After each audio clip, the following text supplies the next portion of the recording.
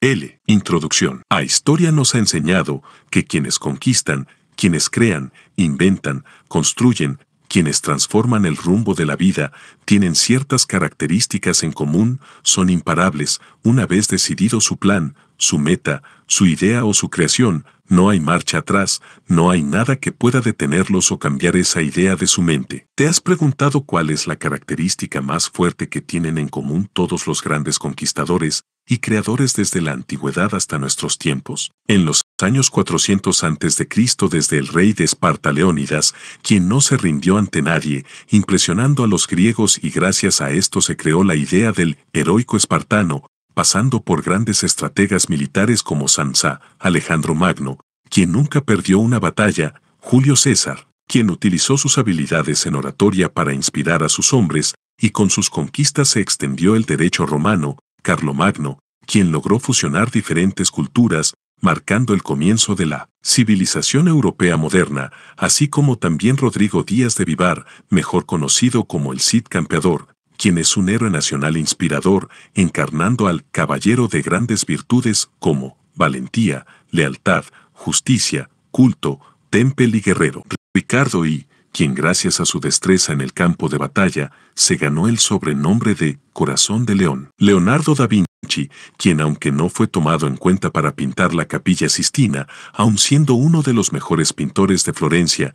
y a pesar de que esto fuera un golpe muy fuerte en su vida, esto no lo detuvo, al contrario, lo motivó más. Federico el Grande siempre fue superado tanto en el número de hombres como por las naciones aliadas contra él, pero a través de acciones audaces y ofensivas lograba conquistar. George Washington, quien logró derrotar a un ejército mejor entrenado, mejor equipado y de una de las naciones más poderosas de la Tierra. Wolfgang Amadeus Mozart, quien enfrentó muchas situaciones dolorosas que lo frenaron temporalmente, pero después de esto, finalmente se decidió a componer a un ritmo desenfrenado, buscando recuperar el tiempo que había perdido.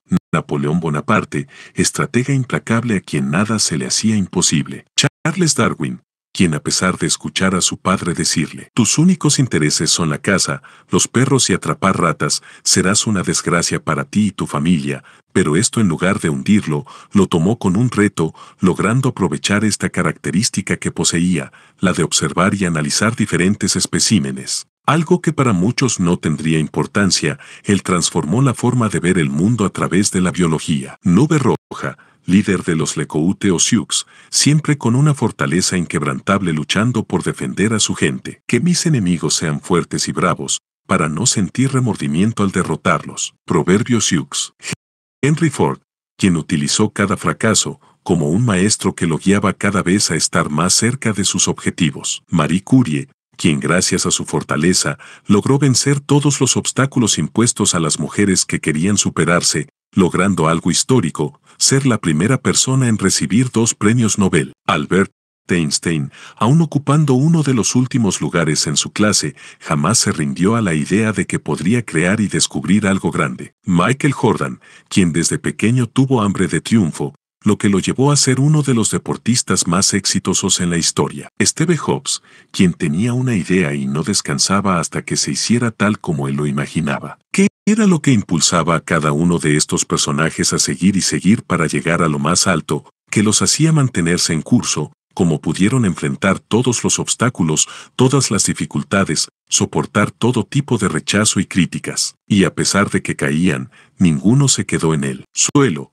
todos se levantaban, todos retomaban su camino, su idea, su sueño, y nada ni nadie pudo detenerlos. Pero, ¿cuál es esta gran característica que todos ellos poseen y que tienen en común con uno de los animales más poderosos? El tiburón blanco. El tiburón blanco, considerado como el rey de los océanos, quien siguiendo la teoría de la selección natural de Charles Darwin, siempre el más apto sobrevive, ha logrado subsistir desde el Cretácico, hace más de 100 millones de años, gracias a sus cualidades como gran cazador, la increíble velocidad que puede alcanzar en el agua, la flexibilidad de su metabolismo adaptándose a diferentes temperaturas, la composición de su piel, la cual repele todo tipo de bacterias, esto y otras particularidades lo han hecho imparable. El tiburón blanco se caracteriza por estar en constante movimiento, ya que si deja de avanzar, se hunde y muere, esta necesidad natural de mantenerse siempre en movimiento es la misma característica que comparten todos los personajes mencionados anteriormente,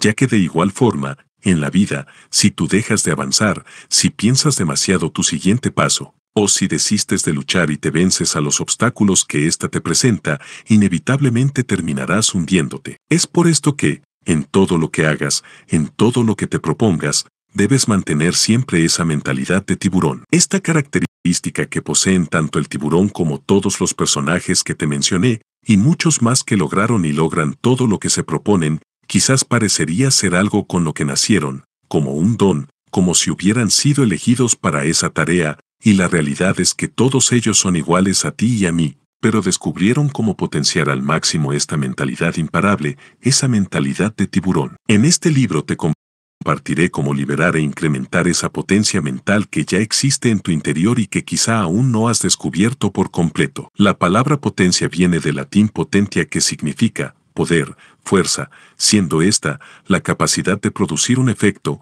el poder para impulsar un cambio o llegar a ser algo distinto, esto es lo que esa potencia generará en tu vida, pero esto dependerá mucho de ti, tendrás que ir avanzando por cada una de las leyes de este sistema, hasta llegar a la 13A, para que con todas estas, le des forma a esa llave que te permitirá liberar todo tu potencial al máximo. Cuando esto suceda y descubras esta mentalidad que siempre ha estado dentro de ti, prepárate, porque a partir de ese momento serás imparable y es cuando disfrutarás de todas las áreas de tu vida al máximo. Lo que voy a compartirte en este libro es un sistema que he desarrollado a lo largo de varios años, investigando a fondo porque existe gente que tiene éxito y gente que no lo tiene, porque hay gente que disfruta de su vida y gente que se la pasa quejándose de ella. Estas preguntas son las que me motivaron a desarrollar este sistema con la finalidad de que más personas puedan alcanzar sus objetivos. Este sistema es como cualquier herramienta, yo lo pongo en tus manos, pero para que realmente funcione, solamente dependerá de ti. Como todo sistema, tiene pasos a seguir, leyes a seguir, y este consta de 13 leyes, las cuales te permitirán descubrir, liberar y potenciar esa mentalidad de tiburón que hay dentro de ti, para que cuando tomes la decisión de lograr algo, de innovar, de crear, de construir, nada ni nadie te detenga y consigas lo que quieres, convirtiéndote al igual que algunos ejemplos de la historia, en esa persona que puede transformar para bien el rumbo de su vida y de este mundo. Antes de seguir, quiero pedirte que reconsideres si realmente quieres tener éxito y disfrutar más tu vida. Hay dos opciones. Si la respuesta es no, cierra este libro y dáselo a otra persona. Si la respuesta es sí, sigue leyendo, abre tu mente, asimila cada palabra y llévala a la acción. Prefacio. Deja de buscar pretextos. Deja de ver a través de la ventana y mejor ve en el espejo. Aprende a conocerte, saber quién eres, dónde estás parado, qué es lo que verdaderamente quieres de tu vida, a dónde quieres llegar. No lo que te han dicho, no lo que te han impuesto, sino lo que tú amas. Vida, un camino en el que solamente pocos son los que llegan a la cima. Siempre escuchamos a la gente decir, quiero ser el mejor, quiero ser la más rápida, quiero ser el más fuerte, quiero tener un título, quiero tener una empresa, quiero lograr esto, quiero lograr lo otro, siempre, quiero, quiero, quiero, pero, ¿cuántas de esas personas realmente están dispuestas a soportar todo, sentir miedo, sentir dolor, tristeza, cansancio, sentirse solos, arriesgarse? Cuando la vida te golpee y te azote con toda la fuerza al suelo, vas a gritar. Pero antes de que termine este grito, estarás de pie listo y con mucha más potencia para soportar todas las veces que la vida quiera tirarte, levantándote una y otra y otra y otra vez, porque decidiste ser de los pocos que llegarán a lo más alto, de los pocos a los que se les recuerda, quienes convierten un nombre común en algo inmortal, quienes crean, quienes construyen, de los únicos que dejarán una huella tan grande, que la gente querrá caminar dentro de ella, tan solo para vivir un poco de ese cambio que hiciste en el mundo. Cuando decides ir tras tus sueños, debes estar preparado para enfrentar el rechazo, la desaprobación, falta de apoyo de la gente, de familiares, amigos, de hecho comenzarás a perder muchas relaciones en este camino, porque serás distinto, entrarás a otro nivel, serás de otra categoría. Esta falta de apoyo no te detendrá, al contrario, esto te motivará cada vez más porque tú eres el único que confía en ti al 100% y si tú confías en ti, nada podrá detenerte. Debes de seguir adelante, porque el éxito está en arriesgar todo, por un sueño que nadie puede ver más que tú, y ese enfoque hacia tus objetivos es lo que te hará imparable. Gracias al dolor no todos triunfan, el dolor es el límite para los que nunca van a lograr nada en la vida. ¿Quieres más de lo que tienes ahora? Ve y destruye esa barrera de cansancio y dolor, porque sabes que hay del otro lado. Tus sueños. Todo lo que has deseado está allá, pero tienes que ser lo suficientemente valiente para enfrentar ese infierno del cual solo pocos salen y llegan a ver la luz del éxito, y debes tener bien claro que el éxito no es un objetivo, no es una meta, es un estilo de vida. Hoy te reto a que confíes en ti, te reto a que abras los ojos y te des cuenta que tienes toda la capacidad para lograr lo que te propongas, te reto a que desarrolles hambre de triunfo, hambre de ser alguien diferente, alguien que siente una gran seguridad, impulsado y protegido por un ejército enorme, un ejército que se llama destino. Convéncete, eres único, y estás destinado a lograr algo grande, algo extraordinario, convéncete, y no permitas que nada ni nadie detenga la potencia que tienes para lograr tus sueños,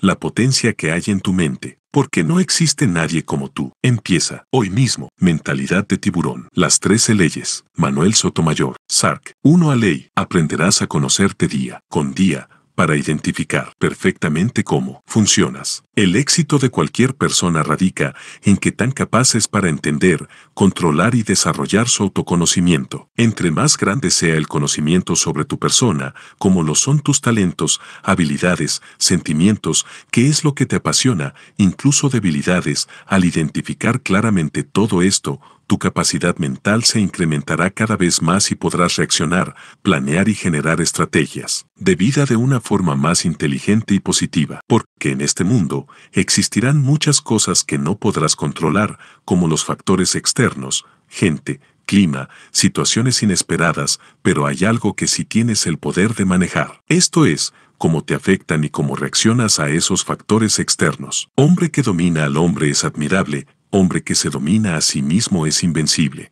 Friedrich Nietzsche, escritor, poeta, filósofo y músico alemán, uno de los pensadores más influyentes del siglo XIX, Manuel Sotomayor, Sark. A lo largo de nuestra vida, conoceremos gente que nos enseñará partes fundamentales para vivir y desarrollarnos como personas. Cuando somos pequeños, pasamos por la escuela, por diferentes clases, entrenamientos, maestros que nos van enseñando desde cómo hacer una suma, una resta, conocer parte de la historia, pasando por la física, química y muchos otros conocimientos. Al combinar esto con las vivencias y enseñanzas del día a día de nuestra familia o nuestros más allegados, esto será una parte muy importante de lo que formará nuestra esencia como personas, pero aquí hay algo realmente interesante, esto es, que tú, sin importar de dónde vengas, sin importar lo que tengas, tienes el poder de decidir hasta dónde quieres llegar. Una de las principales características de los más grandes conquistadores y creadores de la historia en el mundo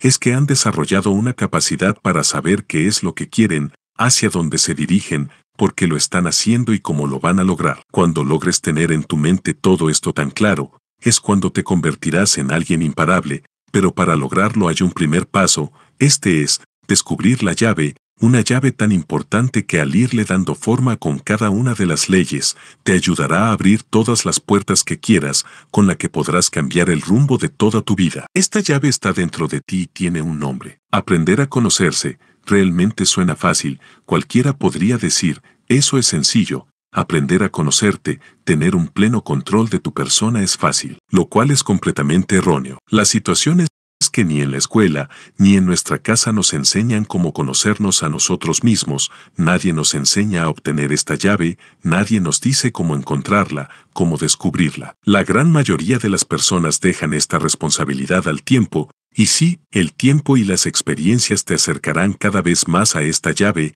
autoconocimiento, lo lamentable es que hay personas que nunca llegan a encontrarla, pero con este sistema tú puedes acelerar este proceso y ganarle al tiempo. Indiscutiblemente habrá puertas que solo las experiencias te permitirán abrir, pero con esta llave en tus manos, aprendiendo a conocerte, el proceso será mucho más rápido y divertido. Esta es una de las grandes diferencias entre los que alcanzan lo que quieren y los que se quedan en el camino solamente deseando, entre los que disfrutan su vida y los que se la pasan quejándose de ella, porque recuerda y analiza cuántas veces ni siquiera tenemos idea de qué es lo que nos está sucediendo o qué es lo que sentimos en ciertas situaciones, esto no quiere decir que esté mal, lo que pasa es que nadie nos ha dicho, nadie nos ha enseñado que la primera persona que tenemos que conocer es a nosotros mismos.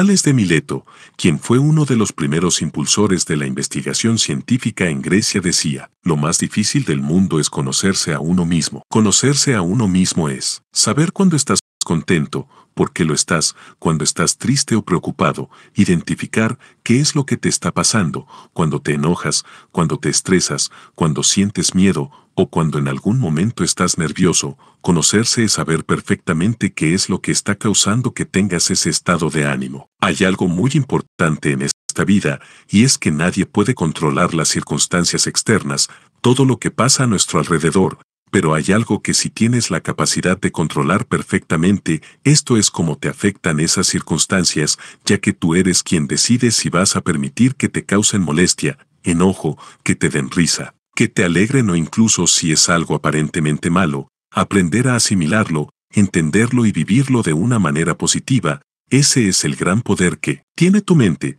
pero por lo regular, lo primero que hacemos es ceder ese poder a las circunstancias o a personas que no valen la pena, dejando que influyan en nosotros y en nuestra vida, y tiene que ser todo lo contrario, ese poder es tuyo, tú eres quien va a dominar al decidir si te afectan o no y cómo responderás a estos factores externos. El cantante 50 Cent, quien se inició en la calle escribiendo música, después se convirtió en cantante, de cantante a productor, de productor a empresario, y quien hoy en día es uno de los empresarios más exitosos de EUA, él siempre se ha caracterizado por poseer una mentalidad muy fuerte. Él decía, todo lo malo tiene algo positivo, todo lo malo que me pasa lo convierto en bueno, esto significa que nada puede afectarme.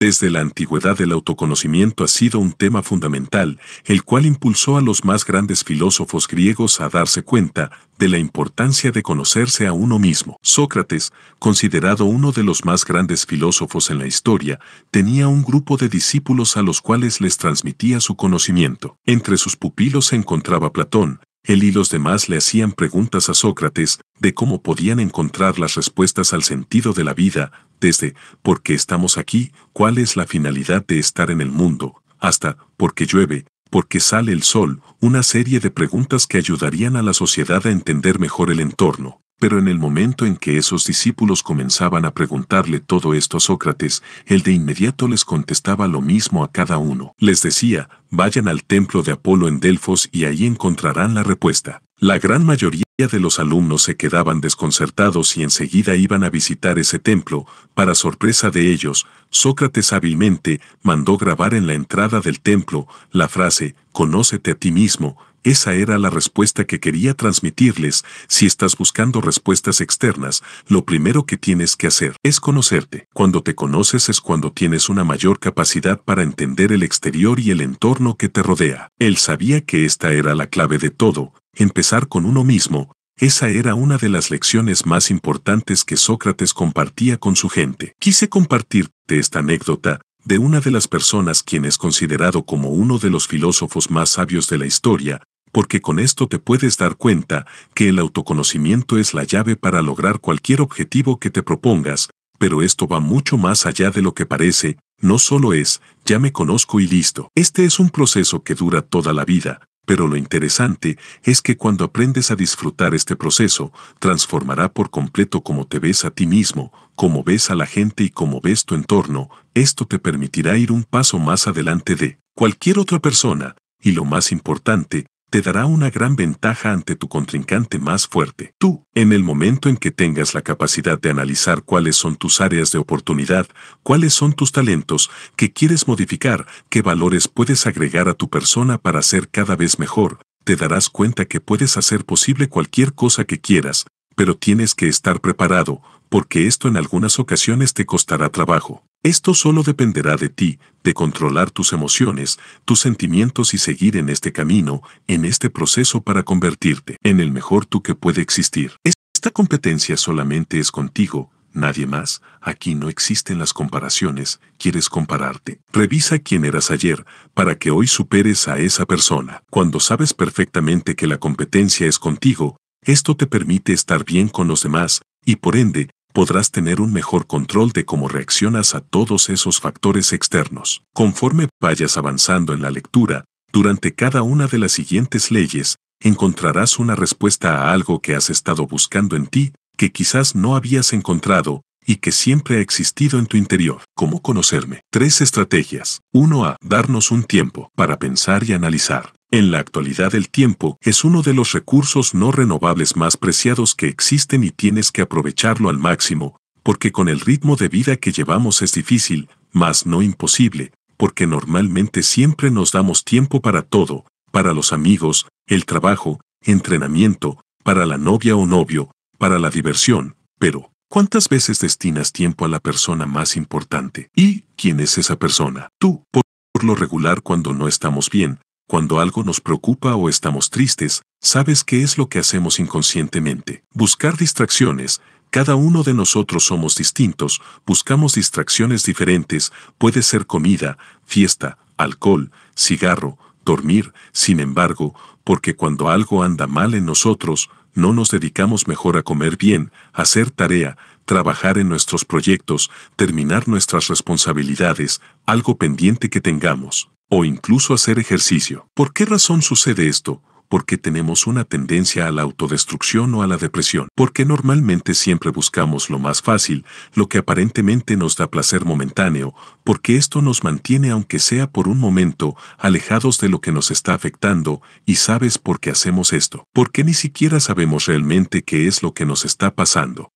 Para lograr entender qué es lo que te está pasando, tienes que buscar momentos en donde puedas estar contigo al 100%, para poder iniciar un diálogo interno y puedas analizar todo tranquilamente. 2. A. Hacerte preguntas. Piensa por un momento, ¿qué es lo primero que hacemos para conocer a alguien? Le hacemos preguntas, ¿cómo te llamas? ¿Cuál es tu comida favorita? ¿Qué color es el que más te gusta? Y conforme queremos conocer más a la persona le vamos haciendo preguntas más profundas. Tenemos que seguir la misma estrategia con nuestra persona, la de hacernos preguntas, ¿por qué me siento así? ¿Por qué estoy triste? ¿Por qué no tengo ganas? ¿Qué me afecto? ¿Por qué reaccioné así? ¿Estoy contento con lo que hago? Amo mi trabajo, me llena al 100% lo que estoy haciendo, tenemos que preguntarnos y analizar profundamente cada cosa que nos sucede, y cómo nos sentimos, porque cuántas veces nos hemos comportado de una forma y después nos damos cuenta que no queremos ser así, y que lo que hicimos o dejamos de hacer está mal. Al hacerte estas preguntas empezarás a entenderte mejor, tienes que volverte experto en saber cómo funcionas. Recuerda que la comunicación es contigo, todo esto es el inicio del autoconocimiento. Quiero ponerte este ejemplo. Cuando vas de compras y llegas a una tienda de ropa, ves alguna prenda que te gusta, un saco, entonces, ¿qué haces? Te acercas a la persona encargada de esa área y le pides que te traiga un saco talla mediana en color azul. Esta te contesta, sí claro. Tú sigues viendo la demás ropa, de pronto llega y te dice, aquí está. Pero al verla te das cuenta que es un saco negro talla extra grande, te sacas de onda, porque eso no fue lo que tú pediste. Entonces le dices a esta persona, Discúlpeme, pero yo no le pedí ese saco, yo le pedí un saco talla mediana en color azul, y esta persona muy amable te dice ok, si claro en un momento se lo traigo, nuevamente tú sigues viendo la ropa y entonces llega con un saco extra chico rosa, te sorprendes y te preguntas qué le pasa a esta persona. Y justo en ese momento pasa el gerente y le comentas, lamento molestarte, pero uno de tus empleados no me está atendiendo como se debe, He pedido dos veces un saco en talla mediana en azul y me han traído otras cosas. Si estuviera en ese mismo momento el director o el dueño de la tienda, le presentarías también tu queja, no con el afán de que regañen a la persona, sino para que el gerente, director o dueño, se den cuenta de las fallas que están teniendo y puedan corregirlas, porque esa es su responsabilidad y su función. ¿Estás de acuerdo? Ahora me gustaría preguntarte, si algo anda mal en tu vida o no estás logrando lo que quieres, ¿quién sería la primera persona a la que tendrías que presentarle la queja? Claro, a ti, tú eres la primera persona a la que tienes que preguntarle, ¿qué es lo que está pasando? Porque no has logrado lo que quieres, lo que te has propuesto, has cumplido todo lo que has dicho, porque aquí tienes una gran ventaja, tienes línea directa con el dueño, ese dueño eres tú. Si algo no anda bien, si no estás feliz,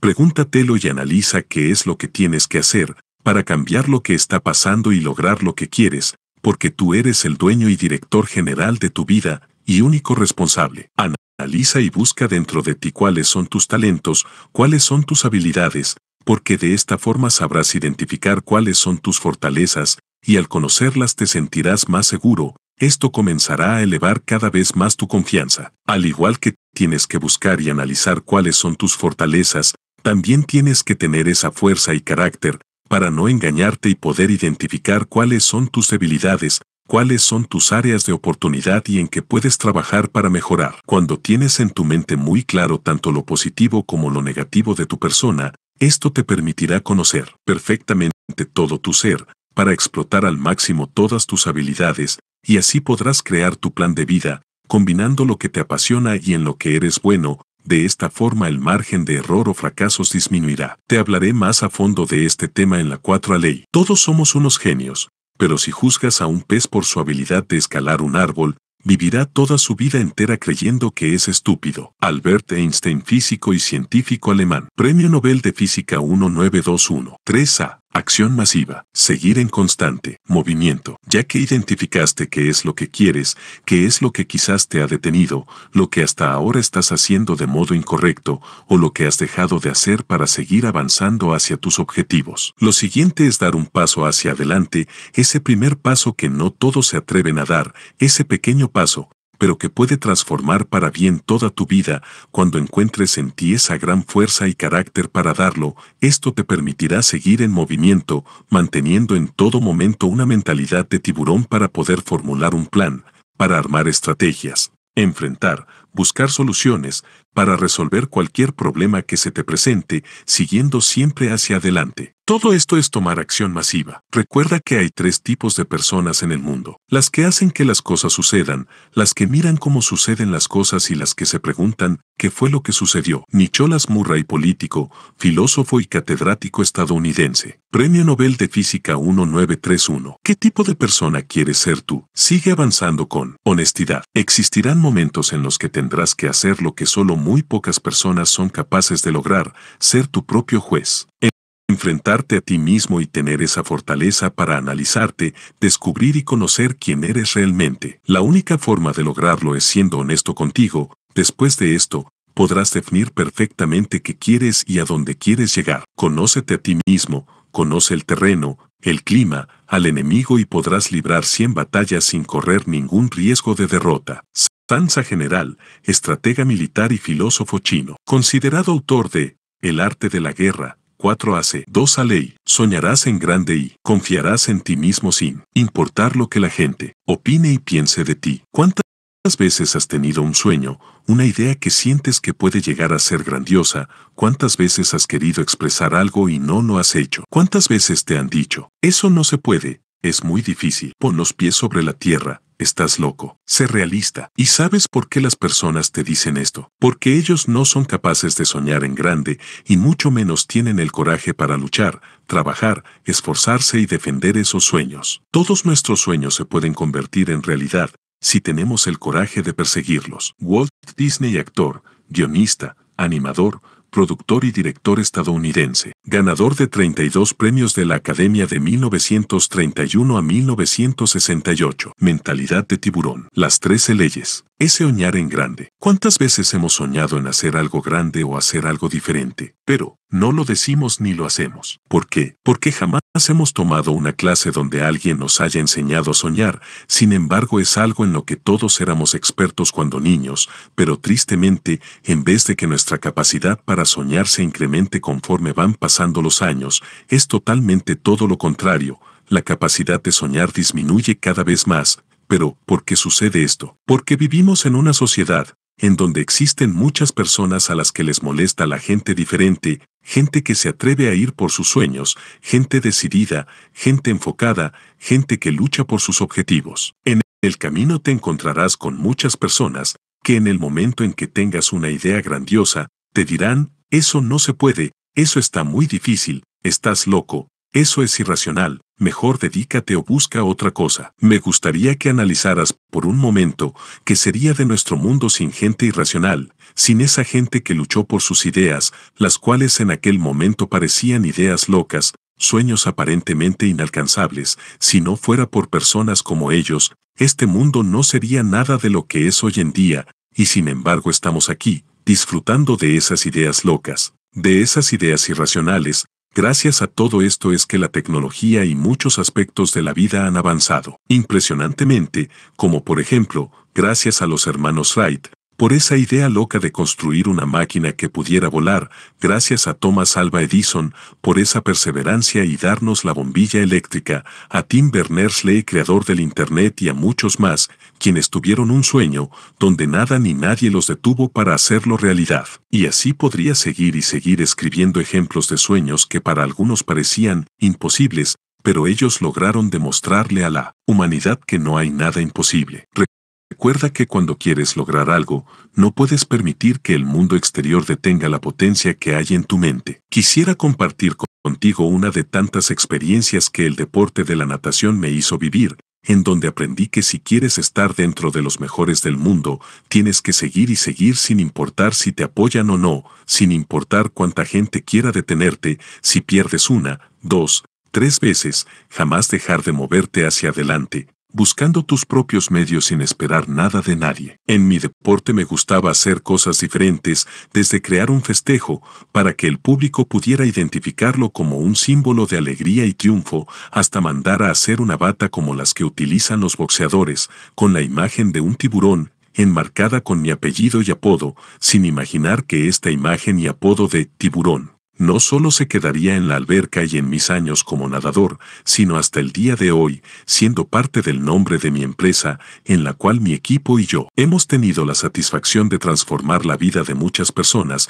llevando su estilo de vida a uno más pleno y por ende más exitoso. Esta es mi motivación para seguir adelante y tú eres parte de ella. Regresando a la experiencia que te comentaba, la que me hizo entender que cuando tienes un sueño, tú eres el único que puede protegerlo, porque nadie lo hará por ti y tienes que hacerlo sin importar lo que la gente opine. En esta fotografía puedes ver la imagen de cómo festejaba cada vez que ganaba una competencia. Esto para mí era una forma de compartir la felicidad que sentía, compartir parte de esa alegría con el público, ya que el llegar a ganar significaba meses de esfuerzo, enfoque, dedicación y disciplina por algo que quieres. Por esto cuando llegaba el momento en el que había ganado, y veía el tablero marcando un nuevo récord, de inmediato ponía mi mano sobre la cabeza simulando la aleta de un tiburón, moviendo la cabeza y bailando lleno de felicidad, pero como te lo mencioné anteriormente, cuando alguien hace algo diferente, esto no a todas las personas les agrada. De hecho, estos festejos a algunos les molestaba. Lo lamentable es que entre las personas a las que les disgustaba, habían algunos directivos y jueces del deporte, quienes tenían la responsabilidad de apoyar en vez de molestarse, pero eso no me importó, yo sabía que lo que hacía no era malo, porque a diferencia de ellos, a otras personas sí les gustaba este festejo, porque entendían esa felicidad que quería transmitir. En una ocasión me encontraba en el evento deportivo más importante de mi país, en donde la natación era la que inauguraría este evento con la prueba de los 100 metros libres. Estábamos listos, en la final, los ocho mejores nadadores del país, cada uno frente al banco de salida. El público gritaba y aplaudía cada vez más fuerte, entre ese público se encontraba el gobernador del estado, invitados especiales, prensa y medios de comunicación. De pronto se escucha el silbatazo del juez y todos los gritos comenzaron a disminuir hasta llegar al silencio. Conforme el ruido comenzó a bajar, los latidos de mi corazón se incrementaban, y aún más al colocar mi pie en el escalón del banco de salida. El momento por el cual había entrenado, el momento que había visualizado en cada entrenamiento, ese sueño que había estado en mi mente una y otra vez, ese sueño de ganar y festejar como tiburón, estaba justo a unos segundos de hacerlo realidad. Una vez que ya todos los nadadores estábamos preparados arriba de los bancos, se escucha en todas las bocinas del complejo acuático, en sus marcas, en ese momento, cuando el silencio predomina, hasta los latidos del corazón se dejan de sentir, solamente concentrado y enfocado, esperando el disparo de salida, el juez dispara, nos lanzamos al agua a dejar todo, cuerpo y alma, avanzando segundo a segundo. Con toda la fuerza que puedes dar en cada brazada, en cada patada, junto con el coraje y la decisión para lograr llegar antes que todos los demás. Justo al tocar la placa que marca el tiempo, volteo a ver el tablero, me doy cuenta que gané la competencia, esos 100 metros libres habían sido míos, había cumplido mi objetivo. En ese momento puse la mano sobre mi cabeza y comencé a celebrar dentro del agua, simulando la aleta del tiburón, en ese instante comenzaron los flashes de las cámaras. Al salir del agua nuevamente puse mi mano en la cabeza y seguí bailando, feliz, posando para las cámaras, emocionado por haber conseguido un objetivo que me había puesto tiempo atrás. Después de bailar, después de ese momento, en donde todo era felicidad, llegó ese golpe que no esperas. Ya caminando por la orilla de la alberca, con una sonrisa enorme, saludando al público, justo al pasar a un lado del juez en jefe, se me acercó al oído y me dijo, en un tono amenazador, vuelves a festejar de esa forma y te voy a descalificar de todo el evento. Mi primera reacción fue sentirme desconcertado, preguntando dentro de mí, ¿por qué, si no estoy haciendo nada malo, de inmediato pensé que no tenía ningún caso desgastarme y dar explicaciones a esta persona, me di la vuelta y nuevamente seguí con mi sonrisa, saludando a todos, sintiéndome sumamente contento por lo que había conseguido ese primer día de competencia.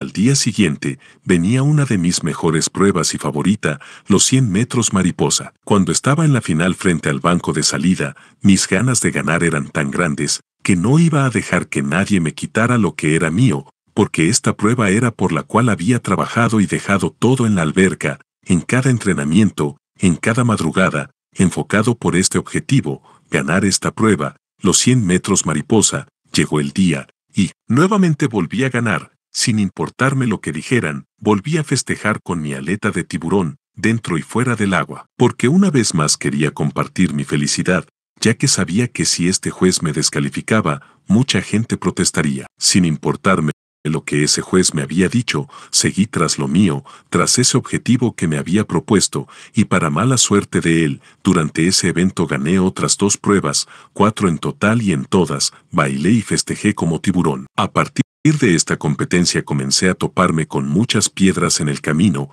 pues evento en el que me tocaba competir en mi país, los jueces que él dirigía, buscaban descalificarme, y no por festejar, porque sabían que no podían hacer eso, trataban de encontrar otros pretextos. Aquí es cuando aprendí que hay personas que aun siendo de tu mismo país y sabiendo que lo representaría en el extranjero, en vez de hacer equipo y apoyarme, buscaban detenerme. Recuerda que en el camino que elijas hacia una meta u objetivos, existirá gente a la que le molesta la alegría, el brillo, el éxito de las demás personas, y no por eso debes de detenerte, dejar de soñar, de hacer y decir, Siempre tienes que seguir adelante por tus sueños, sin importar lo que digan u opinen de ti. Lo mejor que puedes hacer contra la gente que te quiere detener o quiere verte fracasado es tener éxito, como lo diría el cantante ganador de diversos premios Grammy, actor ganador del Oscar, productor y director, también ganador del premio humanitario Janner Solt, entre otros.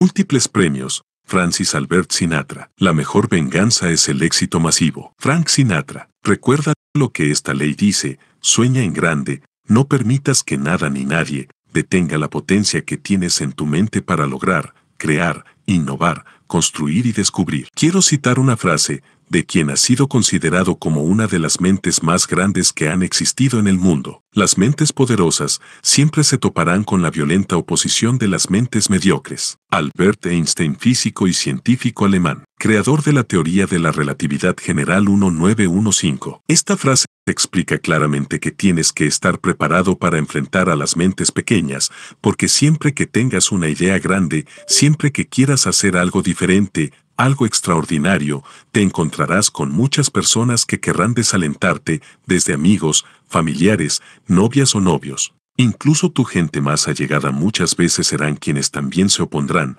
pero siempre y cuando lo que quieras hacer lo tengas muy claro, sea algo bueno que pueda ayudarte y ayudar a más personas, no puedes ni debes detenerte por lo que digan o piensen los demás. La segunda parte de esta ley dice, confiarás en ti mismo, sin importar lo que la gente opine y piense de ti. ¿Cuántas veces nos han dicho nuestros profesores, entrenadores, nuestros papás, en el trabajo, cuando vamos a hacer un examen, cuando vamos a hacer una presentación, cuando vamos a competir. Vamos, confía en ti. Pero cuando nos dicen eso, si nos pusieran un espejo enfrente, veríamos una expresión en nuestra cara, entre, sí claro, miedo y ahora cómo le hago, porque realmente nadie nos ha enseñado cómo desarrollar esa confianza. Quiero compartir contigo lo que utilicé para competir con los mejores del mundo en el deporte de la natación, como Michael Phelps, Brian Lochte y muchos más, además de sumar las investigaciones que he hecho a lo largo de varios años, acerca de qué es lo que hace la gente más exitosa para alcanzar sus objetivos. ¿Por qué la gran mayoría de las personas no tienen confianza en sí mismas? ¿Cómo se desarrolla la confianza? Aquí están tres puntos para confiar en uno mismo. Diamante negro naipes perder y fracasar. El perder y fracasar en nuestra sociedad está catalogado como algo malo. Y ese es el primer error,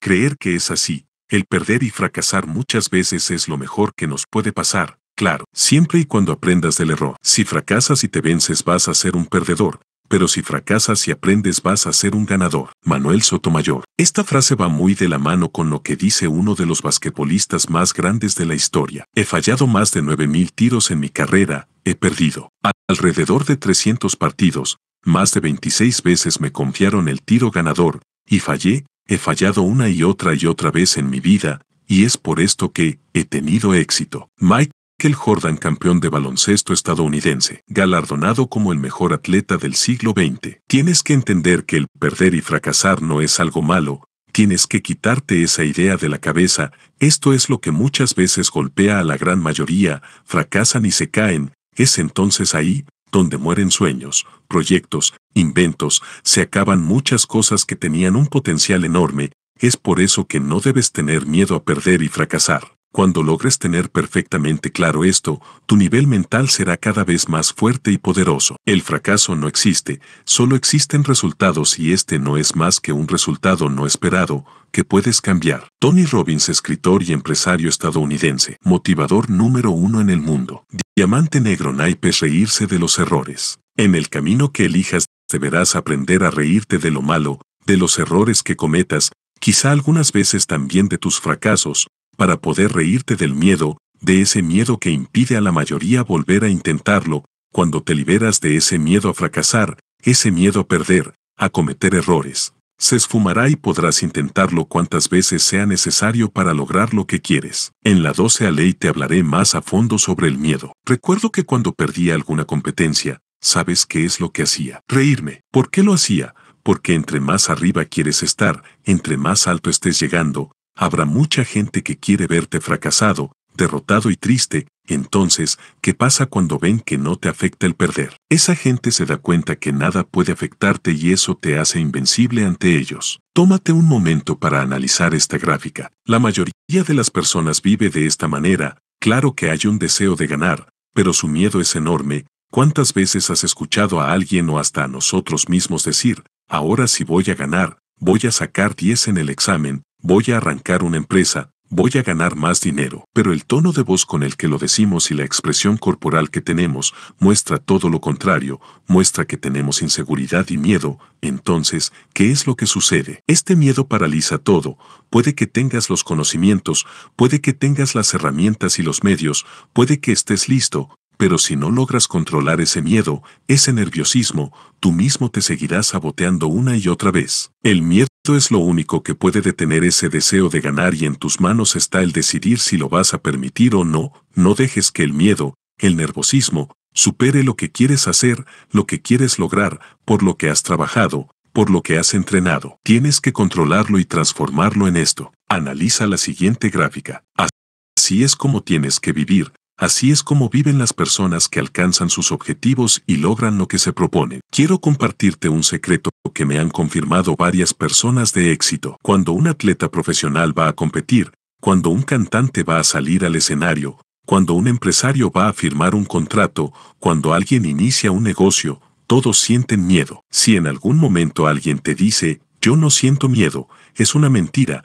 porque en el caso de un empresario cuando va a iniciar una empresa, está invirtiendo, se está arriesgando, cuando un artista o un deportista salen al escenario, al estadio, y aunque lo hayan hecho miles de veces sienten miedo, pero la diferencia y parte de su éxito es que han logrado controlar y minimizar ese miedo. Mentira el que diga que no lo ha sentido. Pero ¿qué es lo que hacen estas personas? Primero aceptan ese miedo, no, huyen ni lo rechazan, al contrario, lo aceptan, no se engañan y se dan cuenta que si tienen miedo, pero saben perfectamente que su deseo de ganar es muchísimo más grande, y destrozan ese miedo con ese deseo de ser alguien, ese deseo de triunfar, de hacer algo grandioso. Cuando vayas tras un objetivo, cuando quieras iniciar, crear, hacer, mejorar en algo, no te preocupes por el miedo, porque todos en algún momento lo sentimos, trabaja para que tus ganas de ganar, tus ganas de ser cada vez mejor, tus ganas de triunfar, sean lo más grande que exista dentro de ti,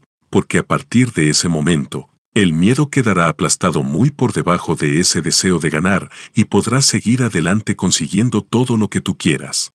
Aprendí que la valentía no es la ausencia de miedo, sino el triunfo sobre el miedo. El hombre valiente no es aquel que no siente miedo, sino aquel que conquista ese miedo. Nelson Mandela, abogado, político y filántropo, presidente de Sudáfrica, 1994 a 1999. Diamante negro naipes reprogramar tu mente, PNL. Esto podría parecer complicado, pero en realidad no es así. Reprogramar la mente es más fácil de lo que parece, pero antes quiero platicarte rápidamente qué es la programación neurolingüística o PNL. La programación neurolingüística nace a mediados de los años 70 a partir de las investigaciones de Richard Bandle, matemático, programador de sistemas y psicólogo, quien junto con el lingüista John Grinder comenzaron a realizar estudios con algunas de las personas más exitosas de esos años buscando encontrar la razón por la cual no todos logran vencer los bloqueos mentales para poder alcanzar sus objetivos y vivir una vida plena. A raíz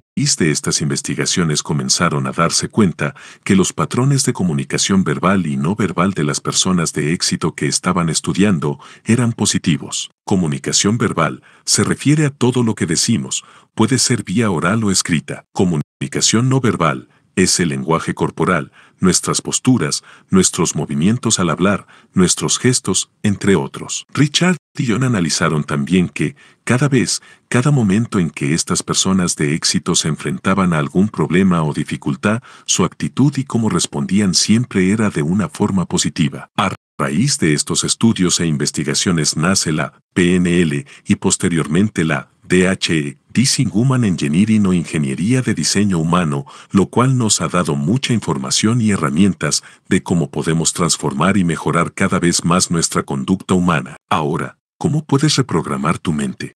Primeramente tienes que ser completamente honesto contigo, sin engaños, sin mentiras ni pretextos, tienes que estar plenamente convencido de que es lo quieres programar o reprogramar en tu mente. Hay algo a lo que se le llama conexiones neuronales, mejor conocido como sinapsis, esto es cuando dos células se conectan mediante una descarga química, neurotransmisores, derivada de un impulso eléctrico, un impulso que nosotros creamos, y, como lo provocamos, repitiendo lo que queremos programar, entrenando una y otra vez lo que queremos mejorar en nosotros. Esto es muy simple. Para generar esta sinapsis lo que tienes que hacer es repetir, repetir y repetir de una forma consciente, con enfoque, sintiendo tanto en tu mente y tu cuerpo cada movimiento, cada expresión, cada cosa que quieras programar, de esta forma lograrás incluir en tu mente un nuevo programa. Cuando logres entender y dominar la plasticidad que tu arquitectura mental tiene, esto te dará una ventaja para poder moldear o agregar nuevas aptitudes a tu persona, lo que te permitirá alcanzar con mayor facilidad cualquier objetivo que te propongas. Ganas fuerza, coraje y confianza por cada experiencia en la que realmente dejas de verle la cara al miedo, a partir de esto serás capaz de decirte, he sobrevivido a este horror y podré enfrentarme a cualquier cosa que venga. Eso que piensas que no puedes hacer, debes de hacerlo. Eleanor Roosevelt, primera dama de los Estados Unidos y presidenta de la Comisión de Derechos Humanos de las Naciones Unidas, 1946 a 1952. Sigue avanzando con confianza, con esa misma seguridad con esa misma pasión, energía y emoción de cuando decidiste hacer algo, cuando esa idea llegó a tu mente y supiste que ese sería el momento de transformar tu vida, con esa certeza y confianza de que en algún momento ese sueño se hará realidad, sigue sin que te importen los comentarios de gente negativa, sin importar si no creen en ti, porque quizás en algún momento sientas esos comentarios como pequeñas cortadas que al principio te dolerán, pero tu confianza tiene que ser cada vez más fuerte, como la piel del tiburón, la cual es diez veces más resistente que la de un elefante, de este modo, no importará cuántas cortadas te hagan, tu piel será tan fuerte que ya ningún comentario podrá lastimarte y mucho menos detenerte. Haz lo que te apasiona y el éxito te encontrará, haz lo que te imponen y pasarás el resto de tu vida buscando el éxito. Manuel Sotomayor. 3. A ley. Antes de desear algo y buscar más, aprenderás a compartir y a valorar cada pequeño detalle que esté presente en tu vida. Siempre ve por más. Busca ser el mejor en todo lo que hagas, mantente con hambre de triunfo, supérate a ti mismo, pero jamás te olvides de quienes te rodean, quienes te han apoyado y quienes te aman. Desarrolla esa capacidad de admiración y agradecimiento para disfrutar cada momento, cada día, de esta forma te darás cuenta que el camino hacia todo lo que quieres será una de las mejores experiencias que hayas vivido. Aprende a valorar lo que tienes antes de que el tiempo te enseñe a valorar lo que tuviste. Anónimo, Manuel Sotomayor, SARC. En la actualidad, la gran mayoría está en la constante búsqueda de ser gente de éxito, desarrollarse como persona, buscar y conseguir cada vez más, y esto está perfecto. El problema es que muchas de estas personas se pierden en esta búsqueda de grandeza, porque su mirada solo está en lo más alto, en aquello que quieren conseguir, en lo que quieren lograr y dejan de ver lo que está a su alrededor. Esto es un error gravísimo, porque se están perdiendo de las pequeñas cosas, de esos pequeños detalles que hacen disfrutar y ser felices día a día. Que el ser exitoso no es un objetivo que tengas que estar buscando, no es una meta, es como vives cada uno de tus días, es tu forma de vida. Pero para lograr disfrutar y que tu vida sea realmente exitosa, tienes que desarrollar primero una capacidad para admirar y disfrutar todo lo que está a tu alrededor, los pequeños detalles de la vida, lo que está al alcance de tu mano, desde el simple hecho de levantarte en la mañana y respirar ese aire fresco, saber que es un nuevo día y con este, infinidad de oportunidades para hacer lo que más te apasione, disfrutar de la gente que está a tu alrededor, porque en algún momento dejarán de estar ahí. Hay veces en que pensamos que todo seguirá igual, tal como está en este momento, pero cuando menos lo esperamos las cosas cambian, y el poder abrazar a quien tú amas, reír a carcajadas con esas personas que quieres, acariciar a tu mascota, son detalles que te llenan de felicidad, o posiblemente hay más cosas que generan en ti esa alegría y que no cuestan nada, simplemente están ahí y lo único que tienes que hacer es disfrutarlas. Cuando comienzas a ver la vida de esta forma, el camino hacia cualquier objetivo que te propongas será increíble, porque tienes una meta, quieres más, y lo vas a lograr. Pero entre más divertido sea el viaje, entre más atención pongas a ese paisaje que estarás recorriendo, créeme que, cuando alcances lo que estabas buscando, te sentirás pleno. Pero ¿qué pasa si solamente sigues con la mira hacia arriba? De igual forma estoy seguro que vas a lograr tu objetivo, pero te perderás de muchas experiencias, aprendizajes, momentos de felicidad y te darás cuenta que aunque lograste ese objetivo que querías, te sentirás vacío. Hoy en día es una costumbre el vivir en el futuro o en el pasado, pero no en el presente. Escucha y pon atención cuando la gente platica. ¿Qué sucede? La mayoría de las veces en las conversaciones pasa esto que te comento, por ejemplo, ¿qué harás el fin de semana? ¿Cómo te fue en tus vacaciones? ¿Qué tal la semana pasada? La mayoría de las pláticas se centran en el futuro o el pasado, pero muy pocas veces las personas se enfocan en el presente, cómo estás, cómo te sientes, qué tal tu día. Es fundamental disfrutar el presente, porque es exactamente eso, un presente, un regalo que la vida te está dando, disfruta cada momento y cada día. Quiero compartir contigo una experiencia con la cual entendí que el presente es el momento más importante para disfrutar cualquier plano objetivo que tengas. En una ocasión, estuve entrenando durante tres meses para el selectivo, en el cual se formaría la selección que representaría a mi país en los Juegos Centroamericanos, cada día, cada mañana, cada minuto durante cada entrenamiento que tenía, lo disfrutaba al máximo emocionándome al pensar en el momento en el que estaría ganando y la felicidad que sentiría en esa competencia. Finalmente llegó el día, gané y claro, me sentí contento, feliz, satisfecho y con mucha paz, pero fue justo en ese momento en el que entendí que era mucho mayor la emoción y la felicidad que había sentido en cada entrenamiento que viví rumbo a esta competencia para la cual esperé por tres meses,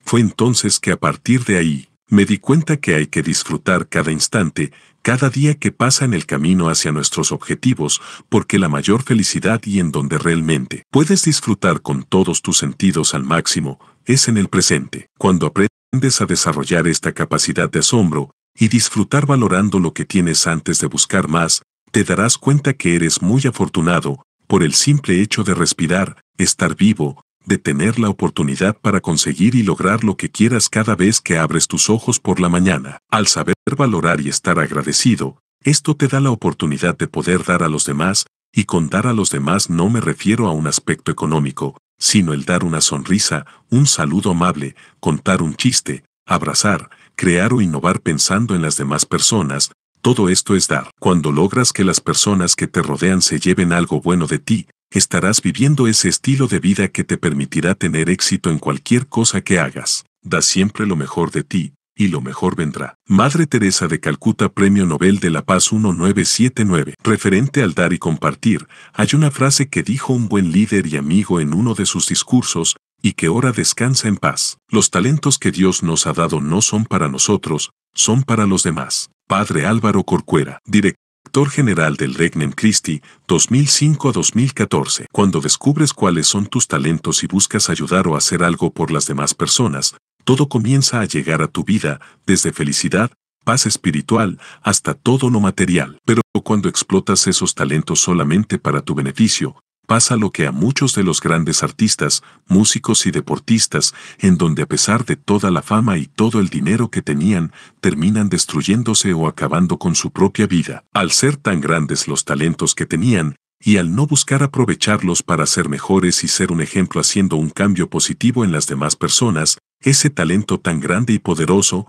terminó consumiéndolos. Trabajo en equipo y liderazgo. Hablando de dar a los demás, hay algo sumamente importante para lograr tus objetivos. Cuando tienes una idea, una estrategia o un plan, siempre se necesita de alguien, de un equipo para poder llevarlo a cabo. El trabajo en equipo es fundamental en cualquier área de la vida. Cuando quieres lograr algo, cuando quieres ir tras tu visión, tras tu objetivo, en automático te conviertes en un líder, y tienes que aprender a desarrollar la empatía hacia tu equipo, hacia las personas que te rodean, porque de esa forma vas a conocerlos, entenderlos mejor, ayudándolos a desarrollar al máximo sus capacidades, generando un ambiente positivo. Todo esto te permitirá direccionarlos hacia tus objetivos, logrando mejores beneficios para todos. Cuando te conviertes en líder, tienes que ser un ejemplo, un motivador, tienes que ser quien jala las riendas, porque existirán momentos en que el equipo esté agotado, momentos en que el cansancio los esté matando, pero un líder no puede permitirse caer, detenerse o descansar cuando hay algún objetivo en curso. Hablando de liderazgo, quiero recordar el Super Bowl 47, la edición 47, la cual se disputó el 3 de febrero del 2013 en el Mercedes-Benz Superdome en Nueva Orleans, en donde ganaron los Cuervos de Baltimore y uno de sus principales líderes era Ray Lewis, uno de los jugadores más grandes de edad con 37 años, teniendo una gran característica, en el momento que lo veías entrar al campo de juego, de inmediato lo reconocías, debido a esa energía impresionante que tenía. Brincaba, corría, se movía de un lado a otro, gritaba, motivaba a su equipo, tacleaba a sus oponentes, se levantaba, seguía y seguía, parecía que era uno de los jugadores más jóvenes por tanta energía que transmitía. Antes de iniciar el partido, Rey Luis reunió a su equipo y les dio un breve discurso para motivarlos. En ese discurso podías escuchar su voz que transmitía esa poderosa energía y deseo de ser imparables. El discurso es el siguiente. Nosotros vamos a terminar esto. Ellos están en nuestro camino y cuando están en nuestro camino, tenemos que tener coraje. Sabemos para qué estamos aquí. Ningún arma puesta en nuestra contra podrá prosperar. Y en coro repetían gritando todos los miembros del equipo, ningún arma puesta en nuestra contra podrá prosperar. ¿Pero qué significa esto? Rey tomó un pequeño pasaje de la Biblia, para ser exactos, Isaías 54 horas y 17 minutos, ningún arma forjada contra ti prosperará. Esto significa que si tú confías y tienes fe en lo que estás haciendo, nada podrá afectarte, nada podrá detenerte. Este es un ejemplo claro de un gran líder. Un líder debe tener una visión y confiar en ella, sin importar lo que las personas puedan decir, porque al tener confianza y fe, esta será la forma en la que podrá transmitir seguridad a su equipo. ¿Qué es lo que sucede en este ejemplo con Rey Luis? Cuando eres un líder y motivas a tu equipo, hay algo que parece mágico. Cuando transmites esa energía y motivación hacia los demás, en automático se te regresa y tu energía se incrementa. Te invito a que lo intentes. Cuando estés liderando un grupo de gente, demuestra ese ímpetu, positivismo y pasión. En una ocasión cuando todavía era atleta, nuestro coach nos llevó a correr a un lugar precioso, el desierto de los leones, un bosque lleno de árboles, con ese delicioso olor a humedad y madera, cubierto por una densa neblina. Eran las 7 a.m., se sentía un ambiente fresco, todo el equipo caminábamos y llegamos a una zona donde estaban unos escalones que bajaban a un río, pero la pendiente era enorme eran unas escaleras que parecían no tener fin. Mientras todo el equipo estaba admirado por tantas escaleras, nuestro coach nos dijo, ven el río, bajen y suban una vez, y cuando regresen les diré qué es lo que vamos a hacer. De inmediato bajamos, y todo tranquilo, pero en el momento en que empezamos a subir los escalones, la inclinación era tan grande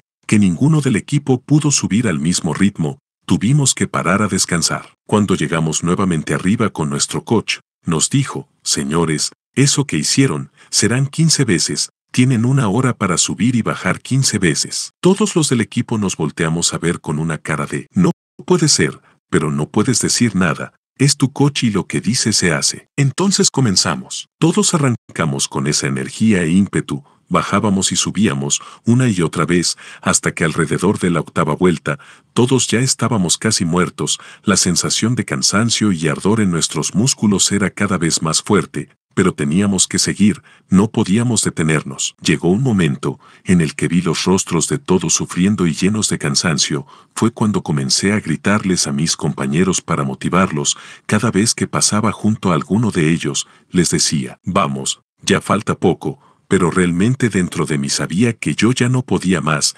estaba muerto, incluso estaba a punto de pararme, pero por fuera, mi expresión corporal y facial mostraba todo lo contrario, como si apenas fuera la primera vuelta, porque no quería que vieran que ya no podía más, fue entonces cuando empecé a motivar a todos. No sé qué fue lo que pasó, pero inconscientemente te conviertes en el líder del equipo, y, una vez que adoptas esa posición, no puedes rendirte, porque tú eres quien los está impulsando. Después de esto, los gritos ya no solo eran míos, eran de todos, y así comenzamos a apoyarnos. De inmediato al sentir esa sensación, me di cuenta que tenía más energía y que podía seguir. Cada vez que pasaba al lado de alguien, aparecía nuevamente ese grito de, venga equipo, vamos. Ya llevamos más de la mitad. A seguir, justo entonces mi nivel de energía se incrementaba de una forma que no había experimentado antes. Hay veces en las que el cansancio se acumula por trabajo, entrenamiento, viajes y algunas otras cosas más,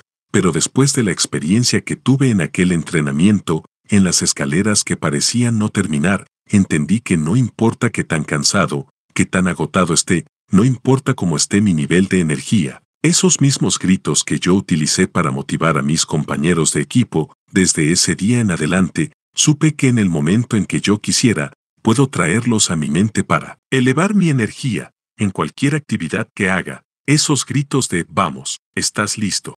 De esta misma forma es como debes de vivir. Cuando haya momentos en que sientas que tu energía es baja, inténtalo. Encuentra o crea dentro de ti esos gritos que te motiven, automotivación, te hablaré más a fondo sobre este tema en la 13 ley, gritos que te empujen, y con esto te darás cuenta que tus niveles de energía dependerán de tu nivel mental, actitud y emoción, sabiendo que tú puedes controlar esa energía, elevándola o disminuyéndola en el momento que tú quieras. Esta es una clave muy importante para poder disfrutar más cada momento que vivas. Sigue avanzando, valorando. Cuando recorras el camino que elijas hacia tus objetivos, Recuerda admirar y valorar desde el detalle más pequeño hasta lo más extraordinario, Esto te permitirá ser feliz y gozar todo lo que esté en ese camino, desde los lugares, climas, las personas que estén presentes en cada momento y cada día, porque la naturaleza de la vida nos ha enseñado que no siempre estarán ahí, esto hace que cada uno de esos momentos sean tan valiosos. No los desperdicies como lo hace la mayoría. Valora, disfruta y sé feliz.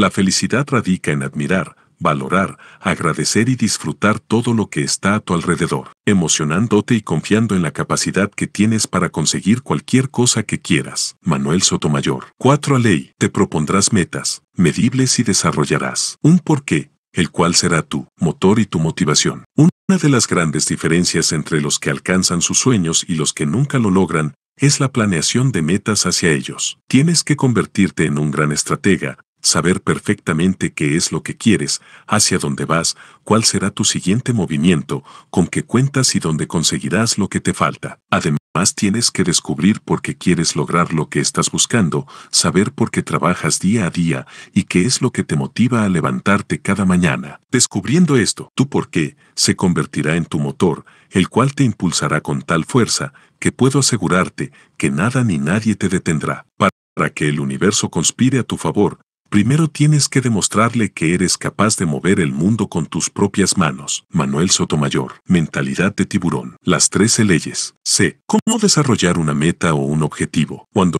quieras conseguir o lograr algo, tienes que desarrollar un plan de vida para que puedas tener claro qué camino vas a tomar y a dónde quieres llegar. Para hacer un plan de vida no hay edad, no hay límites, tú eres el único que puede decidir qué es lo que quieres lograr qué objetivos quieres alcanzar y cuáles son los retos que quieres superar, pero para esto, primero tienes que proponerte metas que tengan tiempo y forma. Un plan de vida es lo que sería para un piloto tener un plan de vuelo. Cuando un piloto quiere llegar de un punto al B sabe perfectamente cuál es la ruta que va a tomar, pero ¿qué sucedería si este piloto decide despegar sin haber trazado una ruta, de esta forma sus probabilidades para llegar a ese destino serían muy bajas, incluso puede perderse o lo que sería peor, podría estrellarse. Pero ¿qué pasa si este piloto decide volar del punto A al B teniendo perfectamente definido su plan de vuelo? No importará si hay vientos fuertes, no importará si hay tormentas, el piloto tendrá la capacidad de maniobrar,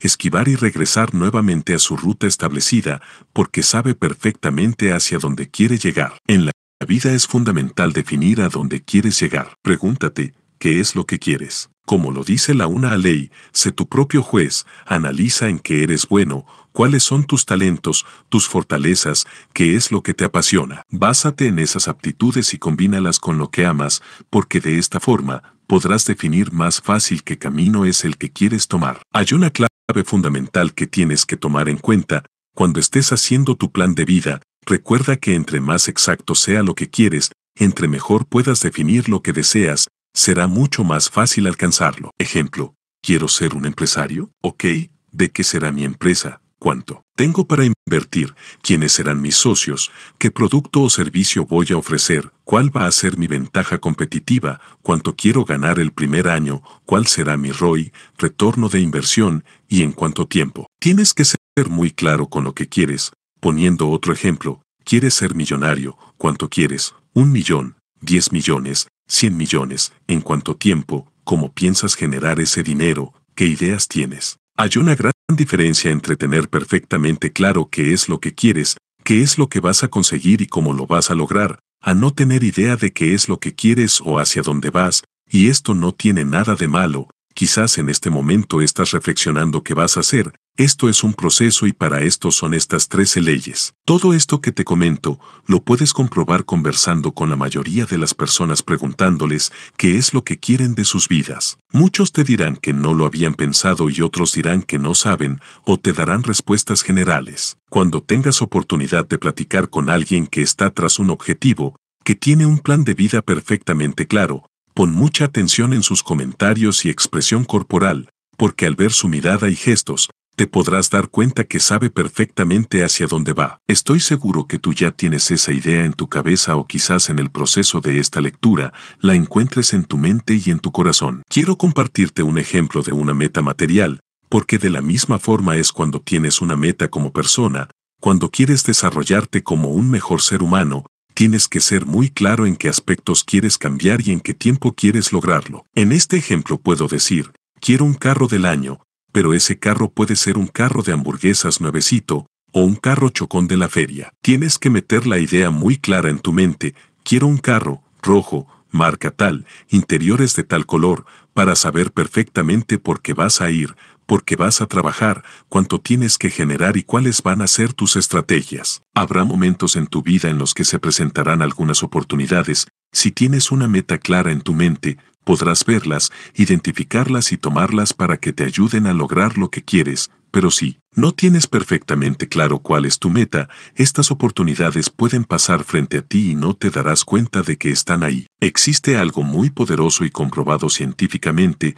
que te ayudará a identificar estas oportunidades, a esto se le llama percepción selectiva. Es la capacidad que tenemos para centrar nuestra atención en determinados estímulos ignorando los demás. Regresando al ejemplo del automóvil, cuando queremos comprar un auto nuevo o simplemente nos gusta algún modelo en especial y tenemos la idea en nuestra mente de un auto de color rojo, de una marca en específico, que es lo que sucede cuando salimos a la calle o estamos en el tránsito. Comenzamos a ver más carros rojos de la marca que nos gusta. Esto pasa porque de toda una realidad de autos, dimos una orden a nuestra mente y esta enfoca nuestros sentidos a ese auto que nos gusta. Esto es lo mismo que sucede cuando tienes un plan de vida, una meta, un objetivo. Entre más exacto sea, entre más detalles puedas poner a ese objetivo, tus sentidos comenzarán a ver las herramientas necesarias para alcanzar lo que te estás proponiendo, porque de lo contrario, como te lo comente, si no tienes bien definida la meta, puede que esas herramientas o lo que necesitas para lograr lo que quieres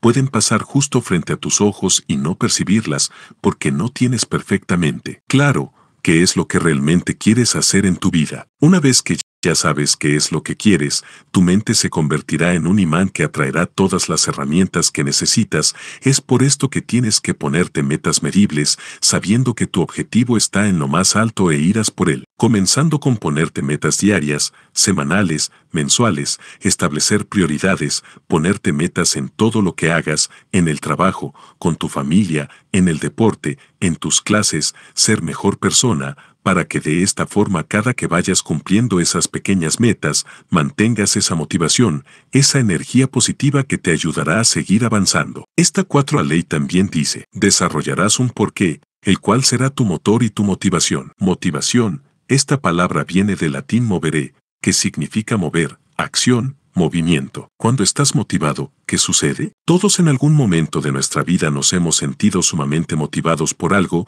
sintiendo esa emoción, esa energía, esas ganas de estar en constante movimiento, muchas veces no podemos ni dormir por estar pensando en lo que vamos a hacer, sintiendo esa emoción de lo que viene. ¿Qué pasaría si fueras capaz de encender ese motor, esa motivación, cada vez que tú quisieras, sin importar cómo esté tu energía, sin importar tu estado de ánimo. ¿Te gustaría tener el control de ese botón? Un botón que en el momento que tú lo presionaras, te impulse hacia adelante con gran potencia. Tu mente tiene ese poder y tú puedes tener el control. Una vez que tienes perfectamente claro cuál es tu objetivo, tienes que preguntarte por qué lo quieres, por qué deseas ese objetivo, para qué quieres lograr lo que te estás proponiendo. Cuando las respuestas a esto son en primera persona, como por ejemplo, porque quiero ser el mejor en lo que hago, porque quiero ser el más exitoso, el más rico, está bien. Esto es un impulso importante, pero hay algo todavía más poderoso. Cuando estas respuestas son por alguien más,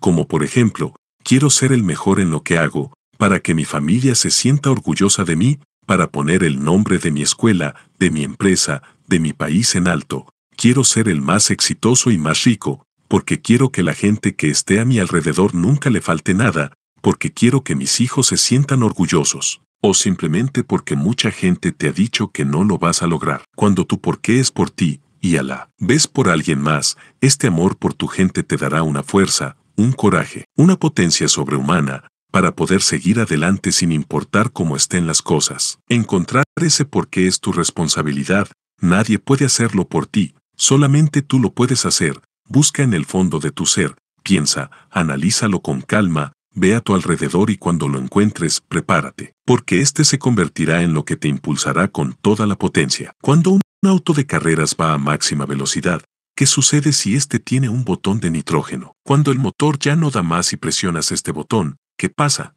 En ese mismo instante se libera ese nitrógeno que ayuda a generar una mayor explosión en la gasolina, haciendo que el auto salga disparado con mucha más potencia. Cuando descubras ese por qué, será como tu nitrógeno. Cuando creas que ya diste todo, cuando creas que ya no puedes, cuando creas que has hecho todo lo posible, recuerda cuál es tu porqué, y de inmediato sentirás esa energía, esa motivación interna que te impulsará al máximo para seguir tras tus objetivos. Quien tiene un porqué para vivir, encontrará siempre el cómo. Friedrich Nietzsche, escritor, poeta, filósofo y músico alemán, 1844 a 1900. Más adelante, en la siete a ley, encontrarás una historia de vida que ejemplifica perfectamente la fuerza sobrenatural que te puede dar el tener un porqué. Sigue avanzando con agradecimiento. Cuando valoras y das gracias por lo que tienes, cuando miras a tu alrededor y ves todo lo que la vida te ofrece para lograr lo que te has propuesto, te darás cuenta que eres muy afortunado. Cuando ese amor por tus seres queridos, por quienes te han apoyado, o simplemente porque quizás ahora eres tú quien tiene que apoyar y proteger a tu gente, es aquí donde te das cuenta de todos los motivos que tienes y que no vas a permitir que nada ni nadie venga a quitarte de las manos lo que es tuyo o lo que quieres lograr. Mañana cuando abras los ojos, recuerda cuál es tu porqué, y este te dará una fuerza sobrenatural para seguir adelante. No hay hombre tan cobarde a quien el amor no haga valiente y convierta en héroe. Platón, filósofo griego, fundador de la Academia, 387 a.C., discípulo de Sócrates y maestro de Aristóteles. 5 a ley, disfrutarás y aprenderás de cada experiencia, sea buena o mala, para ser cada vez mejor. ¿Cómo sabemos quién realmente tiene una mentalidad de tiburón, una mentalidad ganadora, una mentalidad indestructible? Muy sencillo. Cuando las cosas salen mal, cuando los planes que tenías no resultan como esperabas, cuando pierdes, cuando te lastiman, cuando todo esto te sucede y tu carácter cambia y no sabes cómo transformar lo negativo en algo positivo, es porque aún no tienes esa mentalidad. Se dice que conoces realmente a las personas cuando las cosas están mal, porque cuando todo va mal es cuando te das cuenta si realmente tienen esa fortaleza, ese carácter y la mentalidad para lograr obtener el mayor aprendizaje de lo que aparentemente es una mala experiencia, transformándola en algo que los pueda impulsar en un futuro. El fracaso es la mejor oportunidad de empezar otra vez, con más inteligencia. Henry Ford, empresario estadounidense, fundador de la Ford Motor Company 1903. Manuel Sotomayor, SARC, Tómate un momento y analiza, ¿qué sucede cuando ganamos? ¿Cuándo conseguimos lo que queríamos? ¿Qué pasa cuando las cosas salen bien a la primera? ¿Qué es lo que hacemos? Festejamos, celebramos y estamos felices. Les queremos contar a todos lo que hicimos. Pero ¿qué pasa cuando perdemos o las cosas no salen como esperábamos? Sucede todo lo contrario. Estamos tristes, sin energía, no queremos saber de nadie, pero, ¿por qué pasa esto? ¿Por qué a nadie le gusta perder? Pero si analizas mucho más a fondo el ganar y perder, te darás cuenta que cuando ganas, claro que es un momento padrísimo, pero es un momento en el que no aprendes mucho, porque las cosas te salieron bien, todo es alegría, todo es fiesta, sin embargo, cuando pierdes, cuando no te salen las cosas como las tenías planeadas, esto es un golpe fuerte, pero solo esta situación o resultado será lo que te da la oportunidad de recapacitar, pensar, analizar qué fue lo que sucedió, qué fue lo que no funcionó, en dónde estuvo el error, qué es lo que debo cambiar o qué tengo que aprender, para que de inmediato lo identifiques y lo intentes nuevamente, pero ahora con más sabiduría. Quiero platicarte sobre algo que muchos calificarían como fracasos, pero que para mí se convirtieron en experiencias de aprendizaje. En una ocasión había entrenado muy fuerte con un solo enfoque, un solo objetivo, ser el mejor nadador en toda la historia de mi país, en la prueba de los 50 metros mariposa. ¿Qué necesitaba para lograrlo? Romper el récord que le pertenecía al nadador Joshua Ilika, quien había sido nadador olímpico en dos ocasiones. Después de haber entrenado y trabajado día con día, Sabía perfectamente qué era lo que tenía que hacer. Llegó el momento. Estando en la competencia, listo en el banco de salida, dan el disparo. Nado con toda la fuerza como había entrenado, listo para romper el récord, toco la placa que detiene el tiempo, volteo a ver el tablero, y me doy cuenta que no rompí el récord. No me quedó más que reírme y al salir del agua, fui a buscar a mi entrenador, y le dije, coach, en que falle, que viste que hice mal, que puedo mejorar. Tomó su cuaderno, comenzó a señalarme y decirme los aspectos que podía mejorar, los errores que vio en esta competencia, los cuales, corrigiéndolos, me ayudarían. Meses después vino la siguiente competencia, habíamos trabajado en los detalles que él me había dicho. Nuevamente me tiré al agua, di todo, toqué la placa, volteo rápidamente a ver el tablero, y el tiempo no superaba el récord, salí del agua y comenzamos a ver nuevamente qué sucedió, qué podíamos corregir, en que había fallado, que teníamos que hacer para bajar esas centésimas que me separaban del récord y que harían la diferencia para nadar más rápido. Pasaron algunos meses y se presentó otra competencia, pero en esta tercera ocasión estaba aún más preparado, porque ya habíamos analizado puntos que ni en la primera ni en la segunda competencia había aplicado. Entonces me lancé al agua, nadé cuidando cada detalle, cada movimiento que estuvimos entrenando, mejorado mi técnica, corrigiendo los errores que mi entrenador había visto en las competencias anteriores, y entonces llegó lo que habíamos esperado. Cuando toqué la placa, y todavía ni siquiera volteaba a ver el tablero, cuando comencé a escuchar el sonido de la torreta, anunciando el nuevo récord. En ese momento fue cuando realmente me di cuenta que esas competencias anteriores, esas experiencias que habían pasado, esos aparentes fracasos, fueron los que me enseñaron cómo lograr finalmente mi objetivo. Recuerda que si en tu vida hay momentos buenos, disfrútalos, gózalos. Si llegas a vivir algunos que consideres malos o algo que no esperabas, Trata de analizar y entender esas experiencias, ya que habrá muchas cosas que te pueden servir para aprender y seguir adelante. Solo tú puedes tener esa capacidad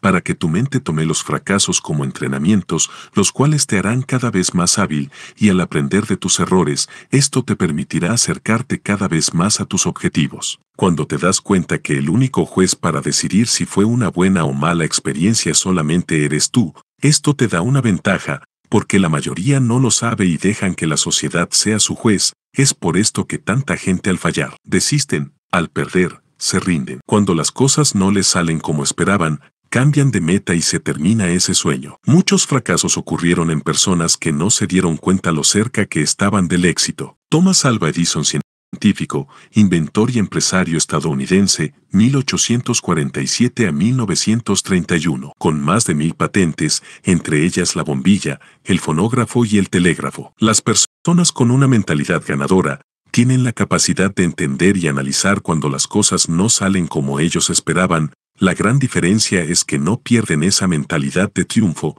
porque saben que perder, simplemente es un resultado no esperado, que se puede modificar, identificando las fallas y trabajando para cambiarlas. Si el plan no funciona, modifica el plan pero no la meta. Anónimo. Quiero citar un discurso que hizo uno de mis maestros en la universidad, el profesor Juan Manuel Menéndez, el cual habla sobre uno de uno de los mayores ejemplos de perseverancia, Abraham Lincoln, quien jamás se rindió y aprendió de cada experiencia, para finalmente llegar a ser uno de los hombres más poderosos del planeta. Esa perseverancia, esa tenacidad es la que lo hizo ser quien fue. El discurso es el siguiente. Tenacidad. En ingeniería se define como la resistencia que opone un material a ser roto, molido, doblado, desgarrado o suprimido, siendo esta una medida de la cohesión de sus moléculas. La tenacidad en el ser humano puede ser interpretada como el espíritu de la gente que no se detiene por las circunstancias, siendo esta justamente la fuerza conductora para el crecimiento y la transformación personal. Un ejemplo claro de este espíritu es Abraham Lincoln,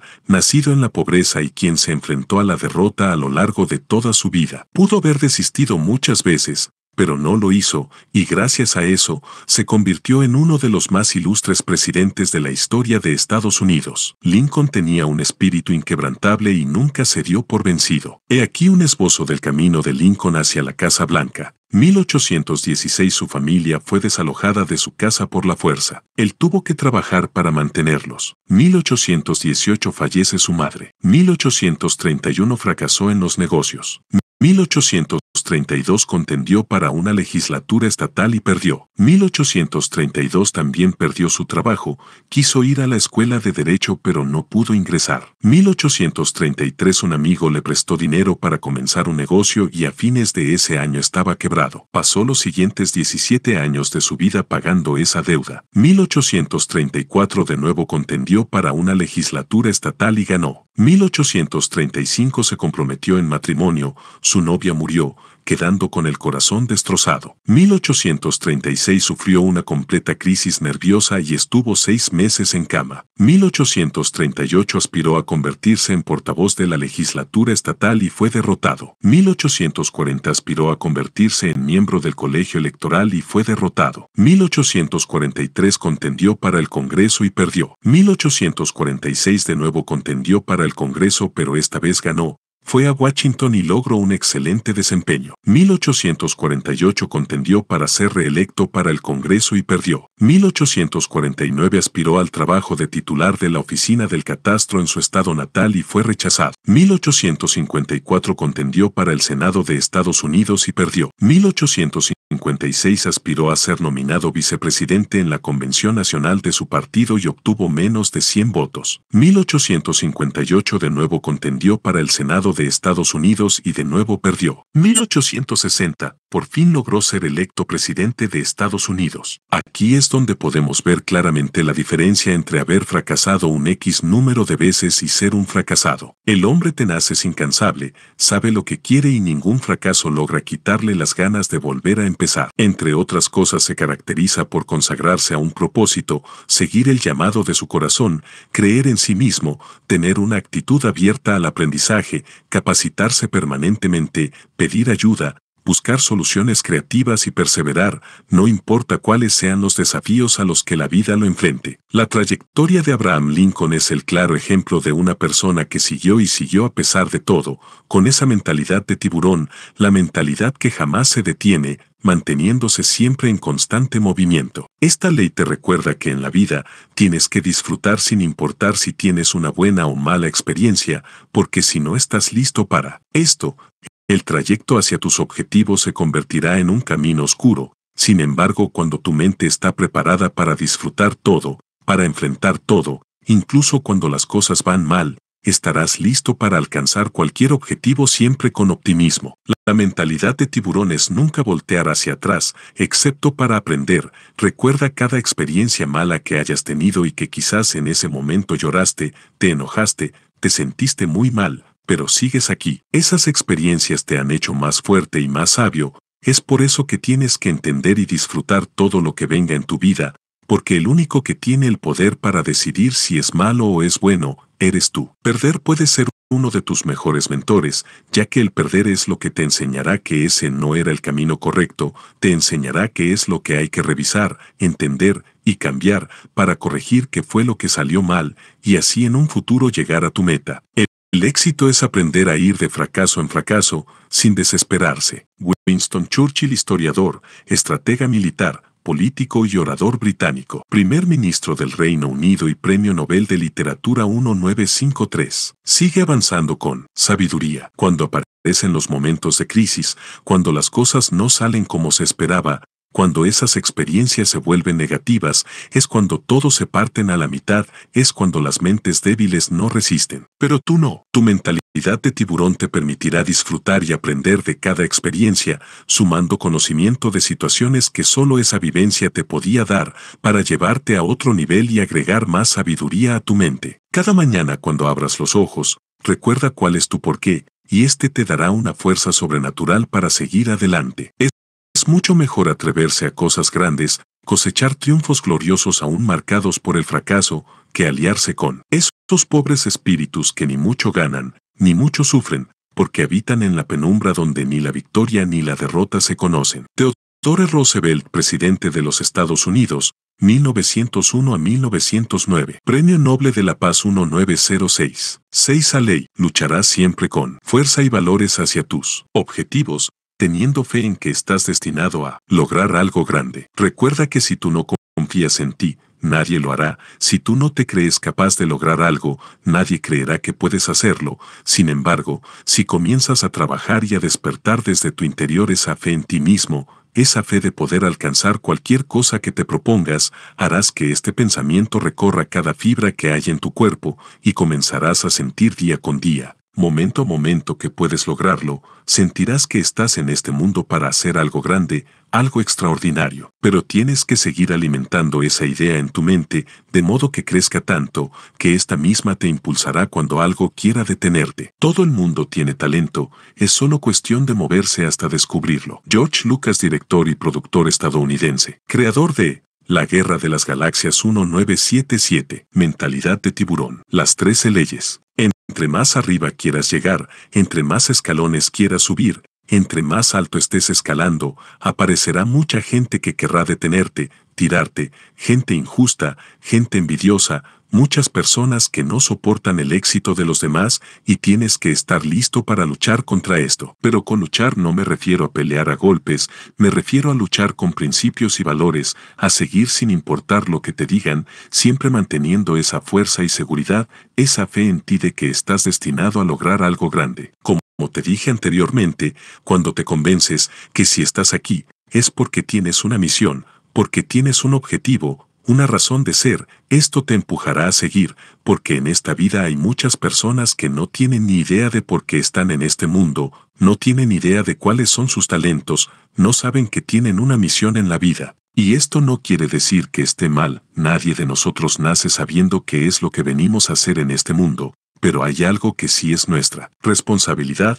nuestra tarea, y es buscar qué es lo que más me apasiona, qué es lo que más me gusta, qué es lo que quiero de mi vida, qué es lo que vengo a hacer. Analiza a las personas que están haciendo lo que aman, las personas que descubrieron que eran buenos en algo, y eso les ha permitido crear, inventar, descubrir, dar trabajo, ayudar a la gente, porque a diferencia de ellos, la gente fracasada dice, ellos tienen un don, es que ellos son diferentes, es que tienen apoyo, es que ellos tienen esto y lo otro, y que me disculpen estas personas, pero al decir esto, lo único que están haciendo es encontrar excusas a lo que se le llama en otras palabras suavizantes mentales, en la 8 ley hablaré más a fondo sobre este tema, este patrón de comportamiento es muy común en las personas que no han podido lograr nada en la vida, ¿Y qué sucede? Encuentran pretextos para todo. Esto que te comento, lo puedes comprobar tú mismo, escucha y analiza a las personas que estén a tu alrededor, te darás cuenta de quien solamente se la pasa culpando a algo o a alguien,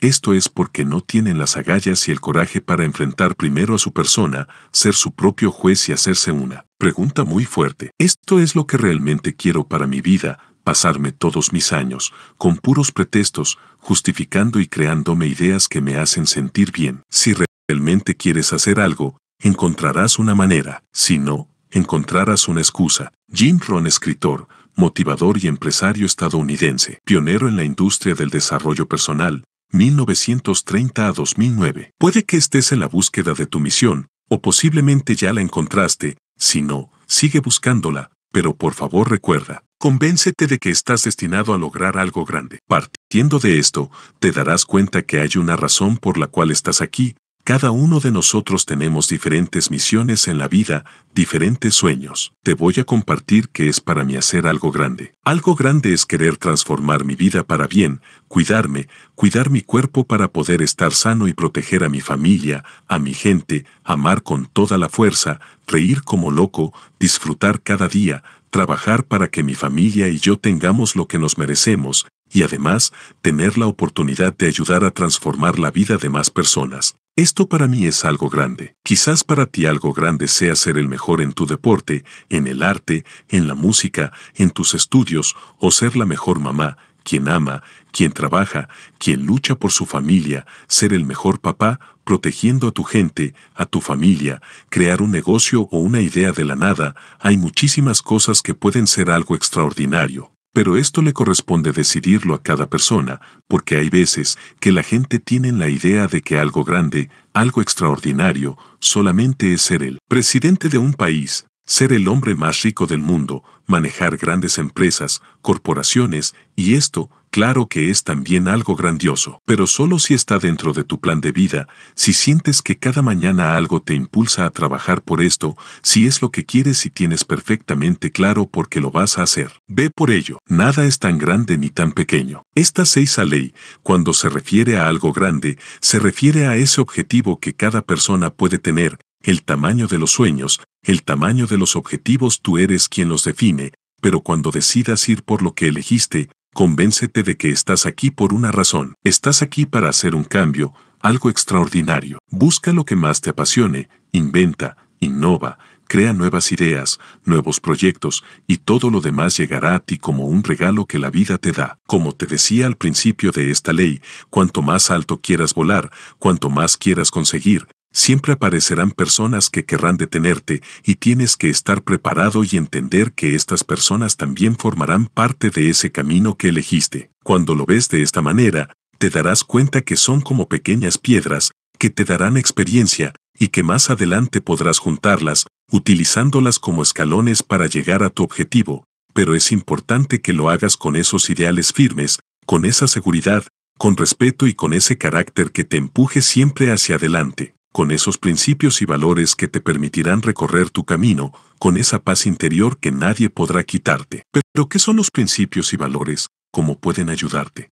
Voy a utilizar un ejemplo del deporte para que quede un poco más claro. En el fútbol americano la cancha sería la vida, nuestro terreno de juego, los principios serían las reglas de este juego, porque en todo juego, en todo deporte y en la vida, siempre hay reglas. Por ejemplo, ya en el juego, el mariscal de campo no puede lanzar un pase al público fuera de la cancha y luego el público ir pasando el balón hasta llegar al otro lado, y después una persona del público mandar un super pase al receptor y anotar. Eso no se puede. Es como en la vida, una simple regla sería no pasarte una luz roja, porque puedes causar un accidente lastimándote y lastimando a más personas. En el juego, estas reglas son las que están establecidas para que éste no se convierta en un caos, y todos los participantes sepan qué pueden y qué no pueden hacer. Los principios nos permiten tener una mejor interrelación con nuestro entorno. Los valores serían el equipamiento para jugar. Por ejemplo, el casco representaría la honestidad, el protector dental el perdón,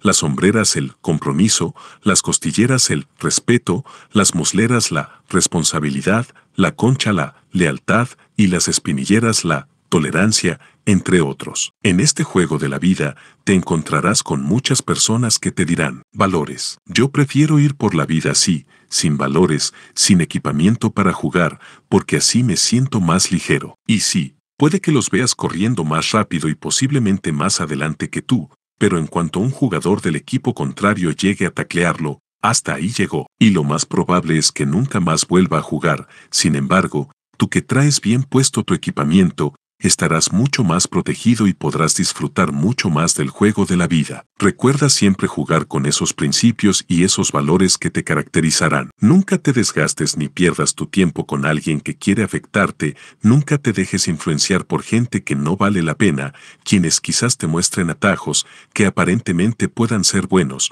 pero más adelante te perjudicarán. Analiza muy bien las situaciones, a la gente, piensa con calma y busca siempre hacer cosas buenas. Todo esto te permitirá ser una mejor persona, ser más feliz y llegar mucho más lejos. Ahora quiero compartir contigo una fábula que ejemplifica cómo debes actuar en la vida ante todo tipo de gente que intente y quiera apagar tu brillo. La serpiente y la luciérnaga. En cierta ocasión una serpiente comenzó a perseguir a una luciérnaga. Esta al darse cuenta, huyó muy rápido llena de miedo, alejándose de la feroz depredadora. Pero la serpiente no dejó ni un momento ese intento por alcanzarla, esta no pensaba desistir en atraparla. La luciérnaga pudo escapar durante el primer día, pero la serpiente no desistía. Dos días y nada. Al tercero ya sin fuerzas, la luciérnaga detuvo ese agitado vuelo y le dijo a la serpiente, ¿puedo hacerte tres preguntas? Y la serpiente le respondió, no, no acostumbro escuchar a nadie, pero como te voy a devorar,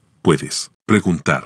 Dime, ¿Pertenezco a tu cadena alimenticia? Preguntó la luciérnaga. No, contestó la serpiente. ¿Te he hecho algún mal? Dijo la luciérnaga. No, respondió de nuevo su cazadora. Entonces, ¿cuál es la razón por la que quieres acabar conmigo? Porque no soporto verte brillar. Esa fue la última respuesta de la serpiente. La luciérnaga se quedó analizando por un momento, quería entender esta situación, porque no le encontraba ningún sentido. Y una vez que entendió, que el único sentimiento que recorría todo el cuerpo de la serpiente era la envidia, volteó a verla, le sonrió y de inmediato comenzó a volar más y más alto. De esta forma la serpiente tuvo que alzar la mirada y se quedó viendo como la luciérnaga se alejaba, demostrándole que estaba totalmente fuera de su alcance. Estando en lo más alto, la luciérnaga le gritó a la serpiente, es de que aprendas a brillar tú misma de un modo tan hermoso que aún nosotras las luciérnagas observemos con admiración tu gran resplandor. Recuerda que en esta vida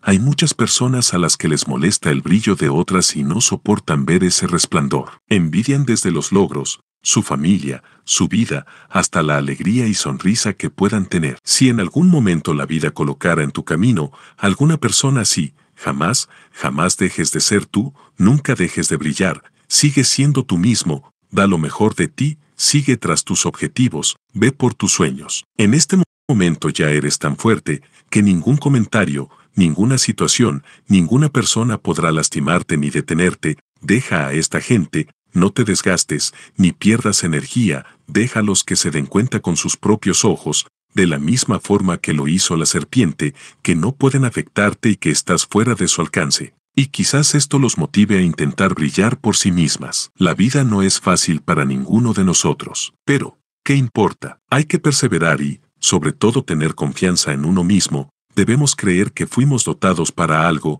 y ese algo es lo que tenemos que alcanzar, cueste lo que cueste. Marie Curie Física y Científica Polaca. Premio Nobel de Física 1903. Premio Nobel de Química 1911. Sigue avanzando con seguridad. Con esas seguridad que ya desarrollaste, con la cual en el momento en el que las personas te escuchen hablar, cuando te vean expresarte y te miren directamente a los ojos, podrán ver ese fuego que refleja esa seguridad en ti mismo, en que vas a lograr lo que tú quieras, en ese momento muchos te seguirán, y los que no lo hagan, intenten detenerte o lastimarte. Esto realmente ya no te importará, porque tus principios y valores serán tan fuertes que nada podrá dañarte, porque tu corazón, tu cuerpo y tu mente están conectados a la idea y la fe de que estás aquí para lograr cualquier cosa que te propongas. Hay que tener fe en uno mismo. Ahí reside el secreto. Aun cuando estaba en el orfanato y recorría las calles buscando qué comer para vivir, incluso entonces, me consideraba el actor más grande del mundo. Sin la absoluta confianza en sí mismo,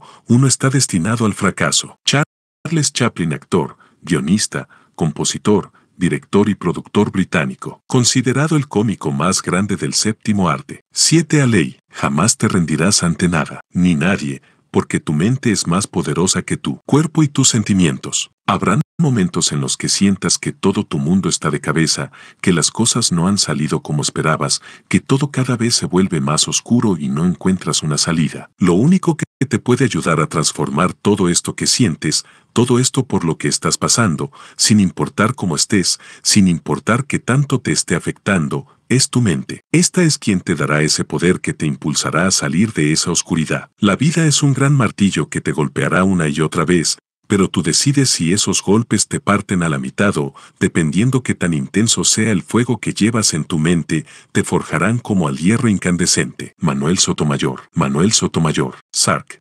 En esta ley quiero platicarte de un personaje muy especial en el mundo del deporte, para ser exactos en el mundo del boxeo. Esta persona sin duda ha sido uno de los pesos pesados más imponentes que han existido, un peleador que tenía uno de los uppercut, golpe de poder, lanzado de abajo hacia arriba, dirigido a la barbilla, más potentes que han existido, el Smike Tyson, un boxeador implacable, con una fuerza extraordinaria y al pelear un instinto animal como pocos. En estas peleas existía una característica muy particular, cada vez que Mike pisaba el cuadrilátero, las peleas se terminaban en los primeros asaltos, debido al famoso uppercut que Mike poseía, un uppercut que en el momento en que tocaba a alguien, lo mandaba a la lona noqueado y sin posibilidad de levantarse. Las peleas actuales son muy diferentes. Hoy en día, cuando tus amigos te invitan a ver una pelea, puedes darte el lujo de decir, ok, los alcanzo por ahí del séptimo asalto, ya cuando empiece a ponerse buena la pelea. En las peleas de Mike,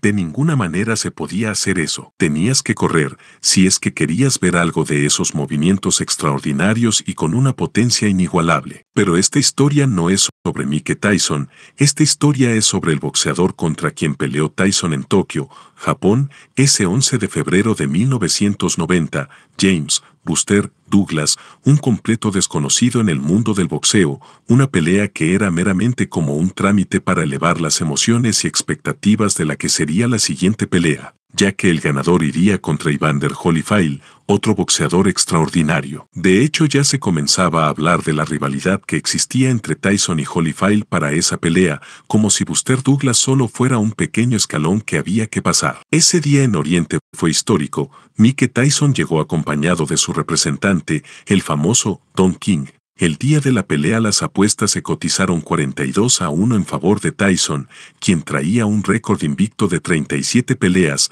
32 de ellas por nocaut y 17 de estas fueron en el primer asalto. En el primer asalto, Mike era una máquina imparable, pero esta historia comienza cuando la mamá de Buster Douglas se entera que su hijo iba a pelear contra el asesino Tyson. Imagina cómo se pondría tu mamá si se enterara que vas a pelear contra Mike Tyson, mi mamá se va de espaldas. Pero con la mamá de Buster sucedió todo lo contrario. Su mamá era de esas mamás de carácter muy fuerte. De hecho, en una ocasión, cuando Buster era niño, llegó llorando a casa y le dijo a su mamá que otro niño lo había amenazado con pegarle. Ella se le acercó y le dijo, más te vale que no dejes que te peguen, porque si no seremos dos los que te golpearemos. Con esta misma actitud respondió su mamá cuando se enteró que su hijo pelearía por el Campeonato Mundial de Pesos Pesados. Ella desde un inicio dijo que su hijo le ganaría a Tyson. A partir de ese momento, lugar que visitaba la mamá de Buster, les decía a todos que su hijo iba a ganar,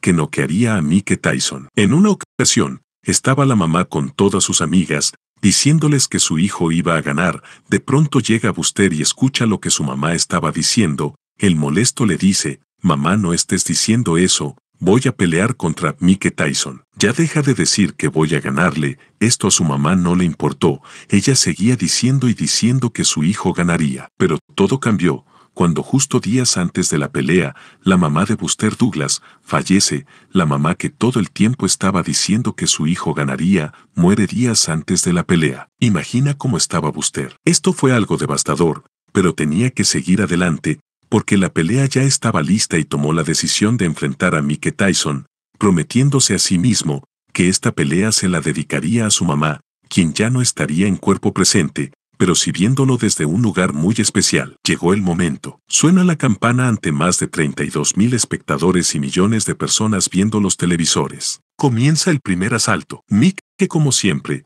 sale como un toro ansioso por noquear a Buster lo más rápido posible, tal y como era su estilo, comenzó a soltar los bombazos, golpes llenos de poder al cuerpo de Buster. También desde un inicio Buster respondió de la misma forma, y cuando finalizó el primer asalto, todos estaban a la espera de que en el segundo round, fuera donde Tyson noquearía a Buster. Suena la campana para el segundo asalto, Mike sale adelante con todo, dispuesto a noquear en este asalto a Buster, pero conforme pasaban los segundos de ese asalto, el público comenzaba a preguntarse, porque Buster no retrocedía. Cuando Mike tiraba un golpe, él tiraba dos. Esto comenzó a crear una expectativa mucho mayor para el público, los gritos, las emociones, los comentaristas, todo estaba al máximo. Finalmente había alguien que no huía de los poderosos y temidos puños del campeón Tyson. Esto provocó que los siguientes asaltos fueran cada vez más emocionantes, conforme pasaban los minutos Buster cobraba más confianza, pasando por el tercero, cuarto, quinto, sexto, séptimo asalto, esto parecía una verdadera guerra entre dos titanes, en donde ninguno estaba dispuesto a perder. Al llegar el octavo asalto, Mike desesperado por defender su título y su fama de invicto, salió con una mirada y decisión como si fuera el primer asalto, golpeó, golpeó y golpeó a Buster, hasta que de pronto entre esas combinaciones de golpes, liberó una verdadera bomba, un golpe como ninguno en toda la pelea. Su famoso y temido uppercut, el cual logró impactar justo en la barbilla de Buster Douglas, un golpe que levantó la barbilla de Douglas más de 45 grados, llevando los ojos de Buster a mirar los reflectores que se encontraban en lo más alto del estadio. Las piernas de Douglas se doblaron como si fueran de plastilina, su cuerpo no le respondió y cayó, tal como un gran árbol que está lado, azotando con todo el peso de poco más de 231 libras en la lona. En ese momento, comenzó lo que todo boxeador teme y que quisiera jamás escuchar, el conteo del referí. El conteo inició y parecía ser en cámara lenta. UNO 2, en el segundo 2, Buster golpea el suelo con su puño, haciendo alusión a su desesperación y coraje por haber caído, permanece en el suelo solamente apoyado por su brazo derecho, el referí dice 3, 4, y Buster parece no moverse. Podemos imaginar que solo hay algo en su mente, y es el recuerdo de la promesa que se hizo en la que dedicaría esta pelea a su mami, y él seguía aún tirado en la lona, se escucha. Se y es cuando intenta girar su cuerpo para apoyarse en ese brazo derecho y levantarse, pero a pesar del movimiento y del gran esfuerzo, no puede, y no puede. 6. Nuevamente se queda inmóvil, voltea a ver al referí como suplicando que detenga la cuenta y no siga más. Pero cuando se escucha, 7, en ese momento Buster gira la cadera, apoya su brazo derecho y también el izquierdo, y como cuento de hadas, todo el público impactado, honrados de poder ver el ejemplo claro de un guerrero, sin importar si sus piernas ya no le responden, sin importar si todo el cuerpo no responde. Buster Douglas se levanta en el segundo 9 del conteo, el primer boxeador en toda la historia,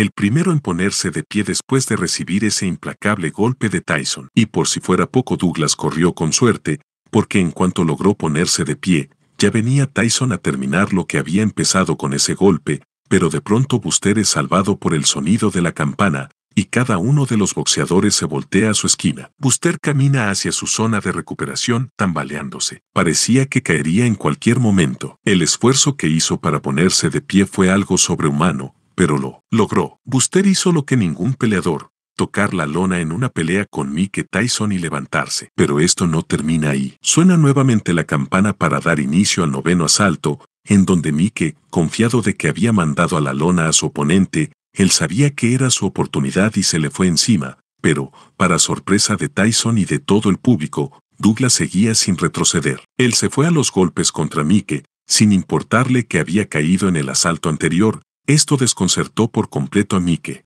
Viene el décimo asalto, en donde Buster Douglas siguió tirando golpes, combinaciones adelante, siempre adelante, y de pronto, en una de estas combinaciones, uno de los golpes se impacta en la quijada de Tyson para desbalancearlo. Douglas aprovechó ese momento para seguir tirando golpes, uno tras otro, haciendo que el campeón Tyson retrocediera, y de pronto, Buster con un golpe recto conectó directo en la mandíbula de Tyson. Un golpe que cambió la historia del boxeo, mandando a la lona, a quien en sus 37 peleas nunca había estado en el suelo. Buster Douglas había mandado a la lona al campeón invicto. Había noqueado al boxeador que a ojos de muchos era invencible. Douglas, quien tenía todas las apuestas en su contra 42 a 1. Nadie creía que esto fuera posible, solamente hubo una persona que siempre confió en él y que estuvo segura de esto, la mamá de Buster. La mamá fue el motor que impulsó a Douglas a levantarse cuando todos lo creían acabado, cuando él mismo creía que no podría levantarse,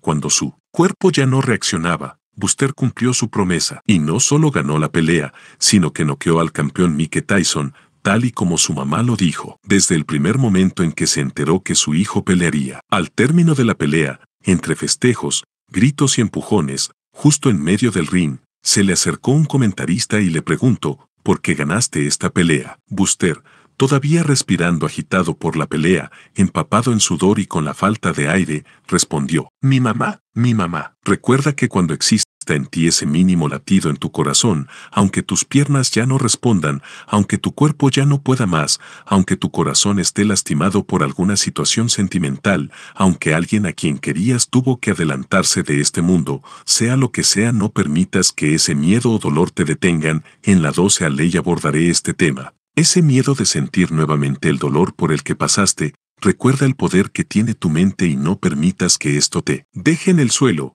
Siente cada uno de esos latidos de tu corazón, que te están diciendo que a pesar de lo que estés o hayas pasado, sigues vivo. De ti depende quedarte ahí en el suelo, en el lugar favorito de los miedosos y perdedores, o levantarte como lo has hecho hasta ahora, sin importar cuántos golpes te den, sin importar cuántas veces te azoten al suelo, siempre seguirás luchando una y otra vez. Esa es una de las características más poderosas de la mentalidad de tiburón, esta mentalidad que está en ti que cada vez crece más y más. Jamás rendirse, prohibido rendirse, nunca detenerse, siempre seguir hacia adelante sin importar lo que pase o lo que venga. Si no puedes volar entonces corre, si no puedes correr entonces camina, si no puedes caminar entonces arrastrate, pero sea lo que hagas, sigue moviéndote hacia adelante. Martin Luther King Jr., teólogo estadounidense, defensor de los derechos civiles. Premio Nobel de la Paz 1964. Sigue avanzando con valentía. La vida te pondrá a prueba una y otra vez, te golpeará y te tirará al suelo, quizás en algún momento te han roto el corazón, quizás te despidieron, quizás arrancaste un proyecto y no se dio, invertiste tu dinero en algo y lo perdiste, entrenaste para alguna competencia y no ganaste. Cada vez que sucede algo así, es cuando la vida te está preparando, te está haciendo más fuerte, te está probando para ver si realmente te mereces lo que dices querer. Si te quedas en el suelo llorando, nada de lo que quieres llegará a ti. Sin embargo, cuando aceptas lo que pasó y lo entiendes, te darás cuenta que el éxito está ligado a aquellos que no se vencen jamás y quienes nunca se rinden. Podrán recibir mil golpes,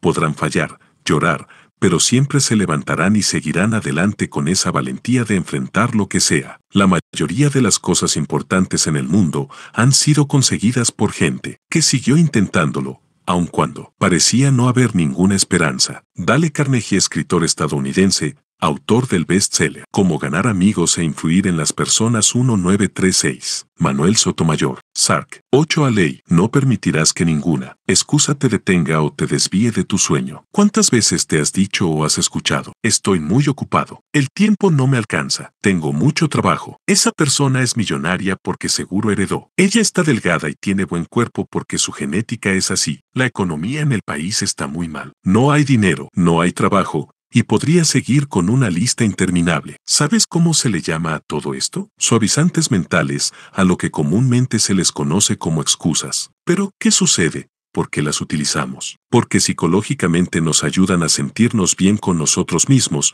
nos permiten cobijarnos en algo que creemos que no se puede cambiar, por lo que esto genera en la persona un estado de bienestar, de conformidad, que aunque no logre lo que se propuso, inconscientemente y aparentemente, esos suavizantes mentales la harán sentir feliz. A esto yo lo llamo, estar muerto en vida. Lo imposible es el fantasma de los tímidos y el refugio de los cobardes. Napoleón Bonaparte, primer cónsul y emperador de Francia, 1804 a 1815, considerado uno de los mejores estrategas militares en la historia. Mentalidad de tiburón. Las trece leyes. En tu vida existirán muchos momentos de inspiración, en los que vendrá a ti una idea, un proyecto, un sueño, y solamente dependerá de ti. Si te atreves a ir tras él, en ese instante en el que tomas la decisión de transformar ese sueño en un objetivo, será uno de los momentos más emocionantes, y llegarán a ti muchos sentimientos, desde esa alegría al visualizarte logrando lo que quieres,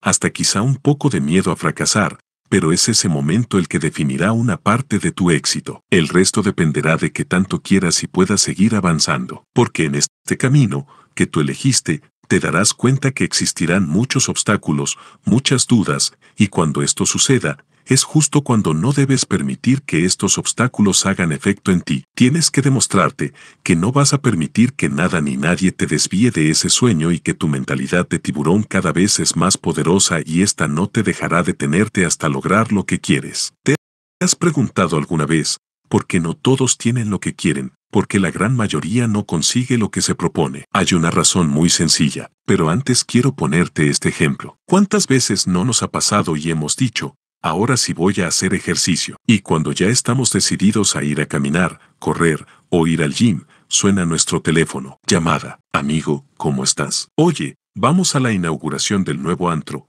Va a estar increíble. Este es el evento del año. Tú, pero, esta no va a ser igual que la del fin pasado y el antepasado y todas a las que me has invitado. Amigo, no, esta sí es otra cosa, va a estar increíble. No puedes perdértelo. Vamos. Y pues, ¿Qué hacemos? Es el evento del año, no podemos faltar, entonces colgamos y nos vamos con nuestros amigos. También cuántas veces no hemos dicho, ahora sí me voy a poner a dieta. ¿Y qué pasa? Decimos, mejor empiezo mañana, ahora sí ya empiezo el lunes, siempre es después, después y después. Siempre estamos posponiendo lo que queremos. Cada vez que decimos, quiero lograr esto, quiero lograr lo otro, estamos siendo incongruentes, nos estamos engañando, si lo quieres, hazlo. Deja a un lado todos esos pretextos, quita de tu cabeza esos suavizantes mentales y ve por lo que quieres, cualquier cosa que quieras ser, hacer o tener, lo puedes lograr, pero primero tienes que comprometerte con lo que dices que vas a lograr, porque como te dije anteriormente, hay una razón muy sencilla de por qué la gran mayoría de las personas no tienen lo que quieren, no logran lo que se proponen y no cumplen sus objetivos. Esta razón es que realmente no lo quieren. Prefieren y quieren más salir a divertirse que enfocarse en su meta. Quieren más comer todo lo que se les antoja que tomar la decisión de cuidar su cuerpo. Quieren más dormir que trabajar duro. Quieren más estar tranquilos que no tener presiones, no tomar riesgos, no tener fracasos, no pasar por desilusiones, rechazos, no enfrentar sacrificios, que realmente arriesgarse e ir tras lo que quieren. Estas son algunas de las razones por las cuales existen dos tipos de personas, las que logran lo que quieren y las que solamente pasan su vida llenándola de pretextos, soñando y engañándose a sí mismos sin tomar acción y sin lograr nada. ¿Qué tipo de persona quieres ser tú? Lo primero que tienes que preguntarte es si realmente estás dispuesto a enfrentar todo lo que venga por conseguir lo que quieres,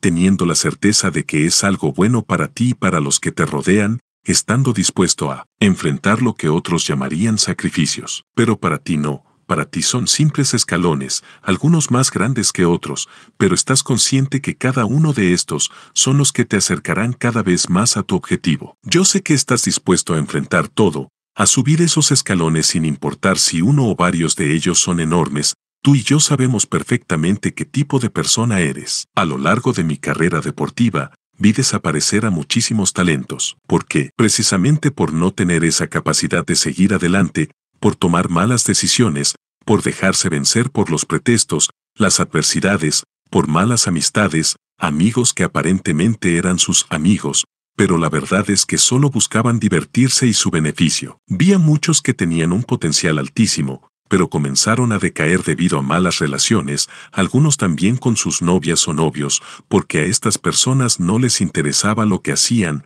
y en lugar de apoyarlos, impulsarlos, hacer equipo y seguir juntos hacia adelante, hacían todo lo contrario, los perjudicaban, los jalaban a lo malo convirtiéndose en un ancla de su desarrollo. En este camino hacia tus objetivos, tienes que aprender a observar a tu alrededor, aprender a identificar a este tipo de personas, quienes no te dejarán nada bueno y solamente te arrastrarán. Quizás en algún momento te equivocarás en elegir a tus amistades, también es parte de la vida el fallar, pero esto te permitirá aprender con cada experiencia y con el tiempo debes hacerte experto para que de ahora en adelante con solo platicar unos minutos, Aprendas a leer la actitud que las personas tienen ante la vida y te podrás dar cuenta si serán positivas o negativas en tu camino.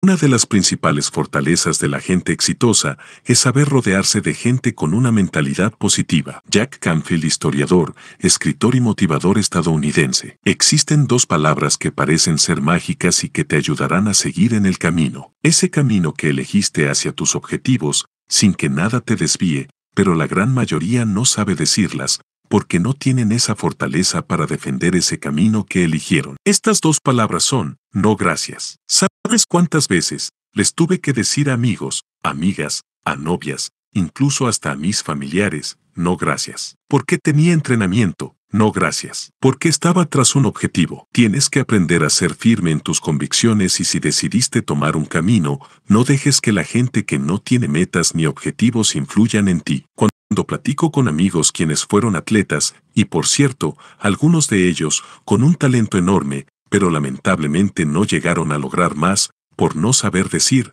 no gracias. ¿Sabes qué es lo que me dicen? Que hasta ahora entienden y se dan cuenta que renunciaron a sus sueños, por esas aparentes amistades, por la fiesta, o por una relación que en ese momento parecía ser algo bueno, pero que con el paso del tiempo, todo esto solamente los alejó de lo que querían, y ahora no tienen ni esas relaciones, ni su sueño. Esto te lo comento, porque quiero que te des cuenta que cuando se tiene un objetivo, tienes que buscar gente que tenga también objetivos. No dejes que el tiempo sea quien te enseñe esta lección. Busca gente con hambre de triunfo, hambre de hacer algo grande, gente positiva, gente que te impulse y te motive, porque de este modo, así como ellos te apoyarán, será recíproco y tú también serás un impulso importante para ellos, de esta forma harán un equipo imparable. Sé que quizás tengas que pasar por algunas situaciones en donde la gente que te rodea no compartirá esa misma visión que tienes, ese mismo ímpetu por lograr cosas nuevas,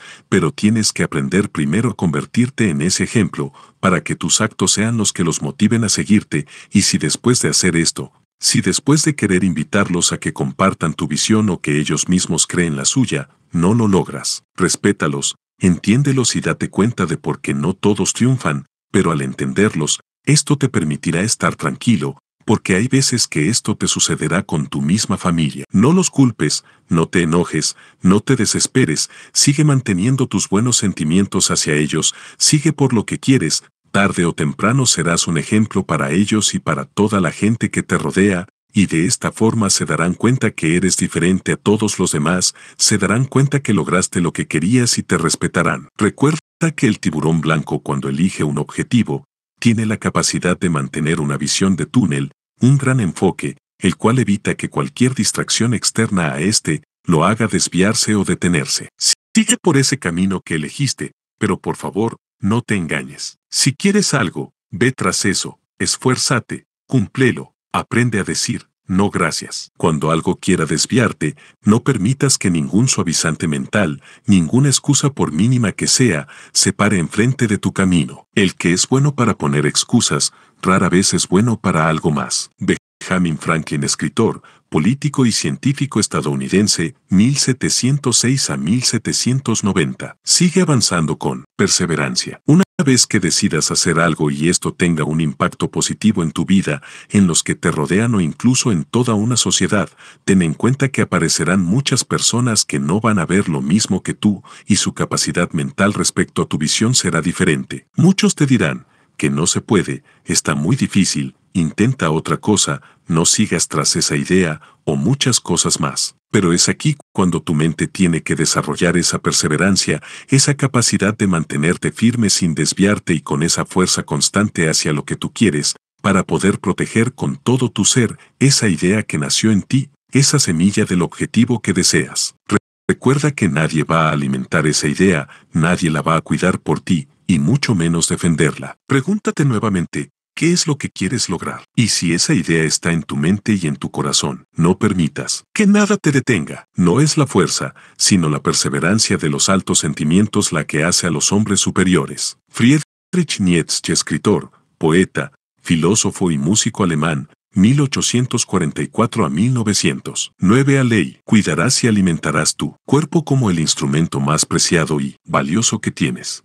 Primero ordena tu imagen y tu vida, si lo haces ganarás respeto y serás una poderosa influencia mediante un efecto en onda. Si tú funcionas, tu trabajo funciona, influyes en tu familia y amigos. Si tu familia funciona, influyes en la sociedad. Si tu sociedad funciona, influyes en el país. Si tu país funciona, influyes en el mundo. Empieza por ti mismo. Filosofía taoísta. Cuida tu cuerpo con inquebrantable fidelidad. El cuerpo es los ojos del alma y si los ojos no ven bien, todo el mundo se verá en tinieblas. Wolfgang von Goethe, pintor, poeta, novelista y científico alemán, 1749 a 1832. Manuel Sotomayor, Sark. Antes de seguir con esta ley, me gustaría que te tomaras un momento para pensar y preguntarte, ¿quién es la persona más importante en tu vida? Sé que quizás digas mis papás, mi novia, novio, esposa, esposo. Si tienes hijos, quizás digas mis hijos, Quizás digas algún hermano o amigo, y está bien, pero hay algo de lo que tienes que estar muy consciente para poder proteger, cuidar, brindar lo que tu gente o tu familia necesita. La persona más importante y que tiene que estar al 100% eres tú. ¿Qué pasaría si cada día que te levantaras te sintieras sin energía, sin ganas de hacer lo que te corresponde, como ir a la escuela, entrenar, practicar, trabajar, cuidar tu casa, cuidar a tu familia, ¿qué pasaría si de pronto te enfermaras por no cuidar tu cuerpo, por no alimentarte de forma correcta? ¿Qué pasaría si de pronto algún vicio empezara a destruir toda tu vida? Por más que digas que quieres y que amas a tus seres queridos, esto sería una mentira, porque no puedes querer a alguien si te estás destruyendo. No puedes decir que los amas si no te cuidas para estar ahí en el momento que te necesiten. No puedes decir que quieres proteger a tu familia si no te proteges a ti mismo. No puedes amar a alguien si no te cuidas y te amas primero. Si tú estás al 100% cada persona que esté cerca de ti estará bien y si no lo está, serás una influencia positiva muy poderosa. Desde este momento no importa si tienes algún vicio, si sientes ansiedad por comer y comer o tienes una mala alimentación, si tienes alguna enfermedad debido a un mal cuidado de tu cuerpo, o si crees que hacer ejercicio es solo por buscar un buen aspecto físico. Este es el momento para que puedas transformar tu vida. Quizá hoy no dependa nadie de ti y sea más fácil para ti el decir, no pasa nada si me alimento mal, no pasa nada si tomo azúcar en exceso, no pasa nada si tengo algún vicio, no pasa nada si no ejercito mi cuerpo. Como lo mencioné anteriormente, si nadie depende de ti, lo que te puedo decir es, no esperes a que la vida te dé un golpe y te haga entender esto de otra forma. Pero si en tu vida existe una sola persona que dependa de ti, con mucha más razón no puedes permitir que esta debilidad humana te tumbe. Esta debilidad de no cuidarte, de no alimentarte bien, de no hacer ejercicio y que te ganen los vicios, no lo permitas. Hazlo por quien está esperándote para darte un abrazo, que esto sea un motivante, pero lo más importante es que lo hagas por quien aparece en el espejo todas las mañanas. Con todo esto no quiero que pienses que esto es una forma de sacrificio, que ya nunca comas lo que más te gusta, al contrario, Precisamente el poder controlarte, el tener una disciplina de ejercicio, te permite comer lo que tú quieras y te permite disfrutar al máximo cada alimento. En mi caso, gracias a que existen las verduras, es que amo la pizza, pero no por eso como pizza todos los días, porque si hiciera eso, dejaría de gustarme. La vida es un balance y para que tu cuerpo pueda disfrutar al máximo, hay que aprender a tener una disciplina en todo lo que hagas. ¿Quieres mejorar tu vida, tu cuerpo, tu salud y tu imagen? Comienza ejercitando tu voluntad con pequeños y sencillos y decididos no, porque la voluntad es como un músculo que hay que desarrollar. Nadie nace con esta fuerza de voluntad, se va fortaleciendo día con día hasta lograr hacer de ella tu mejor aliada para el logro de tus metas. Cuida tu cuerpo, es el único lugar que tienes para vivir. Jim Ron, escritor, motivador y empresario estadounidense, 1930 a 2009. Todos somos valiosos por lo que somos, por nuestra esencia, por nuestra forma de ser, y en especial tú. Así es como debes de sentirte siempre, como la persona más importante en todo el mundo. Cuando hablamos de nuestra persona, de nuestra imagen, hay algo muy similar al proceso que tiene que pasar un carbón, para poder convertirse en diamante. Para empezar su proceso solo se puede dar bajo una presión altísima y a una temperatura por encima de los 900 grados, a más de 150 kilómetros bajo la superficie de la Tierra, litósfera. Después de un tiempo considerable, se forma el diamante, todavía en forma de carbón, pero su proceso no. Termina ahí, de hecho esta es una imagen de cómo es en esa primera etapa. Para poder llegar a ser ese hermoso diamante que conocemos, el carbón tiene que pasar por otros procesos de corte y pulido. Como te lo comentaba, de igual forma sucede con nuestra persona, tenemos que pasar por diferentes procesos, en donde algunos de estos nos dolerán, nos costarán trabajo, otros nos desgastarán, pero para poder brillar hay que soportar esa presión altísima, recibir esos golpes y pulirnos, al igual que se hace con el carbón para transformarlo en un diamante, manteniendo siempre su misma esencia, pero ahora con mucho más brillo. La imagen tiene un poder que no muchas personas conocen. No muchos la utilizan, porque una buena imagen te ayudará a generar un impacto positivo e influir en la gente, lo cual es una herramienta más para poder alcanzar tus objetivos. En ti está el decidir si quieres ser un carbón o trabajar para transformarte en un diamante. Antes de empezar con algunos de los aspectos, los cuales te orientarán para ayudarte a conocer más tu cuerpo, así como también, para que puedas utilizar la imagen que proyectas a tu favor en el logro de tus metas. Quiero enfatizar que el aspecto de la imagen es importante, pero algo que determinará tu futuro, como lo mencioné en el proceso del diamante, es tu esencia como persona. Primero tienes que aprender a valorar quién eres, sin compararte con nadie. Eres alguien único y tienes que aprender a amar lo que eres, tanto por dentro como por fuera, pero primero como ser humano, porque el aspecto físico pierde todo si no hay buenos sentimientos, si no estás contento contigo, si no estás en paz, y por qué hago énfasis en lo interior, porque lo físico tiene valor gracias a la persona que eres, a esos sentimientos que están en tu corazón y en tu mente. Lo demás puedes pulirlo y trabajarlo hasta donde tú quieras, pero si el interior no está bien, lo de afuera no vale nada. Trabaja también en tus pensamientos y sentimientos, porque el mejor complemento para cualquier cosa que quieras hacer en la vida es una sonrisa auténtica y esta solo puede venir desde tu interior. Para lo demás, aquí te dejo algunos consejos que ayudarán a potenciar tu imagen. Muchas personas podrán decir, no importa si no me arreglo, no importa si no me cuido. Y claro que sí importa, porque déjame decirte que entre el 70 y 80% de las decisiones que tomamos provienen de la vista. Esto te puede dar una ventaja o desventaja en el momento de alguna negociación, en el momento de presentar algún proyecto o trabajo. Lo más delicado en este punto es que así como tu imagen influye en los pensamientos y sentimientos de los demás, también influye muy fuerte en ti y en cómo te ves. Parecerá un poco trillado pero es real. Cómo te ves, te sientes, y cómo te sientes, es lo que reflejas. Analiza un poco a tu alrededor y te darás cuenta quién por su forma de vestir, cuidado personal, comunicación verbal y expresión corporal está logrando o trabajando por lo que quiere,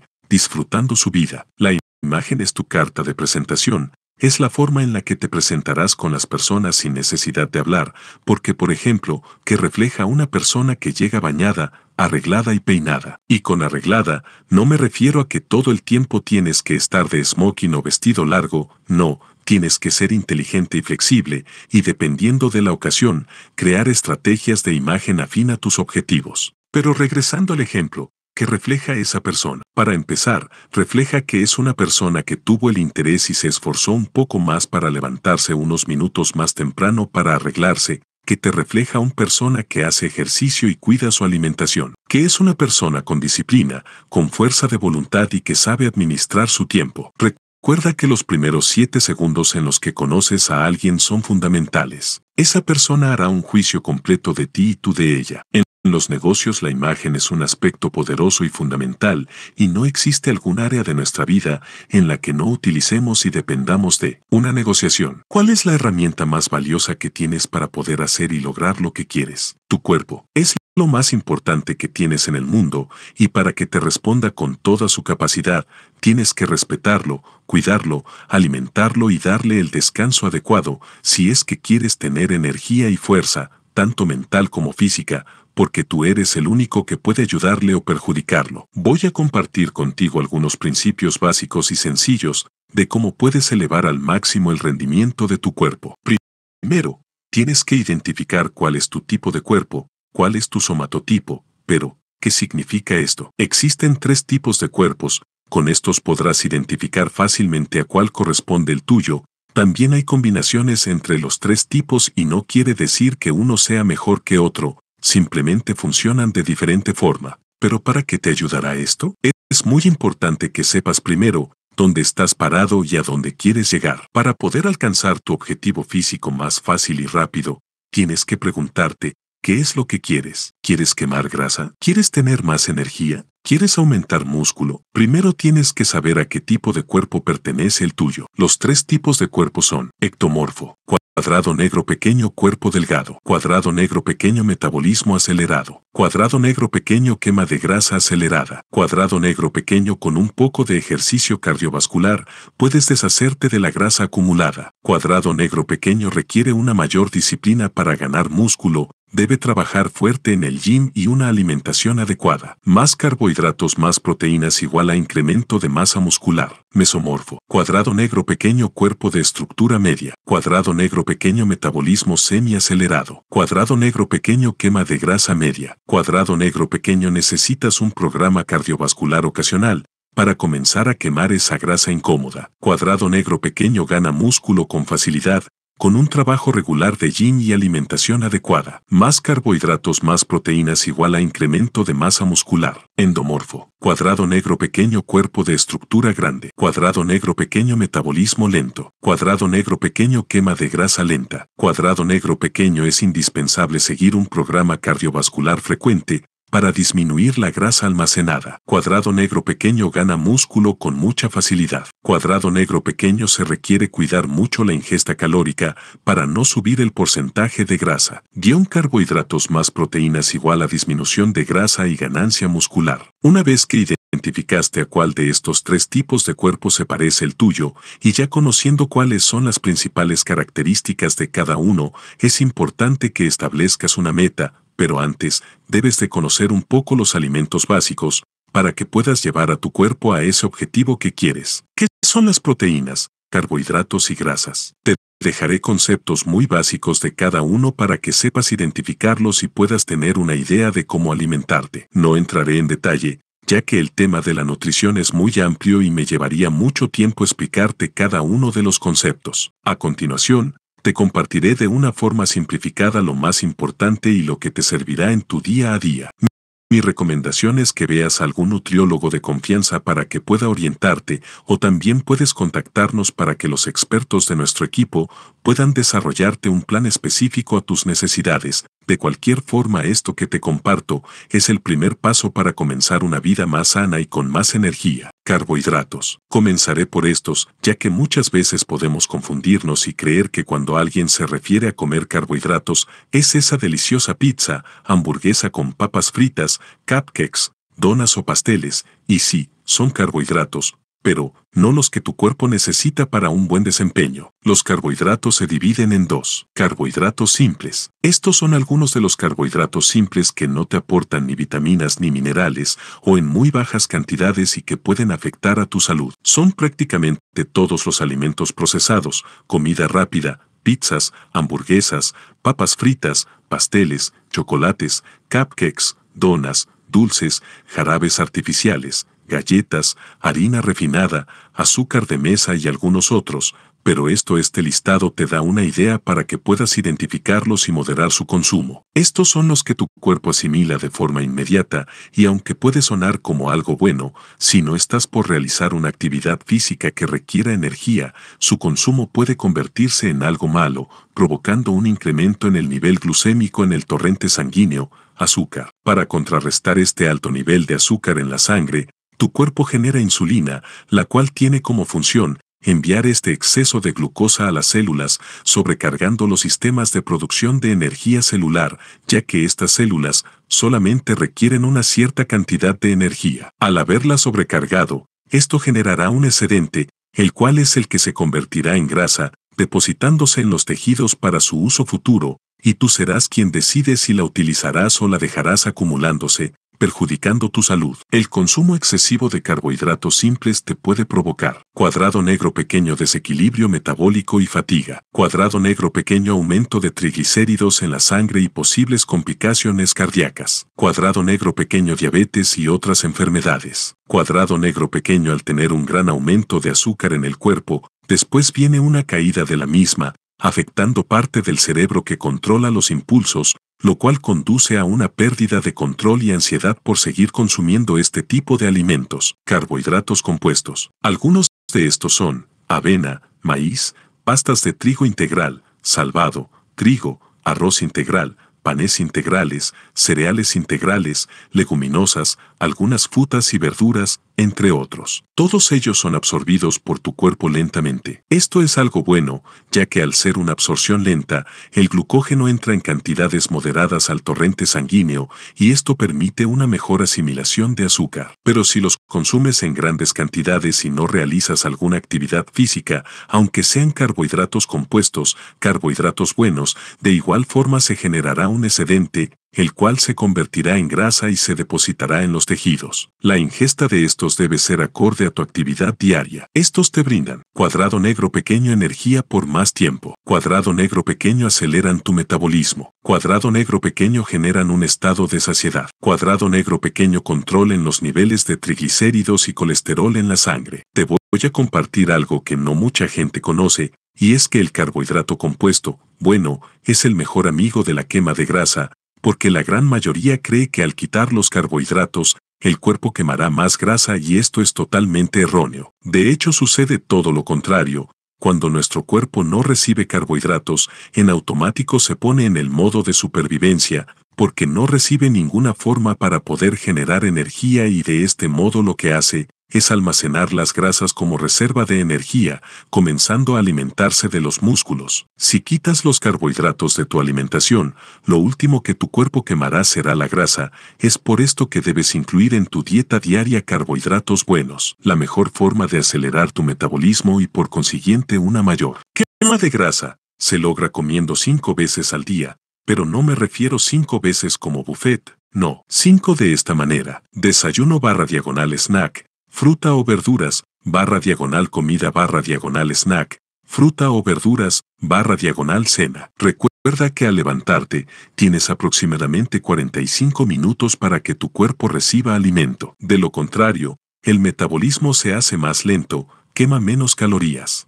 Lo que te acabo de comentar respecto a los carbohidratos, de ahora en adelante tienes una idea de cuáles son buenos y cuáles son malos, cuáles le hacen bien a tu cuerpo y cuáles no. Proteínas, en términos simples, son el principal nutriente para el desarrollo y mantenimiento de tu cuerpo, desde los huesos, pasando por los tejidos del mismo, como los músculos, órganos, piel, pelo, uñas y hasta la sangre. De hecho, no existe ningún proceso biológico en el que no tengan participación estas moléculas esenciales. Además son un factor clave en la formación de anticuerpos para proteger a tu organismo. Las proteínas son tan importantes que la falta del consumo de estas es una de las principales causas de desnutrición a nivel mundial. Al no consumir una cantidad adecuada de proteínas, esto puede provocar en tu cuerpo algunos de los siguientes síntomas. Cuadrado negro pequeño bajo nivel de energía. Cuadrado negro pequeño bajo volumen de masa muscular y disminución de peso. Cuadrado negro pequeño poca resistencia a las enfermedades. Cuadrado negro pequeño pequeño semblante cansado, cuadrado negro pequeño debilitamiento del cabello,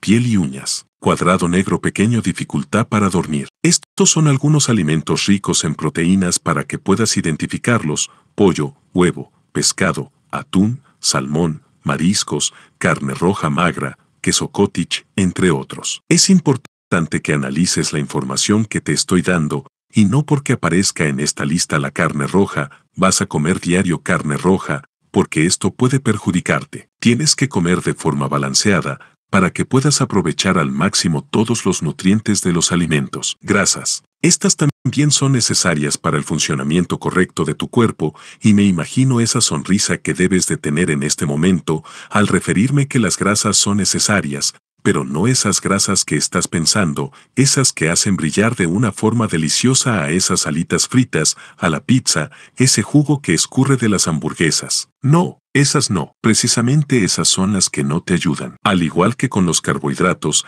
hay grasas buenas y malas, y estas que acabo de mencionar, por más que nos gusten consumirlas, son las malas, pero no es el fin del mundo. Al contrario, entre mejor aprendas a comer y combinar alimentos, podrás darte gustos de cualquier tipo de comida que quieras. Gustos, no semanas continuas.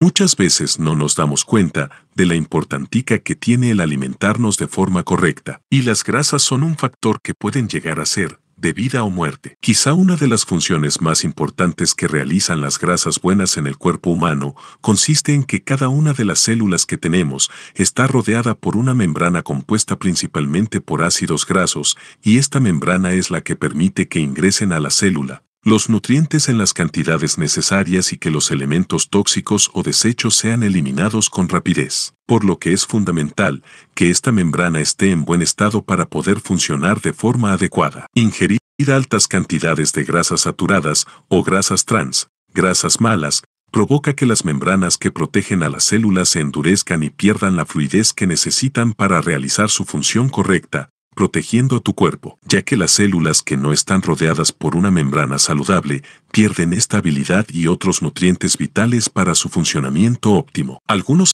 alimentos que contienen grasas malas, saturadas y trans son mantequilla, manteca, pasteles, donas, galletas, chocolates, todo lo que esté frito, alimentos procesados, entre otros. Estas son algunas de las situaciones que puedes evitar consumiendo cantidades mínimas o nulas de estas grasas malas, ya que cuadrado negro pequeño aceleran el proceso de envejecimiento, cuadrado negro pequeño afectan el sistema nervioso central y por ende el sistema inmunológico, cuadrado negro pequeño riesgo de enfermedades cardíacas, cuadrado negro pequeño riesgo de diabetes tipo 2, cuadrado negro pequeño riesgo de enfermedades cerebrovasculares, derrames cerebrales, cuadrado negro pequeño se adhieren en las paredes de arterias y venas, incluyendo corazón y cerebro, cuadrado negro pequeño incremento del colesterol malo y disminución del bueno. Cuadrado negro pequeño obesidad y sobrepeso. Cuadrado negro pequeño aumento del ácido úrico. La anterior es una pequeña lista de todo lo que pueden causar las grasas malas, y por qué te comento esto. No es con el afán de que veas la comida con miedo, al contrario, es para que tengas el conocimiento y tú seas quien decida y controle qué es lo que entra o no a tu cuerpo, para que pueda estar al 100% y pueda responderte para todos los objetivos que quieres lograr. Algunos alimentos que contienen grasas buenas son aceite de oliva, aceite de girasol, canola, almendras, avellanas, aceitunas, aguacate, pescados azules como el atún, salmón, sardinas, entre otros. Las grasas buenas son necesarias porque Cuadrado negro pequeño aceleran el metabolismo. Cuadrado negro pequeño incrementan de forma natural la quema de grasa. Cuadrado negro pequeño evitan la acumulación de grasa en el cuerpo. Cuadrado negro pequeño ayudan a mejorar la función cerebral. Cuadrado negro pequeño en el caso de las mujeres Ayuda en los síntomas del síndrome premenstrual y la menopausia. Cuadrado negro pequeño tus membranas celulares serán más saludables evitando enfermedades. Vitaminas y minerales. Por último, te hablaré de las vitaminas y minerales. Esta parte ya es muy sencilla, después de haber visto todo lo anterior. Mi recomendación es, carbohidratos buenos y grasas buenas son los que contienen vitaminas y minerales, los cuales son una parte muy esencial en tu alimentación. Recuerda que todos los alimentos malos de los que hemos hablado contienen muy pequeñas dosis de vitaminas y minerales, y la gran mayoría no tiene nada. Hidratación. La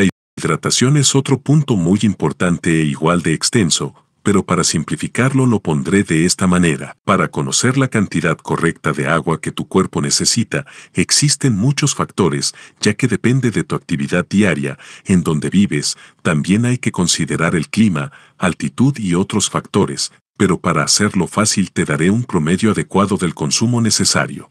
Cuadrado negro pequeño hombres de 2 a 3 litros diarios.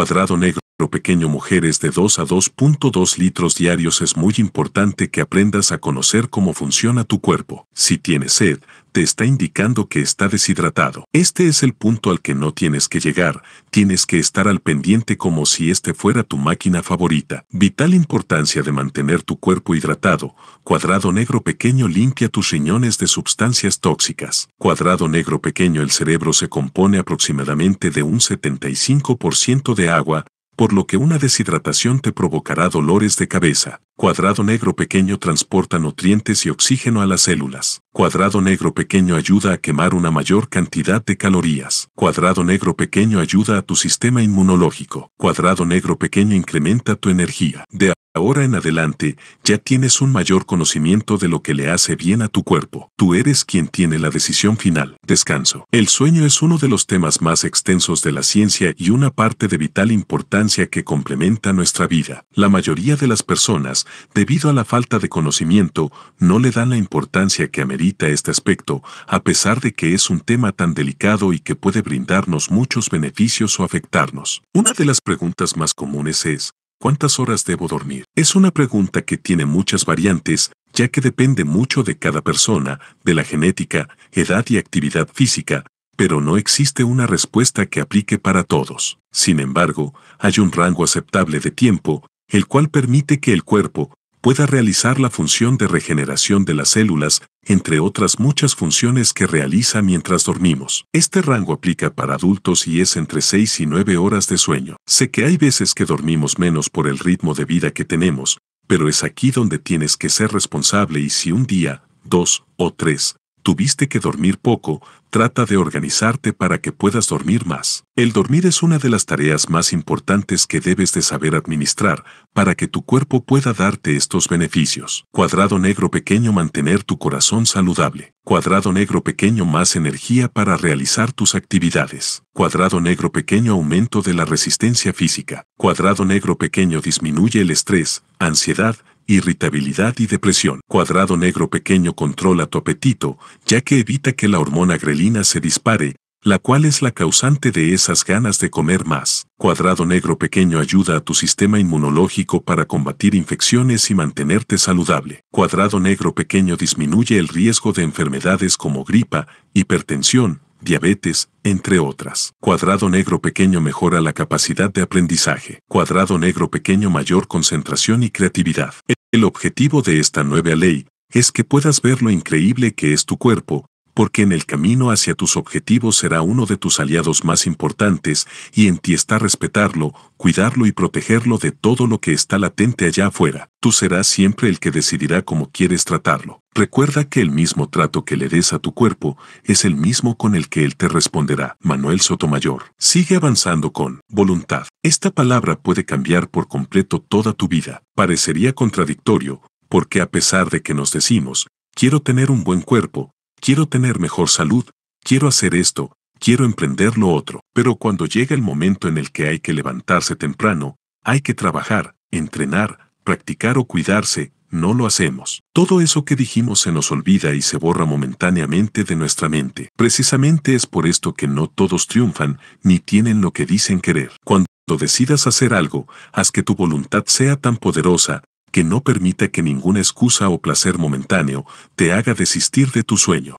La voluntad obstinada de perseguir una ambición propia es verdaderamente una fuerza que puede hacer superar obstáculos. Enzo Ferrari, fundador de la escudería Ferrari y la marca de autos del mismo nombre, 1898 a 1988. 10 a ley. Tú controlarás a la diversión y no ella a ti. Solamente la utilizarás para relajarte y despejar tu mente. Así como trabajas, practicas o entrenas con toda esa fuerza y entusiasmo, de la misma manera tiene que ser cuando te diviertas. Este es un aspecto muy importante y necesario en la vida, pero parte del éxito que puedas lograr dependerá de que tan capaz seas para divertirte y disfrutar sin rebasar la línea en donde la diversión se convierte en autodestrucción, y la única persona que puede identificar ese límite eres tú.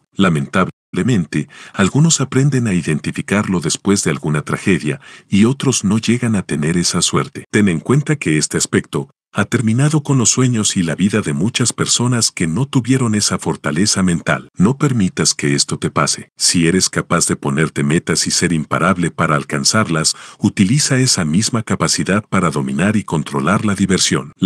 La pérdida de nuestras fuerzas es debido más bien a los vicios de la juventud que a los estragos de los años. Marco Tulio Cicerón, escritor, filósofo, abogado, orador y político romano, 106 a 43 a C. Mentalidad de tiburón. Las 13 leyes. Antes de seguir con esta ley, me gustaría platicarte por qué incluye este punto. Después de analizar la vida de muchas estrellas de cine, televisión, atletas y músicos, que teniendo un talento grandioso, no supieron controlarlo y esto los llevó a destruir ese talento, terminando en algún accidente o hasta ellos mismos poniendo fin a su vida. Todo esto me hizo recordar que yo viví en carne propia esta situación, ya que mi padre, quien era una persona amorosa, alegre, con un gran corazón y siempre buscando que todas las personas que estuvieran a su alrededor fueran felices, tuvo un detalle. Un día mi papá no pudo tener esa fuerza para controlarse en una cena y en lo que aparentemente eran negocios, tomó demasiado. Se subió a su auto y minutos después tuvo un accidente que le quitó la vida. Todo esto me hizo pensar, analizar y entender que la diversión y los placeres son un complemento para enriquecer nuestra vida, pero si no llegamos a desarrollar esa capacidad mental para poder tener un control sobre ellos, en vez de enriquecerla pueden dañarla o terminarla. Para poder lograr ese control tienes que preguntarte y responder estas preguntas. Diversión o autodestrucción. ¿Quién controla a quién? ¿Tú eres quien controla a la diversión o ella te controla a ti? Esto es algo para pensarse, ya que muchas veces hemos escuchado. Me ganó la fiesta, es que se me pasó la mano, se me pasaron las copas, que reflejan este tipo de comentarios, que esa persona no tiene ningún control sobre lo que hace, y con esto no quiero que pienses que la diversión y la fiesta es algo malo. La diversión es algo saludable y psicológicamente está comprobado que nuestro cuerpo necesita momentos para relajarse, despejar la mente y celebrar. La diferencia es que hay personas que celebran todo el tiempo o quieren estar relajadas sin antes haber trabajado, sin antes haber estado enfocadas en algo productivo. Como atleta, hay un principio que aprendes forzosamente, y es, primero tienes que entrenar y después de la competencia se festeja, y porque digo forzosamente, porque quizás cuando uno es más joven puede decir, no pasa nada si me desvelo, no pasa nada si me voy de fiesta y después llego a entrenar o a competir, y sí, puede ser que si lo haces una vez no pasa nada, pero si sigues haciendo eso, tu rendimiento se verá afectado de inmediato y todo el esfuerzo de levantarse a las 4.15 am para ir a meterte a una alberca, después ir a la escuela y luego de la escuela regresar a entrenar y tener que cuidar tu alimentación, todo esto con una sola salida de fiesta, sería como tirar a la basura todo eso que hiciste. Es por eso que aprendí a organizar mis salidas, a organizar cuando iba a salir de fiesta, siendo una costumbre que me enseñó el deporte y que me rige hoy en día, porque la vida de un atleta no está muy lejos de lo que es la vida cuando ya comienzas en una etapa laboral o cuando te casas y tienes hijos, porque al igual que un atleta, En estas etapas ya tienes otras responsabilidades y compromisos, pero de igual forma tienes que seguir divirtiéndote, administrando ese tiempo de fiesta, ese tiempo de relajación, para que puedas disfrutar más cada cosa que haces en tu vida, porque en estas etapas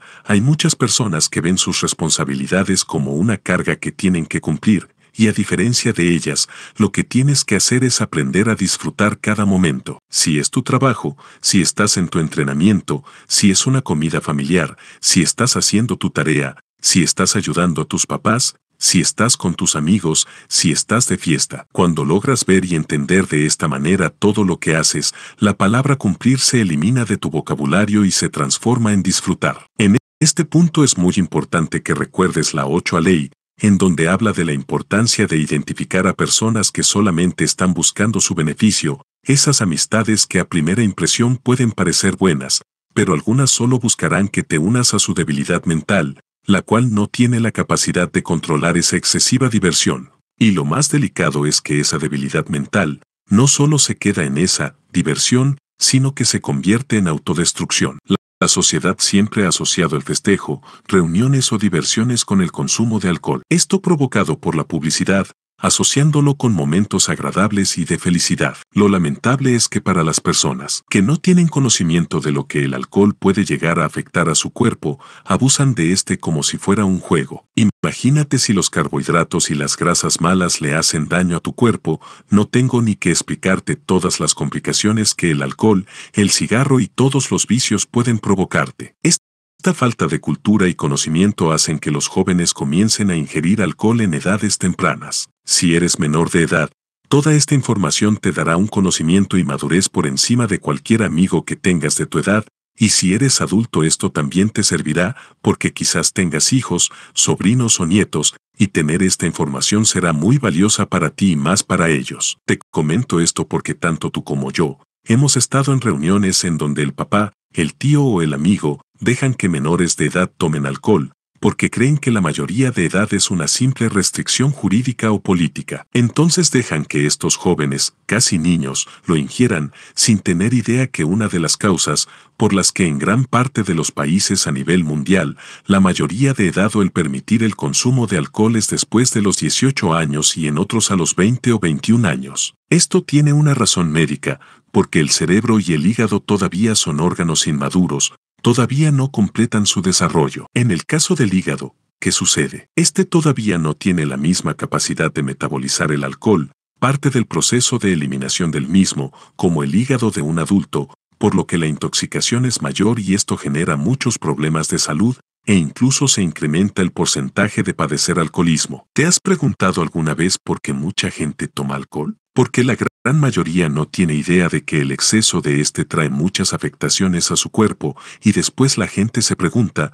por qué le dio un infarto. ¿Por qué se enfermó de esto si se veía tan bien? ¿Cómo es que un atleta sufrió un infarto? Esto sin mencionar todos los accidentes y daños que pueden causar, no solo a ellos mismos, sino también a más personas. Estas son algunas de las principales causas de por qué nuestra sociedad consume alcohol en exceso. Cuadrado negro pequeño aceptación social. Cuadrado negro pequeño inseguridad y baja autoestima. Cuadrado negro pequeño incapacidad de enfrentar problemas. Cuadrado negro pequeño adicción a la sensación al consumirlo. Hay algo que nadie nos dice respecto al alcohol. Por todos lados escuchamos. El alcohol hace daño, el alcohol te puede afectar, pero nadie nos explica realmente por qué a pesar del daño que hace, les resulta atractivo a algunas personas. Te lo explicaré de la forma más sencilla. Al consumir más alcohol del que tu cuerpo es capaz de eliminar en un cierto tiempo, cuando lo ingieres en grandes cantidades, siendo este una sustancia tóxica, tu cuerpo comienza a perder el equilibrio tanto a nivel mental como físico,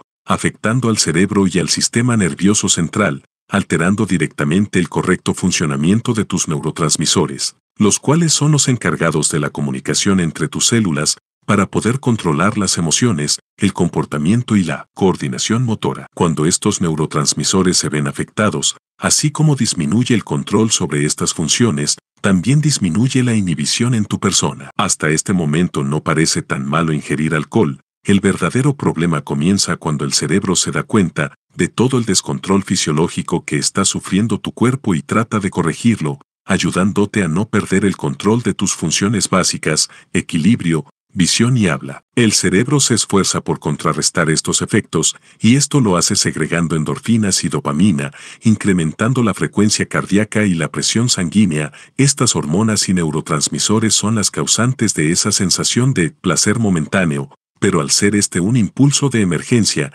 el cerebro no puede segregar esas hormonas por mucho tiempo. Lo lamentable es que el alcohol desde un principio, lo que realmente está haciendo es deprimir el sistema nervioso, lo cual se traduce en todo el proceso que te acabo de comentar, y la siguiente etapa es donde comienzan los sentimientos de tristeza, culpabilidad y depresión, sin mencionar la afectación hepática y el proceso que tu cuerpo realiza para limpiar tu organismo de la sustancia tóxica. Ese placer momentáneo es la razón principal de por qué tanta gente sin importarles cuánto los dañe, cuánto los afecte, los siguen consumiendo una y otra vez. Además de que algunas personas hasta se sienten orgullosas y llegan diciendo, traigo una super cruda, resaca, como si esto fuera algo que admirar. Lo único que dejan ver estas personas es su falta de conocimiento, ya que a lo que se le llama cruda o resaca es el resultado del proceso de desintoxicación, por el cual pasó o está pasando tu cuerpo, y el proceso es el siguiente. Al ingerir alcohol en exceso, este inhibe la función de la hormona antidiurética, por lo que se aumenta la pérdida de líquidos, ganas constantes de ir al baño. Al perder gran cantidad de líquido, esto es un problema para el hígado, ya que para realizar su correcta función y poder metabolizar el alcohol para desintoxicar al cuerpo requiere de líquidos y al no contar con suficientes, le quita el agua al cerebro, ya que éste está constituido por tres cuartas partes de agua. Es por esto que el cerebro es quien más sufre este proceso, ya que pierde agua y minerales esenciales, encogiéndose en la cavidad craneal. Todo esto es lo que provoca ese dolor de cabeza y otros síntomas al día siguiente de ingerir alcohol en exceso. Además de que este vicio es la primera puerta a vicios más grandes, con todo esto que te acabo de mencionar, no es para que veas al alcohol como algo maligno, sino para que tú seas quien decida si quieres disfrutar de forma moderada o con ese exceso afectarte. Y si no tienes la edad para consumirlo, puedas ser creativo, al igual que con tus proyectos o con tus objetivos, buscando otras formas de diversión. Lo padre de esta vida es que si eres inteligente, puedes encontrar muchas maneras para festejar, para divertirte con tus amigos, porque ahí es donde realmente se ve quien tiene ese carácter, esa fuerza para ser un líder y atraer a tus amigos a lo bueno, o ser uno más de esos borregos que siguen a la sociedad sin importar si es algo malo. Todo esto te lo digo porque si esperas un tiempo, este te dará la madurez para poder disfrutar de un buen vino, una buena cerveza, pero cuando llegue el momento, recuerda que también parte de tu éxito será esperar y respetar ciertos tiempos que la vida te pone. No te destruyas, diviértete, festeja y goza al máximo. Y si ya eres adulto, todo esto te lo digo como un amigo que no quiere que te suceda, ni que tengas que pasar o tus seres queridos por una tragedia como la que yo viví, por el simple hecho de no saber controlarte. Disfruta cada etapa, cada momento, recuerda que hay tiempo para todo, tú eres quien decide cómo vivir y cómo divertirte en el camino que elijas. Existe algo mucho más poderoso y que pude generar en ti, estas y muchas más sensaciones placenteras, pero sin dañar tu organismo y si dándole muchos beneficios positivos a tu cuerpo. El deporte herramienta de vida y placer El deporte es una de las herramientas más poderosas que puedes adquirir, y la ventaja es que está al alcance de tu mano en el momento que quieras. Por todas partes escuchamos, haz deporte. El deporte es vida. El deporte es muy saludable. Pero nadie nos explica detalladamente por qué tendríamos que incluirlo en nuestras vidas. ¿Por qué te digo que es una herramienta poderosa? Cuando la gente no conoce los beneficios que les puede generar y creen que solo es por tener un buen aspecto físico, se pierden de los principales beneficios del deporte, de las sensaciones de felicidad, placer y lo más importante, que éste incrementa tu capacidad mental y habilidades psicomotrices, no solo durante la práctica del deporte. Lo interesante y lo que no todos saben, es que estas habilidades las puedes transferir a todas tus actividades diarias, respondiendo y actuando de una manera superior a quien no realiza ninguna actividad física, y si además esto es combinado con alguna actividad artística, el rendimiento del cerebro será mucho mayor, esto debido a la gran cantidad de conexiones neuronales que existirán en la mente de quien realiza este tipo de actividades. ¿Por qué el deporte genera placer? Existen ciertas actividades que hacen que tu cerebro genere endorfinas, serotonina y dopamina, hormonas y neurotransmisores que se encargan de generar sentimientos de placer, ánimo, felicidad y euforia. Algunas de las actividades que de inmediato generan estas sustancias en tu cerebro son comer chocolate, comer algo rico, reír, amar, realizar cualquier deporte o alguna actividad física como caminar, baile, yoga, correr, nadar, andar en bici, jugar algún deporte en conjunto. Estas y otras actividades se encargan de generar estas sensaciones de placer y felicidad. Esa es la razón por la cual las personas sienten esa necesidad de repetir y experimentar nuevamente este tipo de actividades, esto debido a la sensación que generan. Pero como te lo había comentado en la parte de nutrición de la nueva ley, si llevas un balance puedes disfrutar de todo, pero si te dejas llevar, por ejemplo, en el caso de comer y comer chocolate para sentir ese placer, alivio y felicidad, esto terminará dañándote y ese placer se convertirá en algo negativo, llevándote a un cierto punto de depresión, lejos de esas sensaciones de placer y felicidad. Es por esto que quiero presentarte algunos de los beneficios que el deporte puede generar en ti, para que puedas elegir una de las formas más sanas para producir naturalmente estas sustancias de placer sin afectar a tu cuerpo. Beneficios de hacer deporte. Reduce el estrés físico y mental. Esto es debido al incremento de norepinefrina, esta sustancia es quien regula la respuesta del cerebro al estrés. Ayuda a combatir la depresión y ansiedad. La depresión es causada por un desequilibrio químico en el cerebro y al aumentar de forma natural estas sustancias químicas, endorfinas, serotonina y dopamina, esto ayuda a disminuir la depresión y algunos estados de ansiedad. Previene el deterioro cognitivo. Conforme van avanzando los años, existe un deterioro natural en el cerebro y al aumentar estas sustancias químicas antes mencionadas, previenen el deterioro del hipocampo, el cual se encarga de la memoria y del aprendizaje. Genera una capacidad intelectual superior. Existe algo llamado neurogénesis adulta, regeneración de neuronas. Consiste en la creación de nuevas células cerebrales, las cuales a pesar del paso del tiempo, pueden incrementar el rendimiento del cerebro, mejorando tu capacidad de memoria y aprendizaje. Mejora tu productividad. Tus niveles de energía se elevarán, al igual que los químicos antes mencionados, los cuales en conjunto mejoran tu carácter, positivismo y ganas de realizar todas tus actividades. Incrementa tu autoestima. Al cumplir con nuevos objetivos,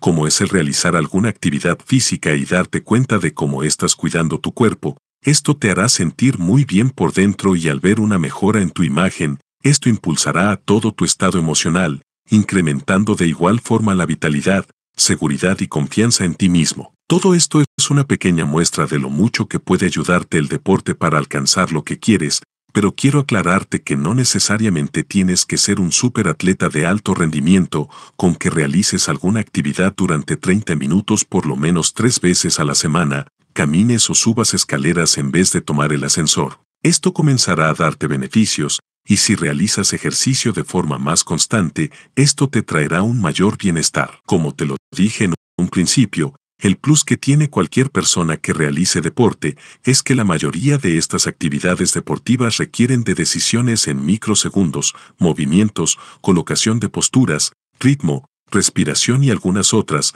porque para cualquiera de estas actividades la demanda de atención es altísima, por lo que la práctica constante es lo que estimula y desarrolla muchas cualidades, las cuales se transfieren a tu vida diaria, como disciplina, voluntad, perseverancia, manejo de estrés, tolerancia a la frustración, mejor toma de decisiones, manejo emocional, resistencia y fortaleza entre otros. En tus manos está el entrenar a tu mente para tomar las mejores decisiones y saber de qué forma quieres generar estas sensaciones placenteras sin destruirte ni afectarte y si agregando muchas cosas positivas a tu vida. Si alguien busca la salud, pregúntale si está dispuesto a evitar en el futuro las causas de la enfermedad en caso contrario, abstente de ayudarlo.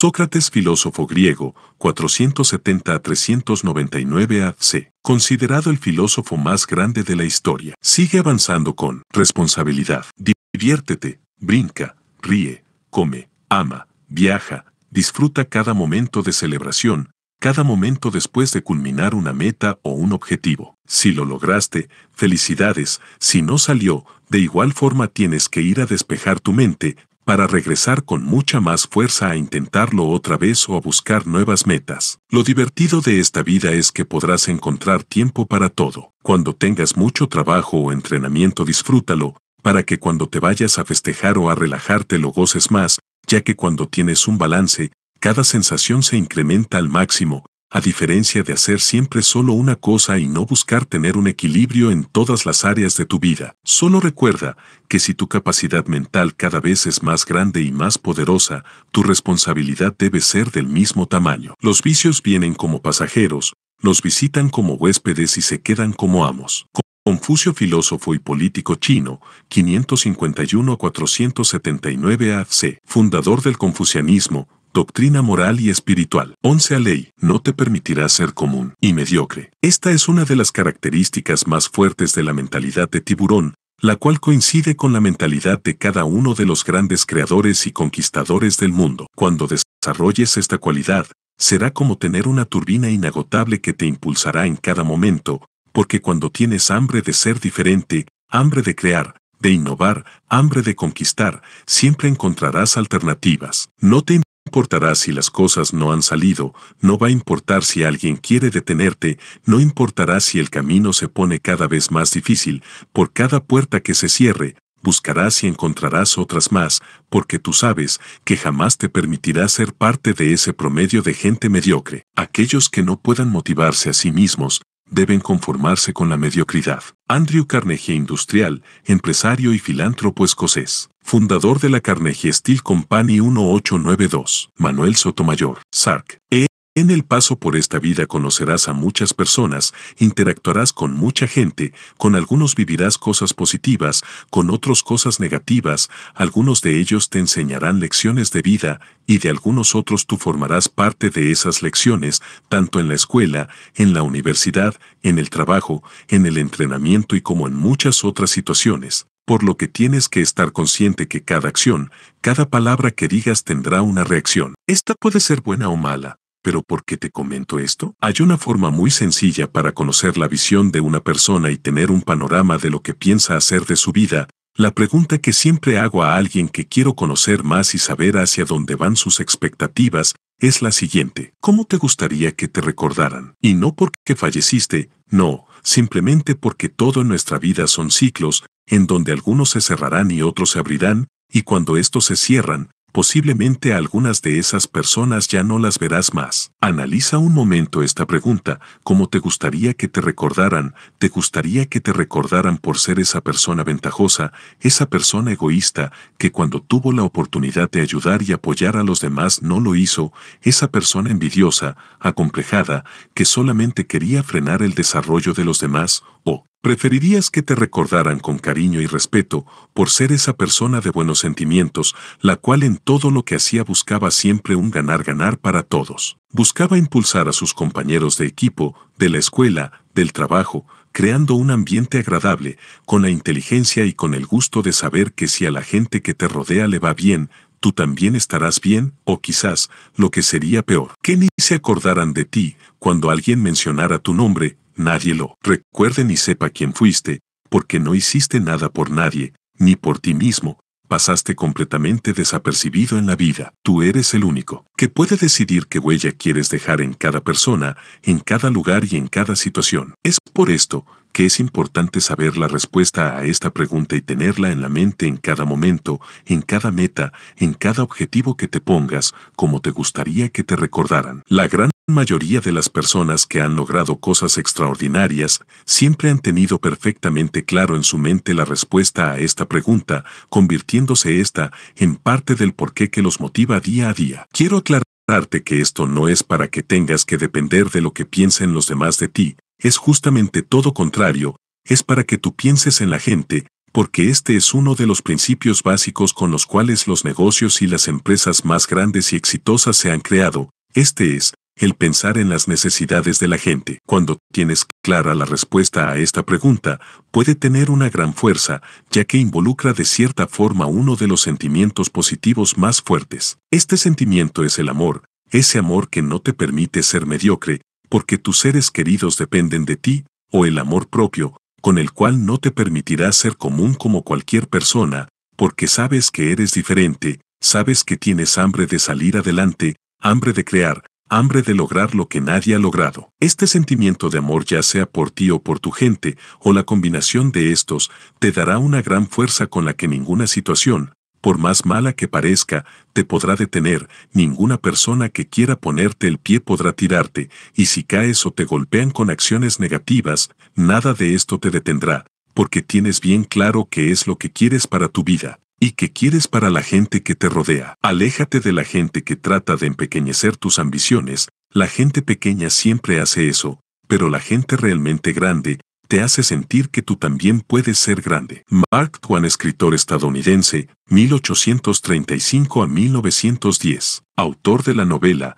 Las aventuras de Tom Sawyer. Hay un aspecto fundamental para el logro de tus metas, visualización. Aun cuando las personas no compartan tu idea, tu visión o intenten empequeñecer tus ambiciones, tienes que trabajar este aspecto tal como lo dice la 4 ley, acerca de la percepción selectiva, la cual comienza con la visualización, ayudándote a alcanzar eso que está en tu mente. En esta parte quiero platicarte la experiencia que me enseñó la importancia de la visualización en todo lo que quieras lograr. Cuando era atleta, estaba en uno de los mejores momentos deportivos de mi carrera, uno de los más importantes, en donde me sentía en la mejor forma, fuerte, ligero, estaba en mi mejor nivel competitivo, competencia en la que me presentaba ganaba, me tomaban fotografías y bailaba feliz por todos lados con mi mano en la cabeza como tiburón. Cada prueba en la que competía nadaba excelente, en ese momento todo parecía perfecto, todas las cosas marchaban muy bien, cuando de pronto, en uno de los entrenamientos comencé a sentir un pequeño dolor en mi hombro,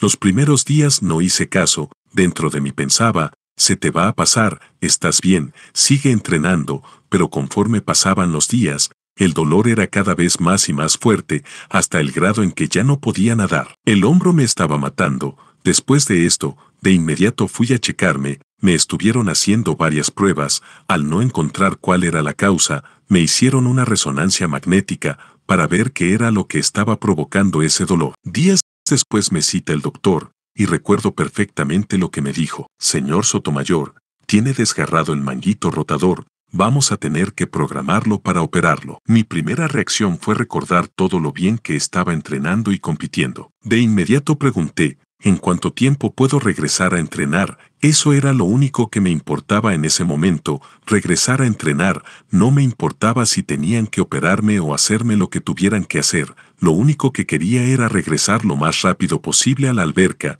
pero el doctor hizo una expresión de incertidumbre, y me dijo, primero tenemos que operar y al comenzar con la rehabilitación, iremos valorando en qué tiempo puedes regresar a entrenar. Cuando me dijo esto, me di cuenta que no estaba muy seguro, porque sus respuestas eran muy generales, y cuando no veo en alguien la certeza de lo que está haciendo, jamás me quedo ahí. Lo que hice fue buscar otras alternativas. De pronto, una de mis amigas, Fernanda González, también nadadora, quien había tenido un problema similar en su hombro, me dijo, Sotomayor ve a ver a mi fisioterapeuta Nidia Moreno, es buenísima. Ella me ayudó con mi hombro y estoy como nueva, guion. De inmediato fui a visitarla y comenzó a hacerme pruebas para ver qué tan lastimado estaba mi hombro. Al terminar me dijo, tienes una inflamación muy fuerte en el hombro, está lastimado, pero no tienes que operarte, tenemos que desinflamar y después comenzar con terapias para fortalecer todo el hombro, aproximadamente unos seis meses para que estés al 100%. Después de haber escuchado las palabras del doctor quien quería operarme,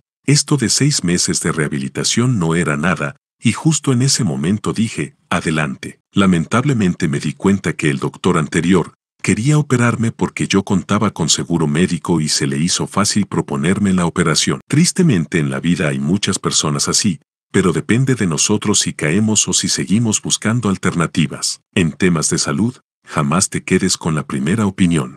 Después de esto comencé mi tratamiento, durante casi seis meses. Seis meses que aparentemente podrían no ser mucho tiempo, pero para un atleta es toda una eternidad, seis meses en los que cada día tenía que guardar reposo. No podía ni correr, ni hacer una sola lagartija, y estando acostumbrado a comer como un atleta de alto rendimiento, seguí comiendo de la misma forma, pero por supuesto ahora ya no quemaba las mismas calorías como cuando entrenaba y comencé a subir un poco de peso. En lo único que mantuve la disciplina fue en cada una de mis sesiones de rehabilitación, como si éstas fueran un entrenamiento, a pesar del dolor que sentía, pensaba que cada pequeño movimiento que hacía me estaba fortaleciendo y que cada día que pasaba me acercaba cada vez más al momento en el que otra vez pudiera estar disfrutando lo que era mi vida en el deporte. Pasando los casi seis meses, mi fisioterapeuta dijo las palabras que para mí fueron como liberar a un tiburón hambriento, estás dado de alta, al siguiente día llegué al entrenamiento y desde que pisé los vestidores,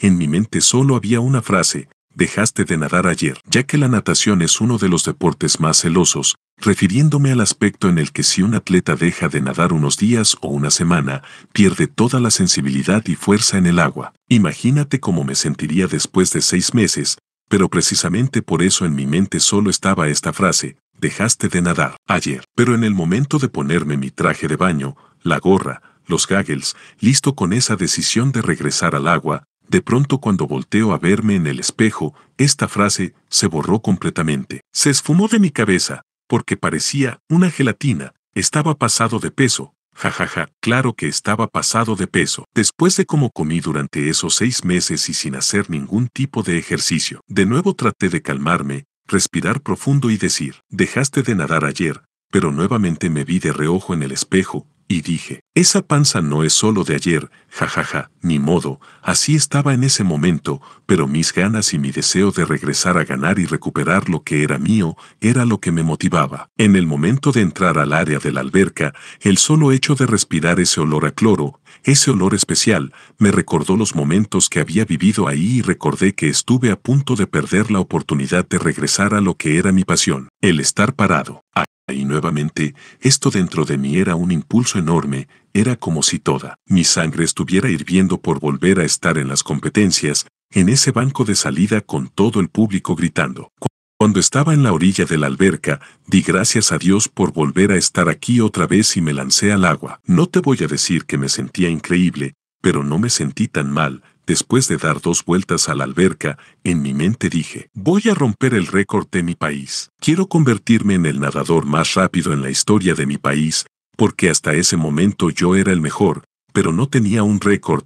Un récord significa que hasta ese momento nadie en la historia del país en ese deporte ha hecho lo que tú. Entonces comencé Pasaron los días de entrenamiento, tenía solo tres meses para prepararme para el campeonato nacional, esta era mi oportunidad para romper y dejar ese récord que quería, pero el tiempo era poco, tenía que mantener una dieta impecable, una disciplina de entrenamiento muy fuerte, si quería lograrlo. A partir de esos primeros días, vi cuál era el récord en la prueba de los 50 metros mariposa, una de las pruebas más veloces y explosivas de la natación. El récord le pertenecía a Joshua Ilika, el tiempo era 23.89 segundos, realmente con que hubiera bajado una centésima de ese tiempo, hubiera estado feliz, pero quise tomar un número más fácil de recordar y de visualizar. El tiempo que elegí era 23.85, desde ese momento comencé a escribir ese tiempo por todos lados. En mi casa, en la cama, en el baño, en la cocina,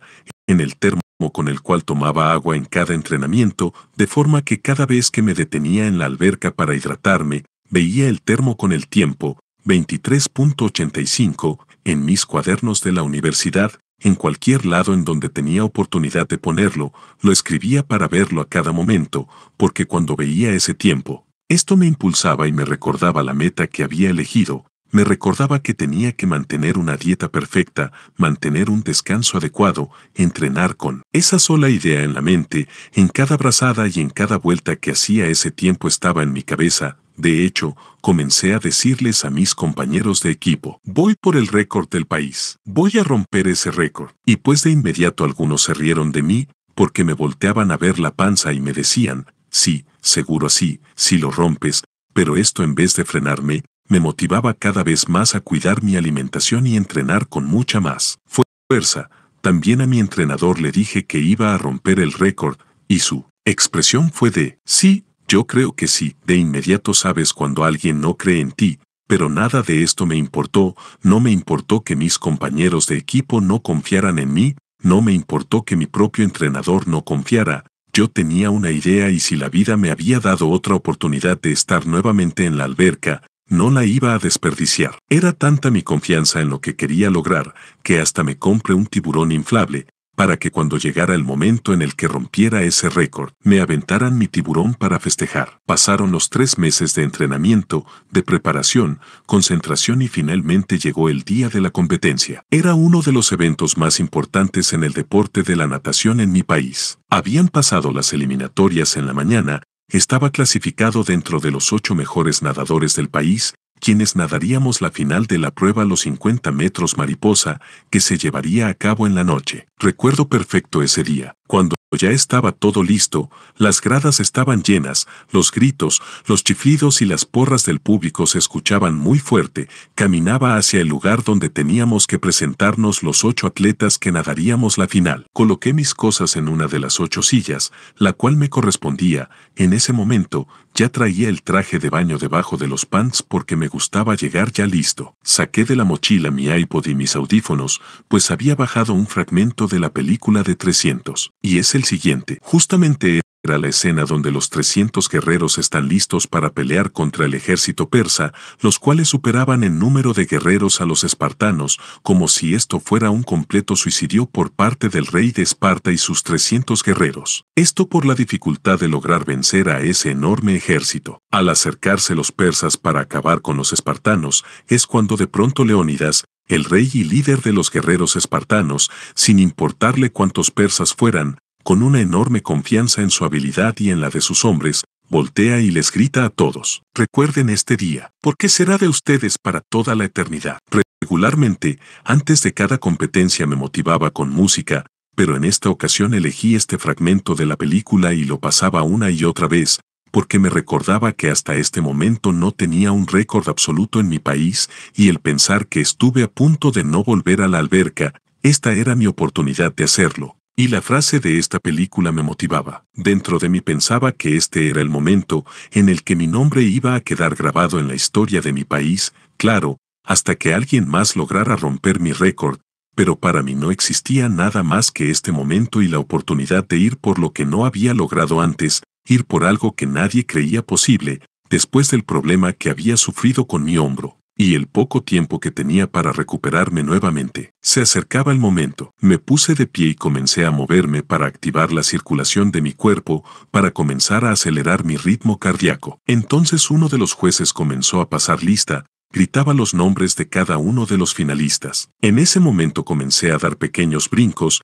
comencé a acelerar mi respiración, todo esto era parte de mi ritual en cada competencia, porque esto ponía a mi cuerpo y mi mente en el punto máximo para poder explotar en el momento del disparo y darlo todo. De pronto nos dicen, adelante nadadores. Ese es uno de los momentos más emocionantes que existen en este deporte, cuando sales del área donde te tienen sentado o parado esperando para salir a competir, es como soltar a ocho tiburones que están ansiosos y listos para devorar lo que esté enfrente. En el momento en el que iba caminando justo a un lado de la alberca, para dirigirme al carril que me correspondía, parecería que en ese instante es como observar todo en cámara lenta, ese momento en el que podía ver desde afuera toda la alberca en una calma total, pasando por esa tranquilidad del agua, viendo ese banco de salida en el cual estaría arriba listo en unos segundos, hasta ese público gritando, esos gritos los cuales se perdían con el sonido de los audífonos que traía puestos, escuchando una y otra vez la frase de Leónidas. Recuerden este día, porque será de ustedes para toda la eternidad. Combinada con los pensamientos en mi mente, eres rápido, fuerte, resistente, rápido, fuerte, resistente, estás listo, eres el mejor, nada te va a quitar lo que te pertenece, lo que es tuyo, por lo que has entrenado. Aquí puedes ver que el diálogo interno que manejo es en segunda persona. Siempre he utilizado la automotivación como si mi mente fuera alguien más y ella es quien me motiva, porque hay veces que los sentimientos son tan grandes que pueden llegar a vencerte y dominar a tu cuerpo, pero cuando entrenas a tu mente, ésta se vuelve tan poderosa que ella será tu aliada perfecta, quien con ese poder te impulsará siempre y controlará todo. Este tema lo tocaré más a fondo en la 13 ley. Ya listos todos los nadadores frente a los bancos de salida, algunos acomodándose los gaggles, otros estirando, otros moviendo los brazos, todos atentos y esperando el silbato del juez. En ese instante lo único que podía ver era mi carril,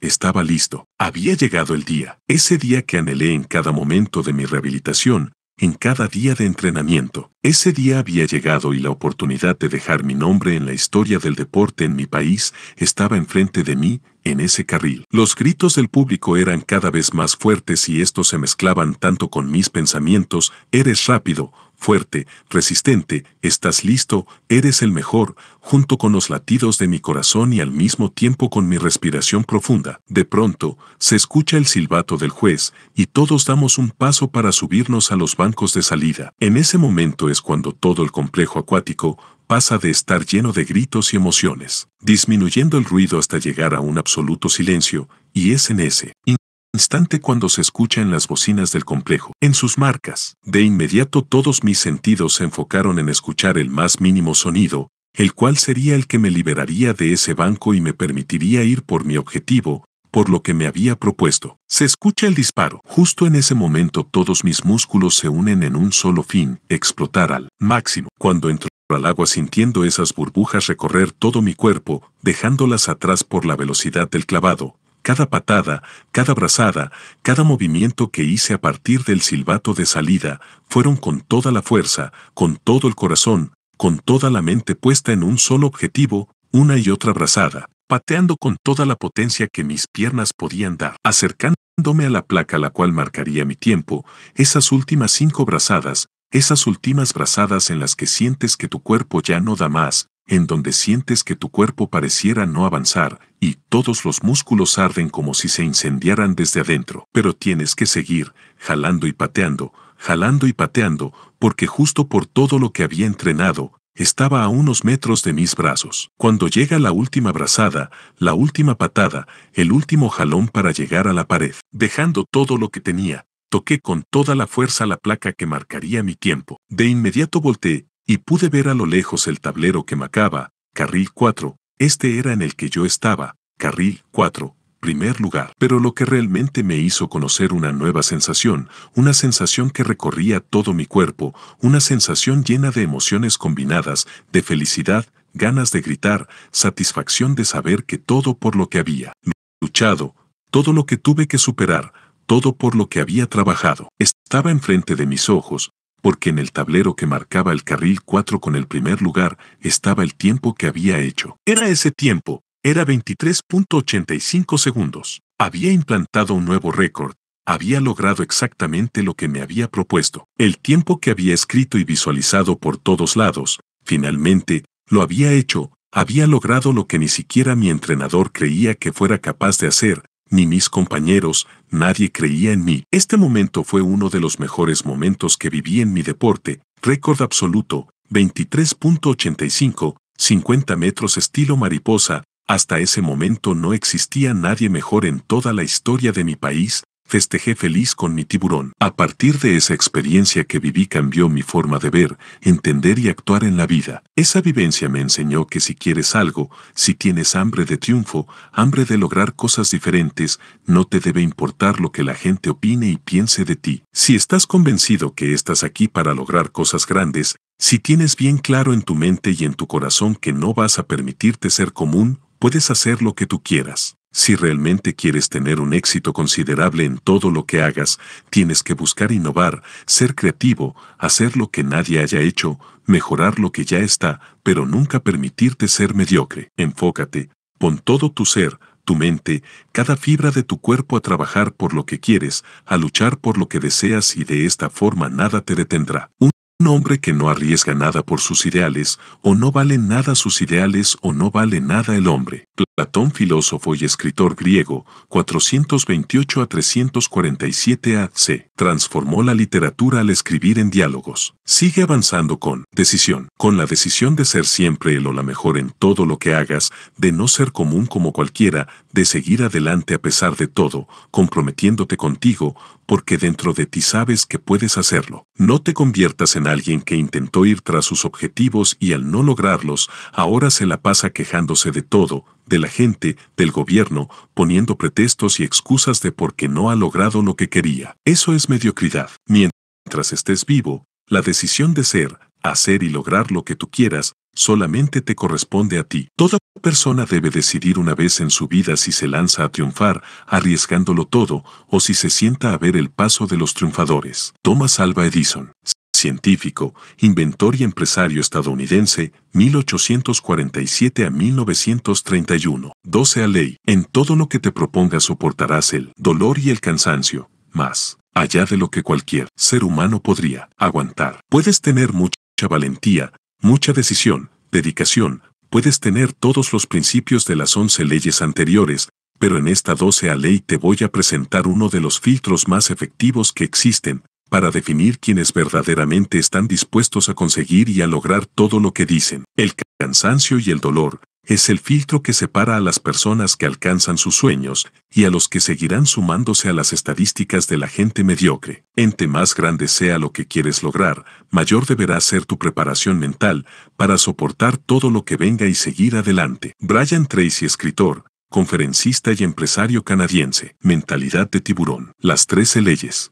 En este momento ya tienes en tus manos y en tu mente las 11 leyes anteriores. Ya tienes casi todos los pasos a seguir para liberar esa mentalidad de tiburón que hay en ti, pero te tengo una noticia. En ese camino que elegiste para lograr tus objetivos, si decidiste ser el mejor, si decidiste alcanzar cualquier cosa que te propongas, tendrás que probarlo y demostrarlo, porque no será nada fácil. De hecho, en cualquier camino que escojas hacia una meta, te encontrarás con mucho dolor. Esto puede sonar pesimista, pero es todo lo contrario, porque el dolor es algo bueno. Gracias a que existe el dolor, es por esto que no todos triunfan. El dolor y el cansancio es el límite, es la barrera para los que nunca van a lograr nada en la vida. La mayoría no tienen ni la fuerza mental, ni la fuerza de su corazón para seguir adelante. ¿Por qué no todos se enfrentan y logran pasar esa barrera de cansancio y dolor? Porque el dolor son miedos, rechazos, inseguridades, el dolor también es dejar cosas, dejar comida, fiestas, diversiones, amigos, familia. Cuando decides ir tras un objetivo tienes que estar preparado mentalmente y saber que te vas a enfrentar a situaciones muy fuertes, situaciones en donde te encontrarás con personas que te dirán, si yo te apoyo, si yo te ayudo, y cuando menos lo esperes te darán la espalda. Existirán momentos en los que tengas reuniones con algunas personas y éstas no se presentarán, o cuando le comentes a alguien de las ideas que tienes, de tu visión, no te entenderán ni te ayudarán, pero sí intentarán desalentarte. Tienes que estar listo para enfrentar todo esto, todas estas situaciones, hasta quizá alguien en quien confiabas te traicionará, pero tú debes de seguir firme y si te llega a pasar esto, como ya lo viste en las leyes anteriores, no pasa nada, finalmente te estás liberando de la gente que no vale la pena que esté en tu vida. Quiero hablarte de un dolor que no podríamos decir que es bueno, pero sin embargo, si nos hace más fuertes cuando logramos aceptarlo y canalizarlo en algo positivo, es un tema en el que nuestros sentimientos están totalmente involucrados, y que es un poco complicado pensar en esto. Hay personas que evitan hablar de este tema, algunas incluso hasta se bloquean mentalmente y esto les impide que puedan seguir con su vida y la de los suyos. Este es el fallecimiento de algún ser querido,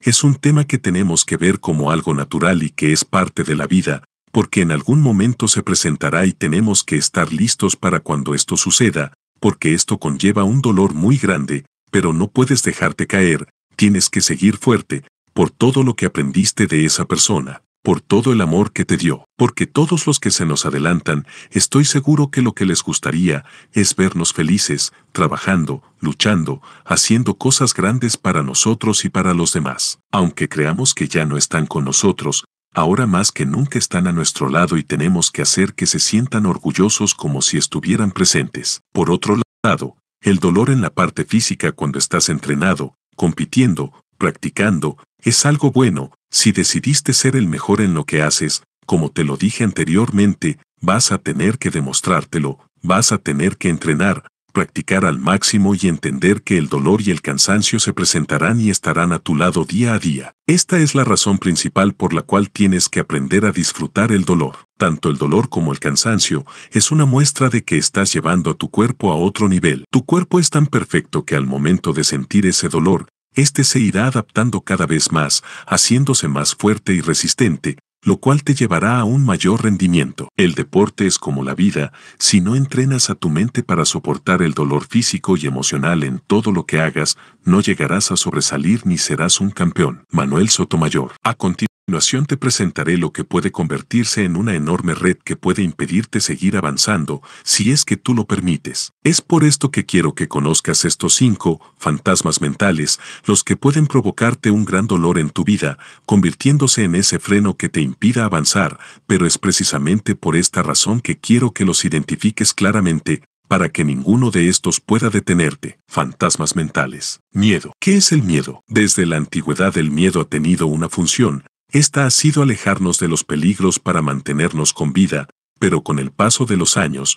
los seres humanos hemos permitido que ese miedo evolucione de una manera exagerada, siendo hoy en día uno de los principales detonantes que pueden generar estrés, enfermedades, depresiones, inseguridades, baja autoestima, sin mencionar que éste puede detenerte y paralizarte, aun cuando sabes que eres capaz de hacer algo. El miedo no es más que un impulso creado por tu amígdala, quien es la responsable de procesar y almacenar reacciones emocionales, pero le hemos dado tanta fuerza a este impulso, que ya no solo cumple su función de alejarnos de los peligros y de mantenernos con vida, este ya se ha convertido en todo lo contrario, y nadie tiene la culpa de esto más que nosotros mismos, por permitir que una simple ilusión mental nos afecte y nos detenga. Todos estos aspectos que verás a continuación se llaman fantasmas mentales, ¿Por qué se llaman así? Porque ni siquiera existen, son creaciones de la mente que parecen reales, son estados psicológicos que nosotros creamos y que tenemos el control total sobre ellos,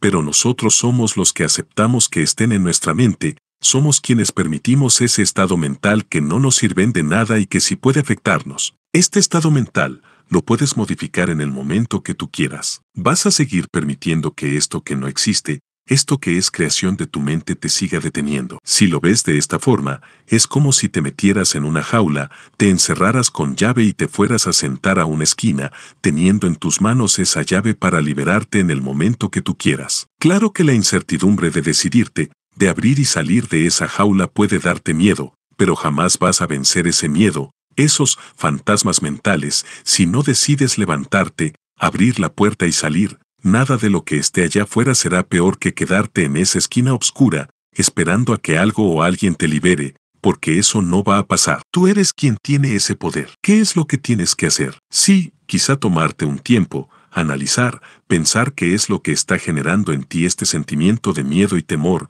sea lo que sea, estos fantasmas mentales regularmente son creados en nuestro pasado. Busca qué es lo que hizo que esa impresión se generara en tu mente, acéptalo, porque eso está en el pasado, entiéndelo y perdona. Al perdonar, tu mente se libera y dejará de tener esa rigidez, la cual había sido provocada por alguna de esas situaciones pasadas, de esta forma tu mente estará lista para que puedas tomar esa llave, abrir la puerta y liberarte de ese pensamiento, el cual no es más que una ilusión creada en tu mente. Tu mente tiene la capacidad para enfrentar cualquier miedo, cualquier sentimiento negativo que aparezca y tienes que saber que esto es algo muy normal.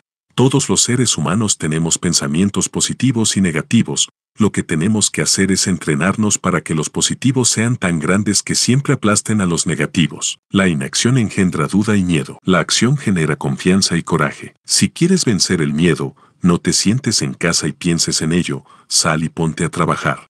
Dale Carnegie, escritor y empresario estadounidense, 1888 a 1955. Más de 50 millones de libros vendidos. Arrepentimiento. ¿Qué pasa cuando nos arrepentimos de algo que hicimos? Vienen muchos sentimientos negativos. Por un lado debes de entender y aceptarlos, porque este es un primer paso para liberarte de este fantasma mental, porque es muy distinto arrepentirse, liberarse y seguir adelante con la convicción de no repetir ese error, que estar arrepentido día con día, recordando momento a momento, qué fue lo que hice mal, o lo que dejé de hacer, qué fue lo que no salió, qué fue lo que dije o no dije, porque esto es como seguir excavando en un mismo agujero que no tiene salida. El arrepentimiento solo será positivo, cuando produzca un cambio en la mente y en el corazón. Manuel Sotomayor. El arrepentimiento, si no lo entiendes, lo aceptas y te liberas, esto se convierte en una cadena que te llevará a otro fantasma mental, la culpa. Culpa, un sentimiento que tiene que ser expresado, ya sea contigo mismo o con la persona afectada, porque cuando dejas que se acumulen este tipo de pensamientos, cuando se juntan el arrepentimiento y la culpa, comienzan a generar dolor, un dolor que no te ayuda en lo absoluto, ni te permite estar tranquilo, no te permite estar al 100% y mucho menos seguir avanzando. Cada mañana que te levantes, no podrás disfrutar el camino hacia tus metas, tienes que hablarlo, sin ese miedo a lo que te digan, sin miedo al rechazo por parte de la otra persona, esto es algo que está en ti y tienes que expresarlo de la mejor manera, si la otra parte o las otras partes no lo aceptan o no lo entienden, tú ya puedes estar tranquilo y seguir tras tus objetivos. En cuanto el hombre se libera de la culpa, empieza a prepararse para el camino de la dicha. Wallace Stevens, abogado y poeta estadounidense, ganador del premio Pulitzer 1955. Por último, hay dos fantasmas mentales que pueden causarte mucho daño, y es muy probable que también afecten a las personas que te rodean, ya que estos son como un virus que se pueden contagiar fácilmente a través de mentiras, comentarios malintencionados, chismes, bromas pesadas, entre otros y todo esto no solo afectará a las personas que aprecias, también te comenzará a alejar de ellas, pero esto no es lo peor, tus objetivos se verán disminuidos en importancia, porque tu mente en lugar de estar enfocada al 100% en lo que quieres, parte de ella estará creando estos sentimientos negativos, los cuales no te permitirán disfrutar nada de lo que hagas, o solo lo harás por momentos. Envidia. Uno de los fantasmas mentales que indica que aunque la persona cuente con una buena capacidad para ver, tiene una venda amarrada a los ojos,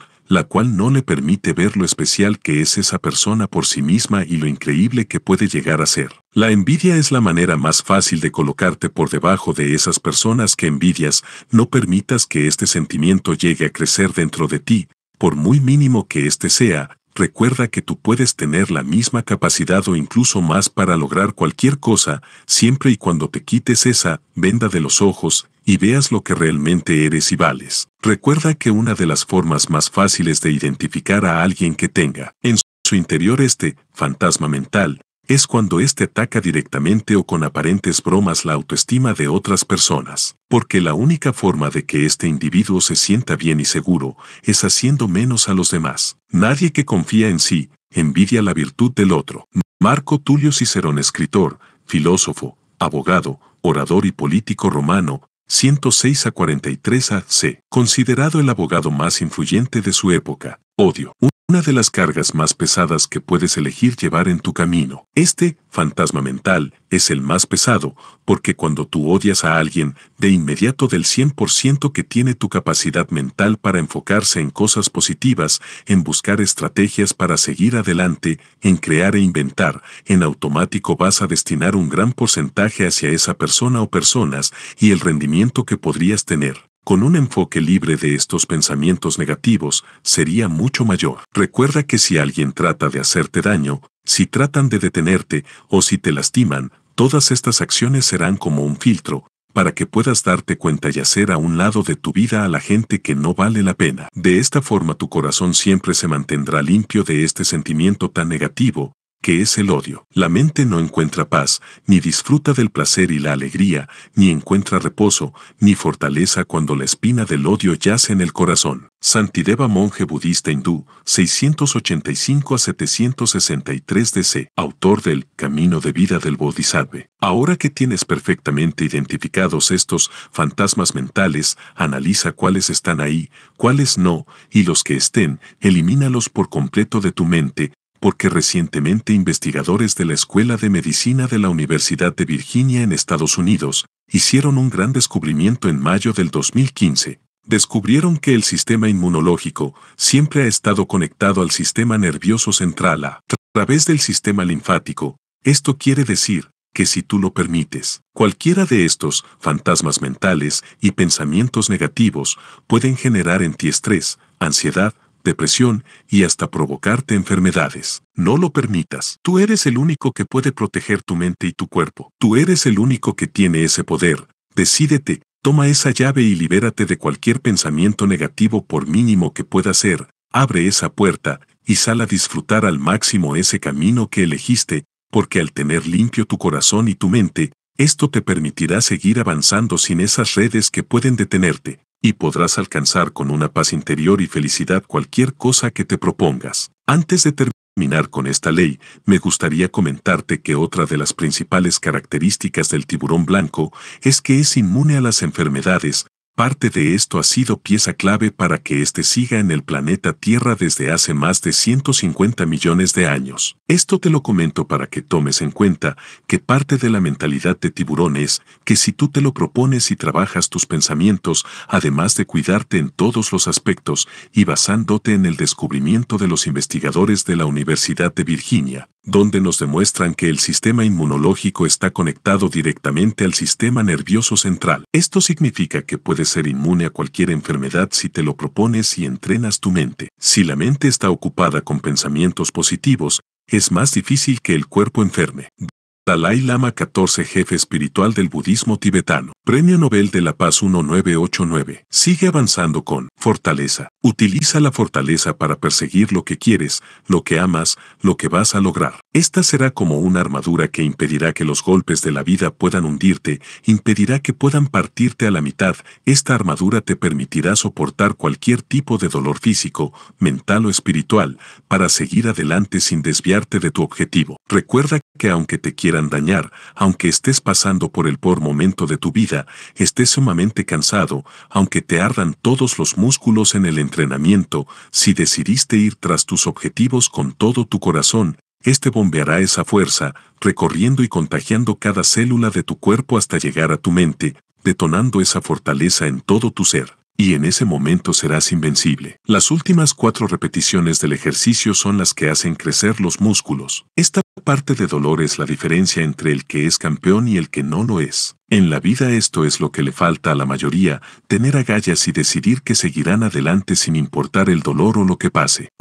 Arnold Schwarzenegger, físico-culturista, actor, empresario y político austriaco, gobernador de California, 2003 a 2011. 13 a ley. Cuando te sientas débil, triste, cansado o incluso sientas miedo, recurrirás a la 1A, 4A, 6A, 7A y 12A ley. La vida está llena de altibajos, es parte de la naturaleza humana, pero tu éxito dependerá de qué tan preparado estés para enfrentar estos altibajos, qué tan fuerte seas mentalmente para poder aceptar una caída, un golpe, un fracaso, entendiendo que esto es parte de tu éxito, analizando y encontrando siempre la forma más inteligente de seguir adelante. La gente exitosa sabe que cuando algo sale mal, en algunos casos es permitido tomar un tiempo para pensar, tiempo para llorar, para reestructurar, para renovar, pero están conscientes que ese tiempo que se tomen es muy valioso, porque es un tiempo en el que pueden estar trabajando por su meta, sabiendo que si lo van a utilizar para tomar un respiro, entre más corto sea ese tiempo es mucho mejor.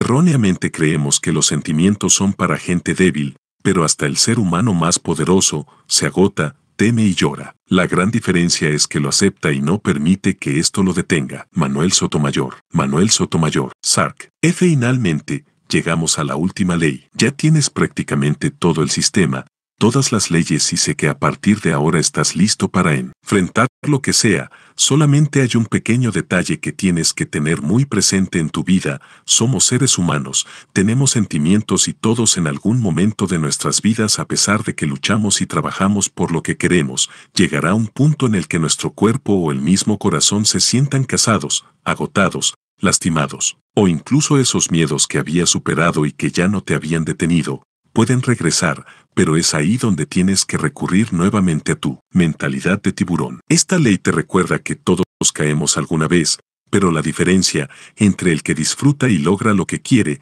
con el que no es feliz y no logra nada, está en quien realmente está preparado, quien verdaderamente está listo para enfrentar lo que venga, porque quien disfruta y logra, sabe que estas caídas, que estos altibajos son parte de la vida. No se pueden evitar, tienes que seguir el principio de Charles Darwin, adaptación, aprender a ser flexible, aprende a adaptarte a las circunstancias, siempre para buscar la mejor salida, el mejor camino hacia lo que quieres, aprendiendo a enfrentar esos golpes con valentía. Vacía tu mente, se sin forma, moldeable. Como el agua, si pones agua en una taza, esta se convierte en la taza. Si pones agua en una botella, se convierte en la botella. Si la pones en una tetera, se convierte en la tetera. El agua puede fluir o puede golpear. Sé como el agua mi amigo. Bruce Lee actor, escritor, guionista, productor y director americano, considerado el icono más grande de artes marciales del siglo XX. Esta trecea ley te enseña qué hacer para levantarte,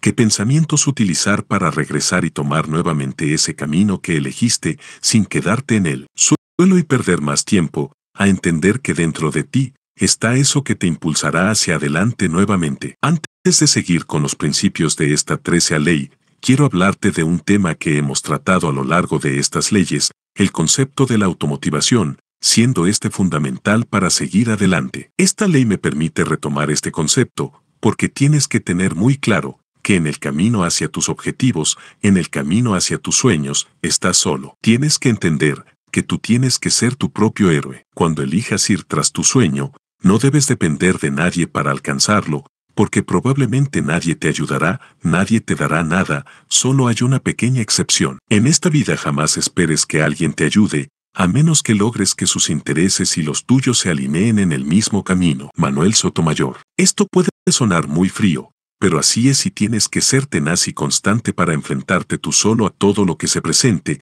entendiendo que cuando algo inesperado te pase y sientas que esto te pegó, nadie va a venir a decirte, sigue adelante, tú puedes, confía en ti, no permitas que este fracaso temporal te tire. No esperes esto, porque no va a pasar. Tú eres quien tiene que desarrollar esta habilidad para motivarte, porque normalmente no sabemos cómo manejar la automotivación. Cuando escuchamos en la tele, en la radio, personas que nos aconsejan o nos dicen, cuando quieras algo, di que tú puedes, di que eres el mejor, y sí, esto tiene sentido, pero cuando apenas estás iniciando el desarrollo de una mentalidad positiva, y al decir estas frases, yo puedo, yo lo voy a lograr, sin tener un sistema o una metodología, hasta uno mismo se siente algo tonto. Te voy a compartir uno de mis secretos de cómo he manejado la automotivación. Primeramente he entendido que la mentalidad de tiburón puede estar en el interior de cualquier persona y al entender esto, significa que también está dentro de mí, siendo una parte de todo mi ser y sé perfecto que esa mentalidad es quien puede impulsarme, es quien me motiva. Desde que era atleta siempre manejé la motivación en segunda persona. ¿Cómo es esto? Déjame explicarte para que quede muy claro cómo te sentirías si, cada vez que algo que no esperabas se presentara, algo para lo que no estabas listo, como algún reto, alguna competencia o alguna presentación. Imagina cómo te sentirías si tuvieras a tu lado a una persona que en todas estas situaciones te dijera al oído, estás listo, eres el mejor, nadie te ganará, Estás aquí para transformar el mundo, claro que puedes con esto y más, el miedo no existe, adelante, confía en ti. Esto sería como tener un aliado incondicional que jamás te dejaría caer y que siempre te estará impulsando. ¿Y quién sería esta persona? Esa persona eres tú, es tu mentalidad de tiburón. Esto es a lo que le llamo automotivación en segunda persona. Utilizando esta técnica lograrás generar una gran seguridad, porque sabes que cuentas con alguien leal al 100% y que confía plenamente en ti. Entrena, esfuérzate por liberar esa mentalidad, para que logres desarrollar cada vez más ese poder con el que puedas motivarte siempre. De esta forma, nada te detendrá. Retomando los principios de la 13 ley, cuando caigas o sientas que algo te está deteniendo, tienes que recurrir a los conceptos que ya viste, estas leyes son claves y ya las conoces, estas te ayudarán a retomar ese objetivo, Tómate un tiempo para pensar y reflexionar nuevamente para entender qué está pasando. Uno a ley, aprenderás a conocerte día con día para identificar perfectamente cómo funcionas. Nuevamente busca en el fondo de tu ser, pregúntate cómo te sientes, qué te afectó, qué te detuvo, analiza cada paso que diste, de esta forma te darás cuenta que cuando logres identificar qué fue lo que sucedió, cómo estabas emocionalmente en ese momento, lo que hayas pasado o por lo que estés pasando, esto de inmediato se convertirá en un aprendizaje más y serás más sabio. Tómate el tiempo que creas necesario para preguntarte, pensar, analizar y sentir con todo tu corazón qué está pasando contigo, relájate, entiéndete y después de esto toma nuevamente esas riendas de tu vida y recuerda esta otra ley. 4. Ley. Te propondrás metas medibles y desarrollarás un porqué, el cual será tu motor y tu motivación. Sigue tras esas metas, analiza donde estuvieron las fallas, corrígelas, modifica tu plan, crea nuevas estrategias, pero no desistas de eso que elegiste, de eso que te apasiona, eso que te hace ser feliz y que sabes que es parte de tu vida, también recuerda ese porqué, el cual encontraste en el fondo de tu corazón, esa motivación que es tu nitrógeno, el que te empujará aun cuando estés sin fuerzas, aun cuando estés agotado, sea lo que sea, este te ayudará a seguir adelante con esa convicción de que estás en este mundo para lograr algo grande, como lo dice esta siguiente ley. 6. A ley.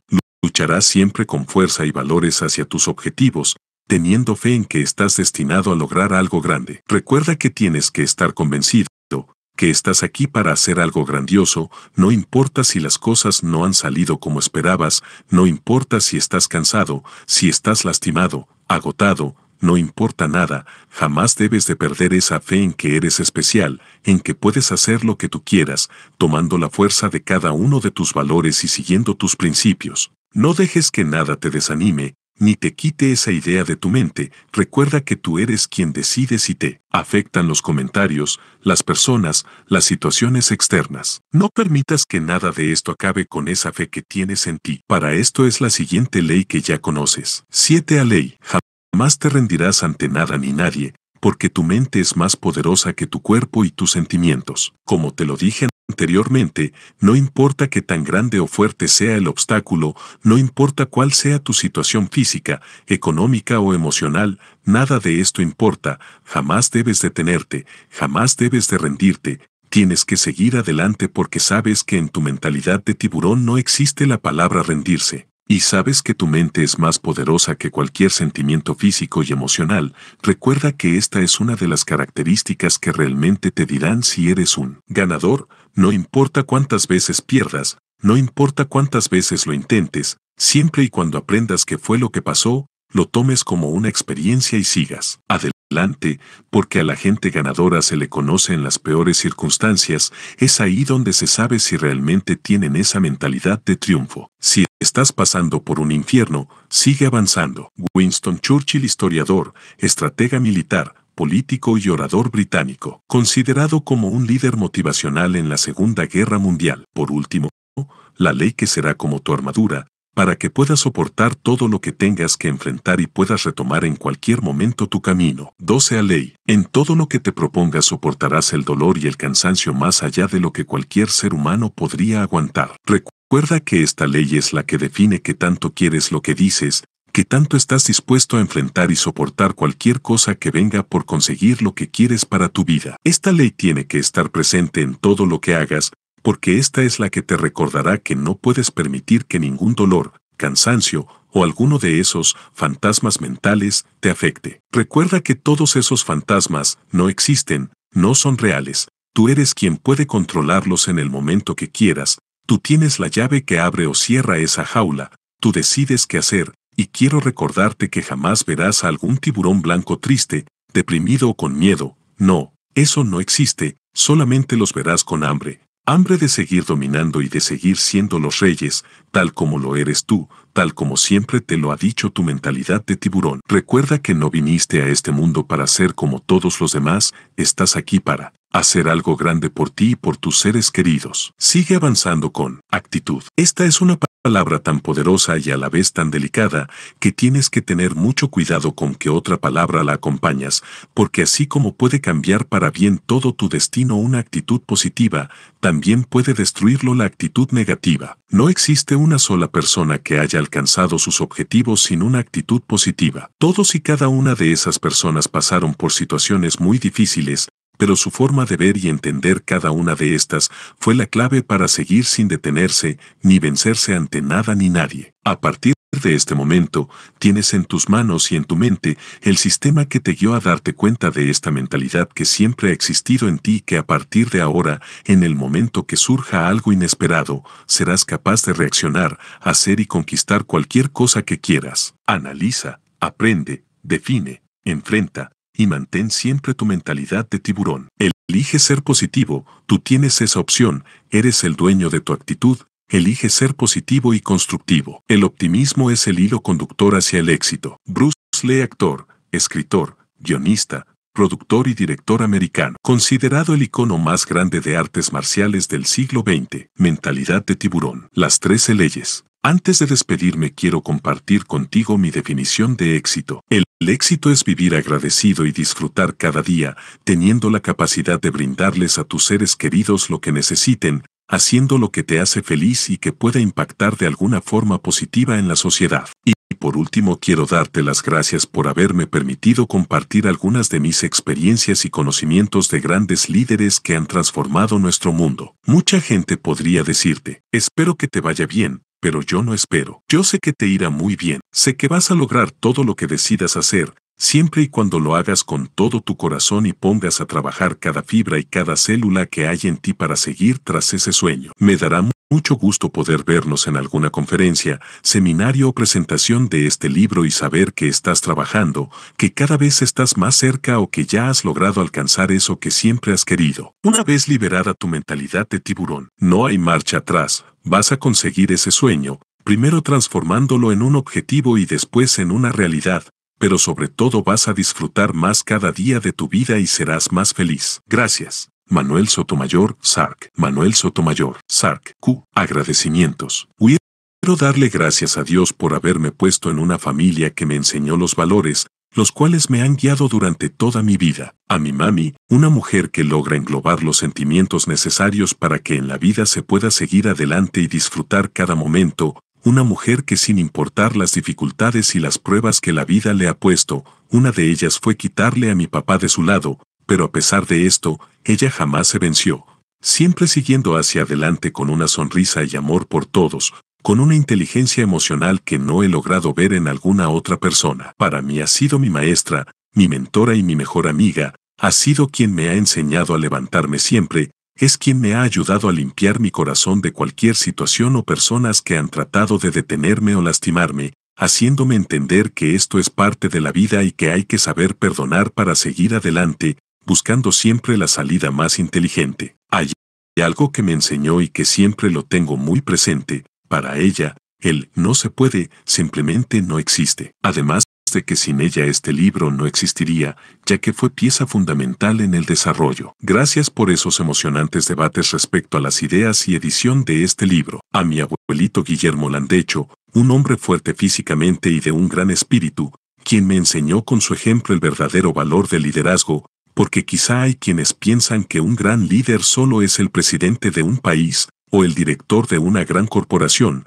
pero para lograr ser un líder integral, Primero se debe empezar por liderar su propia vida y la de su familia, y esto es algo que mi abuelito me dejó muy claro. Para mí él fue el mayor ejemplo de un gran liderazgo, enfrentando todo con valor, tenacidad y sobre todo con amor hacia su familia. En algunas ocasiones ese amor era tan grande que se arriesgaba a que alguien de la familia no lo quisiera, porque siempre decía la verdad, ya que él nunca quería quedar bien con nadie, él quería siempre lo mejor para cada uno de nosotros. Todos estos ejemplos fueron la mejor herencia que pudo dejarme y lo más importante es que siempre me enseñó a nunca conformarme, a buscar, siempre ser mejor en todo lo que hiciera. Si eres bueno en algo, puedes ser mejor, si eres mejor, Puede serlo aún más, estas eran sus palabras y nunca las olvidaré. A mi abuelita Alicia, por ser ese pilar tan importante para toda nuestra familia, un pilar que tiene la fuerza para ser un gran soporte y a la vez barnizado con todo ese amor que siempre ha tenido para todos, además de sus palabras de aliento y cariño en todo lo que he hecho. A mi papá Manuel Sotomayor, porque antes de partir dejó sembrada en mí esa semilla de la mentalidad de tiburón, con esa frase que siempre me decía, Eres un campeón. A Raúl Ramírez, quien se convirtió en mi papá, por todo el cariño y apoyo que siempre me ha dado y por enseñarme a resolver cualquier situación con inteligencia, además del amor y respeto hacia mi mamá. A Gloria Landecho, mi tía, por enseñarnos a todos lo que es la paciencia, el apoyo y el amor incondicional a los demás. A Guillermo Landecho, mi tío, un atleta nato, quien siempre me mostró el mejor ejemplo de lo que es la disciplina, el trabajo y la acción constante en todo lo que hace. A Adrián Landecho, mi tío, un verdadero guerrero de la vida, quien no se ha vencido ante nada, además de enseñarnos lo que es la generosidad y lo que significa la palabra ayuda. A Sandra Landecho, mi tía, por demostrar lo que es el esfuerzo y trabajo por amor a su familia. A mis primos Yani, Dulce, Tania, Tamara, Marco, Memo, Ali, Adrián, Toño, Sofí, Caleb, Jorge, Charlie y Tete, porque fue en nuestros juegos cuando éramos niños, el principio de muchos de mis sueños y por todas las risas compartidas mientras jugábamos y comíamos pizza, Todas esas risas alimentaron de alegría mi espíritu. A mis tíos Rafael Escartín y Borbolla y Marco Negrete, por su presencia y apoyo en momentos importantes de mi vida. A Josefa Guaga, quien me ha enseñado el verdadero valor de la amistad y la confianza, quien de ser un amigo se convirtió en mi hermano, y en conjunto con mi primo Juan Carlos, quien con esa habilidad e ingenio para plasmar ideas y sueños, hemos logrado llevar la mentalidad de tiburón a muchas personas en el mundo. A Roberto Ábalos y Oscar Flores, quienes además de todas las horas que pasamos en la alberca y en el gimnasio, nuestra amistad trascendió fuera de ella y hoy también son parte de mi familia. A mi Belly, mi gatita quien compartió conmigo muchas horas de desvelos en mi estudio, parándose muchas veces encima del teclado y frente a la pantalla mientras escribía este libro. También quiero agradecer a las personas que no forman parte de mi familia, pero que han sido parte importante en mi vida. Al doctor Roberto Ábalos, por su amistad, apoyo, enseñanzas y consejos en uno de los mundos más complejos, como lo es la administración pública. Al profesor Nelson Vargas, quien fue mi ejemplo a seguir, siendo un gran hombre de negocios, siempre con una mentalidad ganadora y fomentando una vida saludable para la sociedad. Al coronel Sergio Suárez Guerrero, por su amistad y apoyo incondicional. Al doctor Javier Vargas Díez Barroso, a quien tuve la fortuna de conocer mientras era el rector de la Universidad Anáhuac, México Sur. Por sus consejos, apoyo y por haber confiado en mí y ser la persona que me inició en este camino, en mi primera conferencia, aquella conferencia en Tampico ante dos mil jóvenes y gracias a esa experiencia, hoy gran parte de mi vida la dedico al desarrollo humano,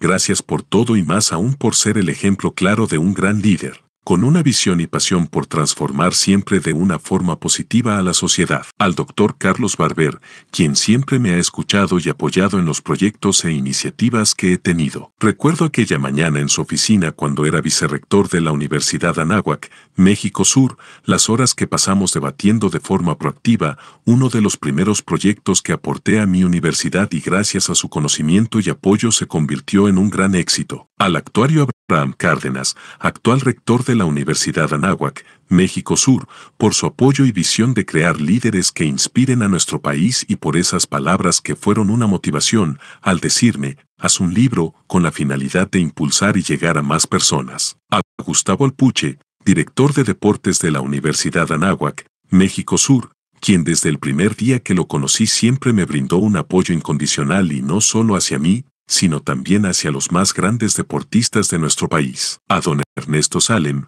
un hombre de una gran experiencia, quien me dio muchos consejos. Recuerdo también las horas que pasábamos platicando acerca del feroz ambiente competitivo del deporte, el cual conocía perfectamente al haber sido uno de los mejores tenistas de su universidad. Aún una mujer que me dio su apoyo en los comienzos de mentalidad de tiburón, una mujer bella físicamente, pero aún más en su interior, Aline Urbiola.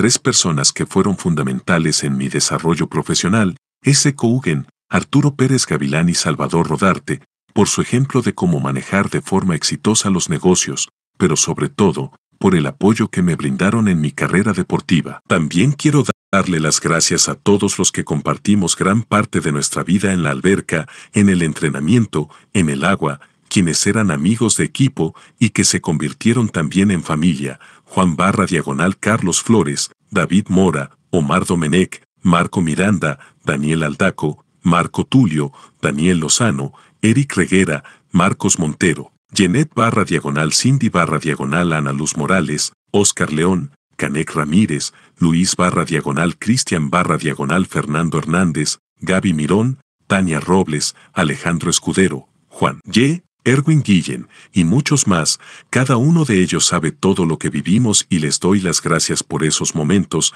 al igual que a mis entrenadores, Hugo López, Marcos Hernández, Oscar Ramírez, Patrick Boyer, José Peláez y José Coco Velázquez, gracias por sus enseñanzas y pasión por el deporte de la natación. Y finalmente quiero mencionar a dos personitas muy especiales, Nicole y Ma, mis sobrinitos, en quienes veo un brillo especial en sus ojos, en el que puedo imaginar y ver el futuro de una mejor sociedad. Ellos son una motivación para seguir trabajando y sin importar lo que tenga que enfrentar. Seguiré hacia adelante para lograr que los niños y la juventud de nuestra sociedad transformen su mentalidad por una mentalidad ganadora, por una mentalidad de tiburón, pero lo más importante, con un corazón noble, para que todos podamos vivir en un mundo mejor.